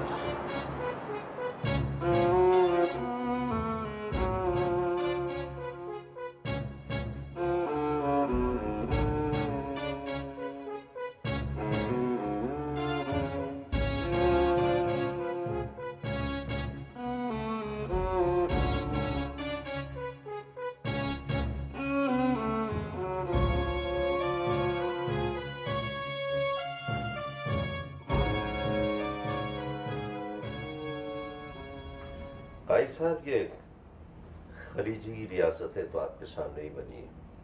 यहाँ कई बैंक आए गए बीसीसीआई कैसे गर्क हुआ ये भी आप जानते हैं। सर ये तो आपकी जरा नवाजी है कि आपने इस काबिल समझा ना चीज़ को। देखिए अभी भी आप माशाल्लाह खलीजी रियासतों के एक अहम एडवाइजर हैं। आपसे मैं एक सवाल करना चाहता हूँ। हुक्म? ये कादिर जोगी जो अब कादिर सेठ बना हुआ है ये कादिर जोगी से कादिर सेठ कैसे बन गया? यहाँ इसने इतनी सारी दौलत कैसे जमा की? सर जो आप कहना चाह रहे हैं मैं अच्छी तरह समझता हूँ। तो सही फिर फिर आप सोचे ना कि ऐसे आदमी को इन खलीजी रियासतों में रहना चाहिए या नहीं? काई साहब मुझे उसकी कंप्लीट फ़ाइल चाहिए डॉक्यूमेंट्स चाहिए। ताकि मैं ये साबित कर सकूँ कि कादिर जोगी असल में कौन है। सर मैं एक पाकिस्तानी हूँ और कादिर सेठ या कादिर जोगी वो भी एक पाकिस्तानी है। मैं ऐसा कोई कदम नहीं उठाना चाहता जिससे पाकिस्तान के नाम पे कोई हर्फ आए। काई साहब आप समझने की कोशिश करें अगर आपने उसकी कंपनी को यहाँ काम करने दिया और पाकिस्तान का नाम खुदा न खास्ता बदनाम हुआ तो उसमें उसका बहुत बड़ा हाथ होगा। ये पाकिस्तानी नहीं है ये बल्कि पाकिस्तान के दुश्मन है। इनका कोई ईमान नहीं है काई साहब। इनका ईमान तो पैसा है। इनका मुल्क पैसा है हर चीज़ पैसा है। ऐसे लोगों को यहाँ से बाहर निकालिए। असल में अगर हम पाकिस्तानियों की करतूत बाहर निकालें तो हम दुश्मन के हाथ मज़बूत कर देंगे। और मैं कतई ये नहीं चाहूँगा कि हम दुश्मन के हाथ मज़बूत करें। भले काजी साहब अच्छी बात है आप सच बोल रहे हैं लेकिन बाबा दुश्मन का मुकाबला तो करना है ना। साहब देखिए मैं तो सिर्फ़ गंदे अंडे बाहर फेंकना चाहता हूँ। यही मेरा मकसद है। बाबा वालेकुम सलाम। बाबा ये मेरा बेटा अहमद नवाज़ ये काजी साहब है। वालेकुम सलाम। आपसे मिलकर खुशी हुई? जी ये मेरी खुशकिस्मती है कि मेरी आपसे मुलाकात हुई। आपके बारे में तो हम अखबार में पढ़ते रहते हैं और माशाल्लाह अरब वर्ल्ड के लिए तो आपके जो बुलंद ख्याल हैं उसके कोई मुकाबला ही नहीं। बस ये तो मेरा फ़र्ज़ है। भाई साहब मैं आपसे कह रहा था कि मुझे रिकॉर्ड चाहिए फाइनेंशियल रिकॉर्ड्स ताकि मैं ये कादिर जोगी को एक्सपोज कर सकूँ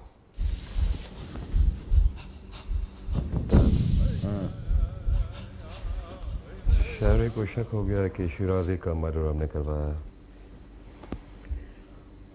मुन्ना कौन है ये शरी अरे बोल क्या होता है ये शरी एक छोकरी दुबई में क्या क्या वैल्यू माँगता बोल? डैड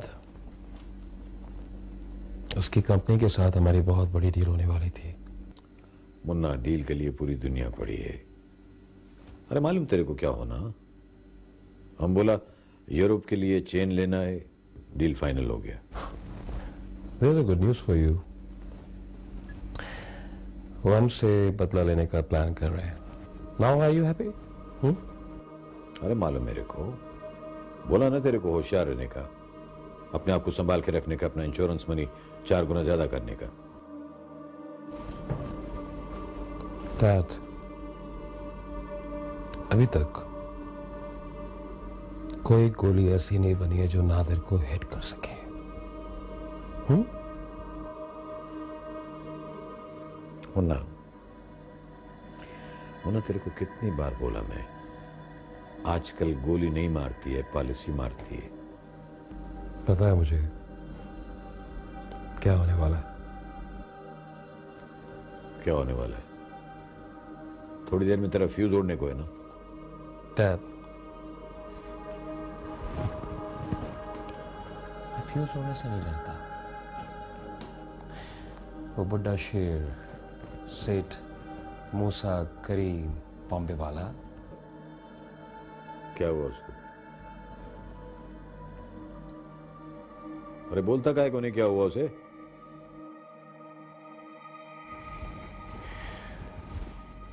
हमारे खिलाफ हुकूमत की मदद कर रहा ही। इज़ हेल्पिंग आउट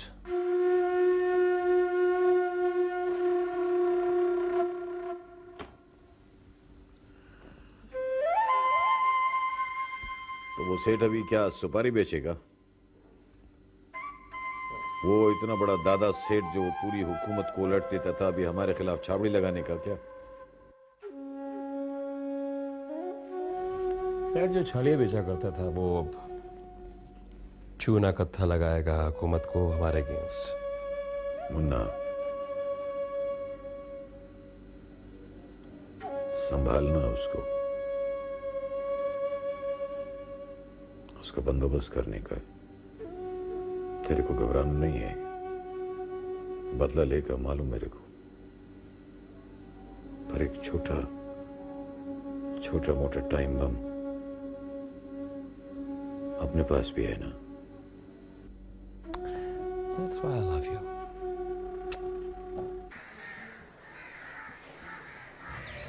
हाँ शानी अपनी सहेलियों के नाम बताओ भाई किस किस को कार्ड भेजना है? अरे जल्दी जल्दी बता मैं लिख देता हूँ। मुझे क्या पता? अब आयशा को भेजना है और मेरे ख्याल से आमना और चाचा नवाज़ के घर भिजवा दे। बात तो तुम्हारी ठीक है बेटा लेकिन उनके घर इतना बड़ा सान्या हुआ है हमें तो अफसोस करने वहाँ जाना चाहिए था। मेरा ख्याल है कि हम अफसोस भी कराते हैं और कार्ड भी दे आते हैं। जिसने भी कत्ल किया है वो मुझे माफिया का आदमी लगता है। उसने शाहनवाज से बदला लिया है। हम्म, बस अल्लाह रहम करे। बड़े लोग उनकी बड़ी दुश्मनियाँ। अब ऐसे में उनसे हमदर्दी तो हमारा फ़र्ज़ है ना? बस अम्मा अल्लाह बचाए। हम तो चाहते हैं कि सुलह हो जाए। उनका जो नुकसान हुआ है वो तो अल्लाह की रजा थी। आशी के घर अभी कार्ड भेज दें। सुना है आजकल वो बहुत बीमार रहने लगी है। अंदर ही अंदर घुलती जा रही है बेचारी। अच्छा मैं लिख देता हूँ मगर एक शर्त है। शानी की शादी के बाद हम सब कराची शहर शिफ्ट हो जाएँगे।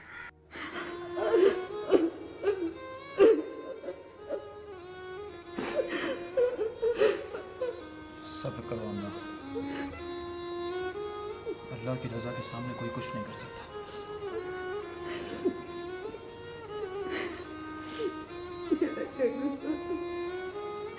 मेरा क्या कसूर दादा क्यों मेरे साथ इतनी जाते हुए? क्यों? मुझे रोने का हक भी नहीं दिया, मुझे रोने का हक भी नहीं दिया था।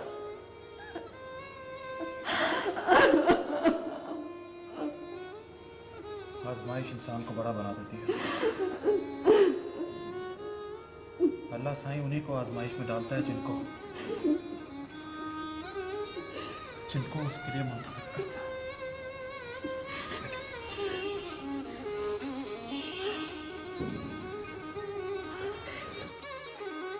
हम लोग तो मुसलसल गर्दिशों में हमें यहाँ से ले चलो बेटा। ये दीवारें हमें काटती हैं। बाबा साहब ने यही कहा अम्मा हम सब वहीं रहेंगे। यहाँ रह भी क्या गया जिसके लिए यह रह सकती थी उस कब्र की मट्टी भी नहीं मिली मुझे। वहाँ फूल चढ़ाती दिए जलाती। मुझे तो किसी ने हक ही नहीं दिया। हमारे नसीब में यही था।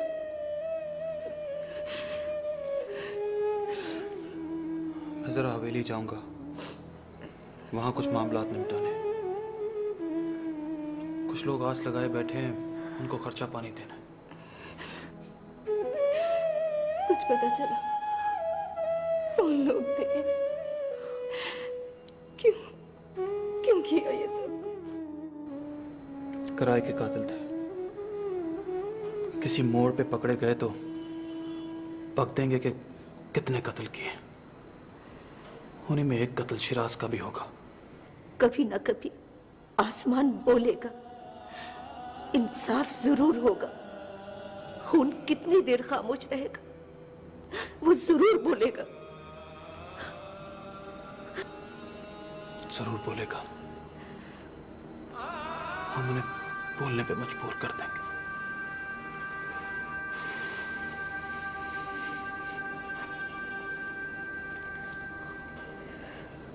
चंदा अल्लाह ने चाहा तो अगले हफ़्ते को तेरी बेटी की झोली में बरकत आने वाली है। खुशी को तो नज़र लग गई है।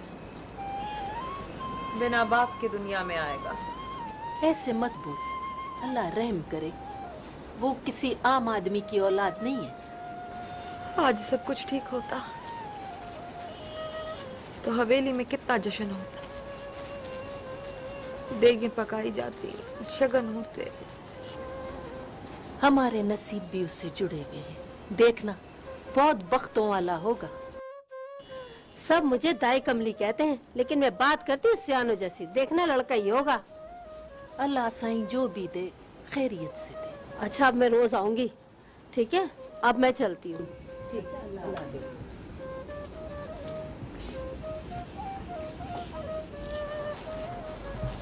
कैसी किस्मत है तेरी? तू दुनिया में आएगा और तेरा बाप सर पर नहीं होगा। मैं तेरे लिए भीख मांगूँगी। सलाम मासी ज़िंदा। वालेकुम सलाम खैर है? वो शानी बीबी की शादी का कार्ड लाई हूँ। अरे कब है शादी? अपनी शानी बीबी की? हम तो जाए लोग हैं आप ही पढ़ लो। सुना है अगले इतवार को है। देखो कुदरत के खेल। इधर के दिए बुझ रहे हैं उधर के दिए जल रहे हैं। सियाने लोग कहते थे कभी के दिन बड़े तो कभी की रात। मुँह मीठा कराओगी या मैं जाऊँ? गुड़ है घर में और कुछ नहीं है। खाएगी? चलो उधार से। ही अच्छा मासी मैं चलती हूँ। सलाम।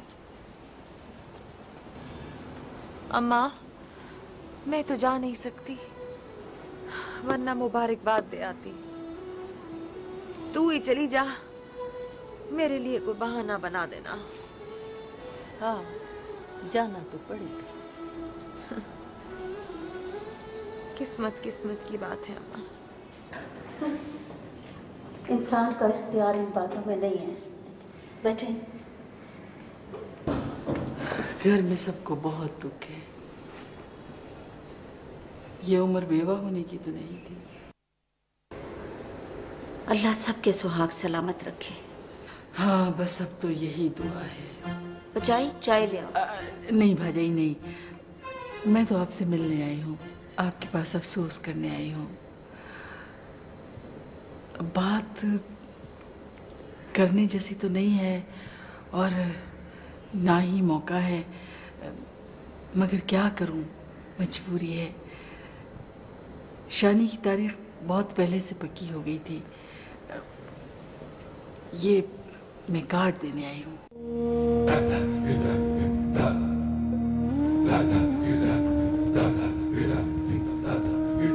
अभी तो हमारे बहनोई का कफन मेला नहीं हुआ। उसकी मट्टी का पानी खुश्क नहीं हुआ। फूल नहीं मुरझाया अभी तक उसके। और आप ये कार्ड लेके आ गई हैं? अब्बा हमें एहसास है इसका। इसीलिए पहले माफ़ी मांगी क्या ज़रूरत थी हमें ये कार्ड देने की? क्या ज़रूरत थी दावत देने की? अब अपने हिस्से की खुशियाँ अपने आँगन में संभाल के रखें। ऐसे नहीं कहते बेटा। मैं चलती ये कार्ड अब अपने साथ लेती जाए। हमारे घर में अभी तक ताजियत के लिए लोग आ रहे हैं और आप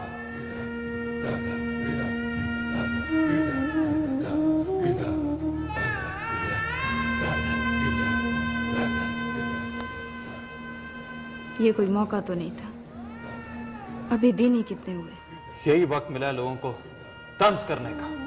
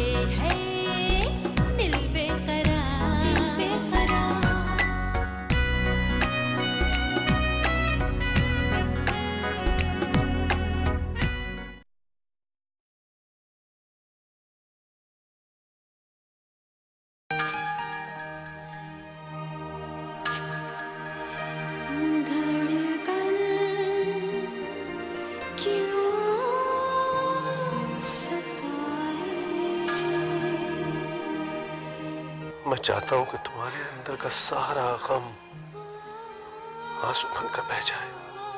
पापा क्या आप दिल से मांगी हुई तो आप कबूल हो जाती है?